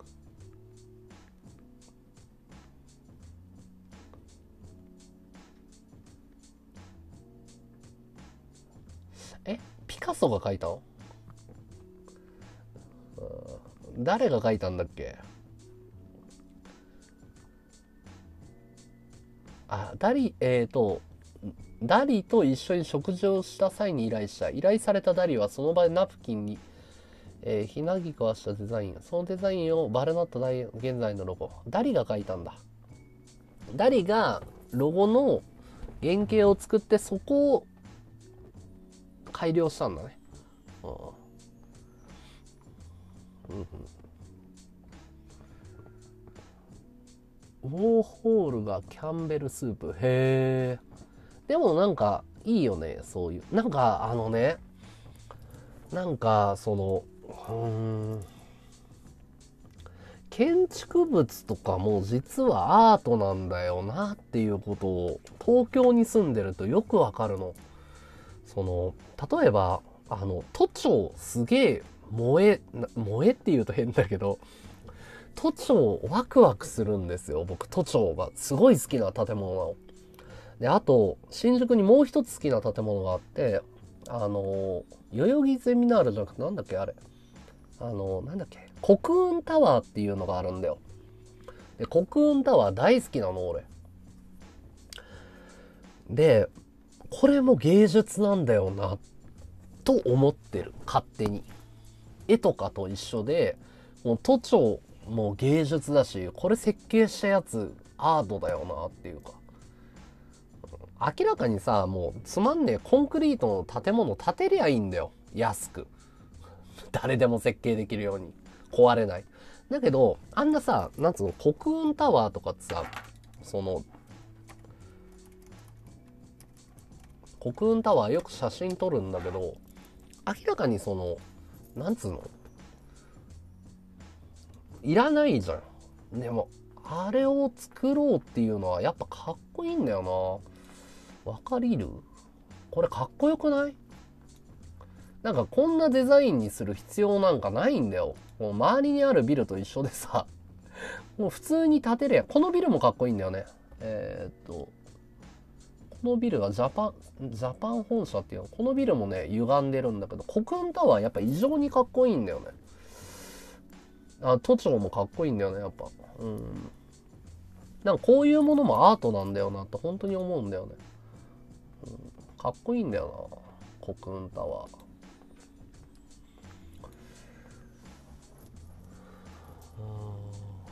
わかるかな国運タワーはすげえなんかこれガラス張りでどうなってんだみたいな。建築士はアーティストなんだ。は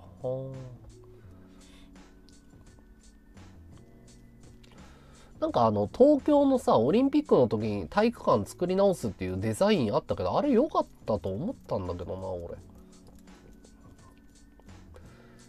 なんかああいうものに金は使っていいんじゃねえかなっていうか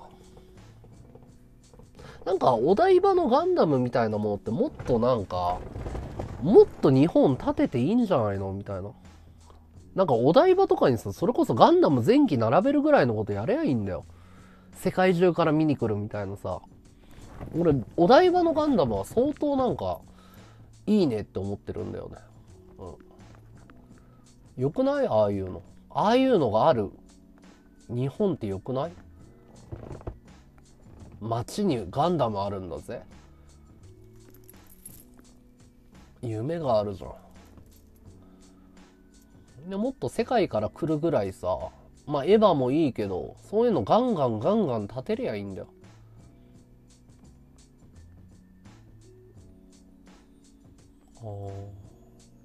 ねえ。だって日本の独自コンテンツなんだもん。ガンダムとかさ、エヴァンゲリオンとかさ、トトロとかこんなに作れる人いないもんね。うん、ああ、そうなんだ。ああ、デザインね。うん。駅とかもセンスある駅とかかっこいいもんね。ダサい駅とかもあるし。うん、うんあれもアートだと思うよ。うん。あ、残り9分だ。貢いでアイテムちょうだい。俺小き。楽しかった人、よろしく。富野さんはいやらしい。おー、富野さんね。バカありがとう。バババババババババカありがとう。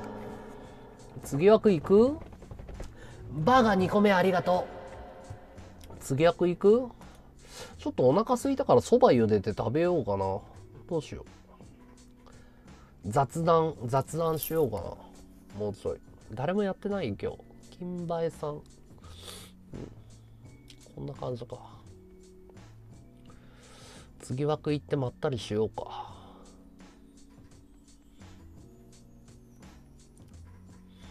次枠行くか。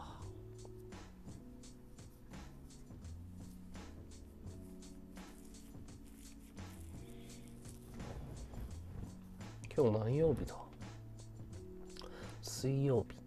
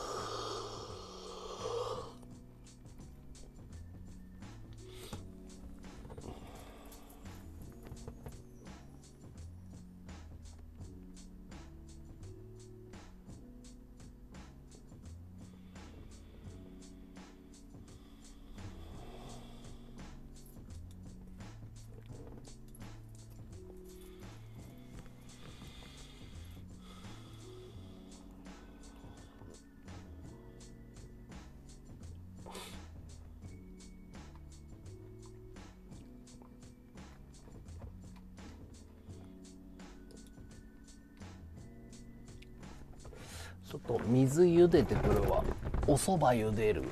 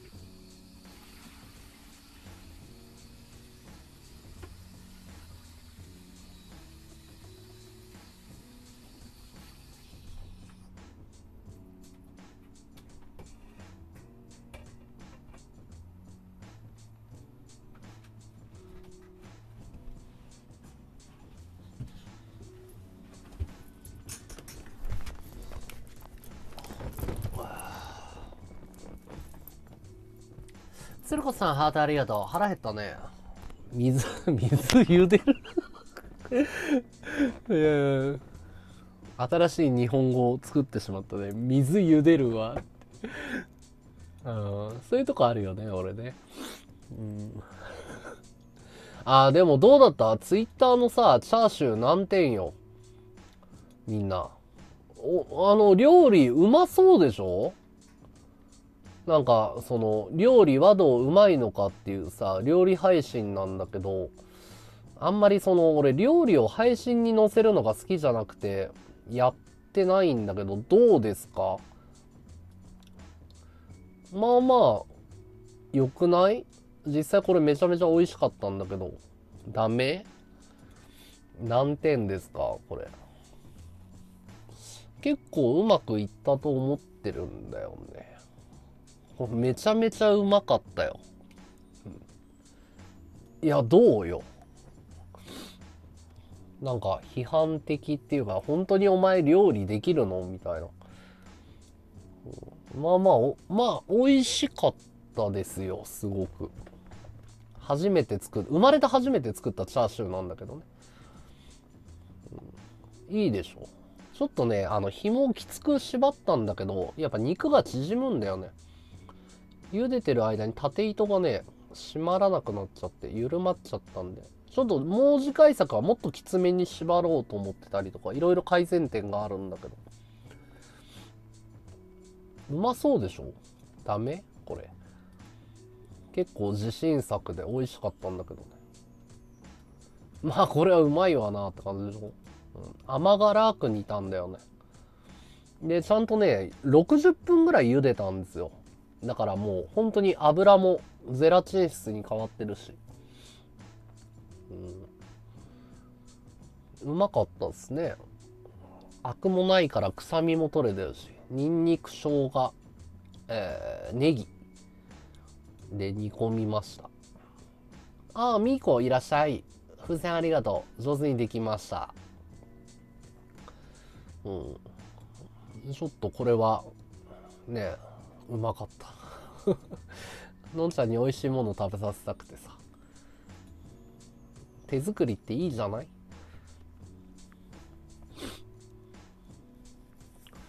あ何作ろうかね。圧力鍋は欲しいよね。圧力鍋欲しいよね。うん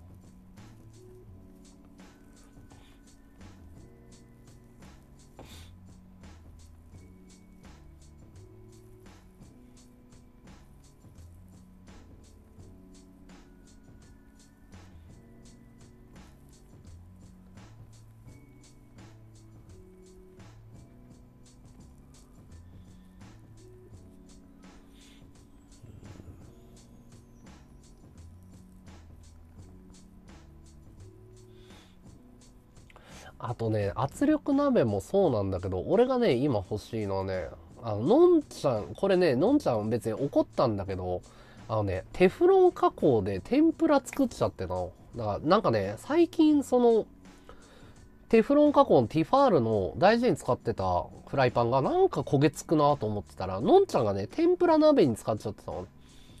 で、要はフ、フッ素加工がダメになる。あ、ぶり大根いいね。うん。いや、美味しく作りたい。料理はやっぱりさ、美味しく作りたいんだよ、俺の中で。あの、せっかくの素材がさ、うまく作るも下手に作るも腕次第だから。うん。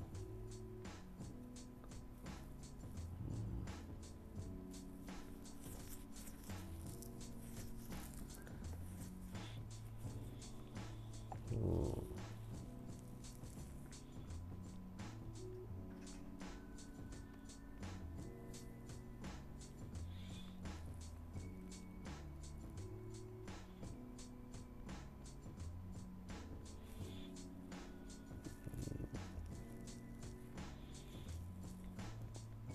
ぶり大根いいな。お前コメント欄荒らすなよ。バカとかハゲとか書くなよ。なんでお前動画の内容も見ねえでお前。バッドボタン押してんだよもう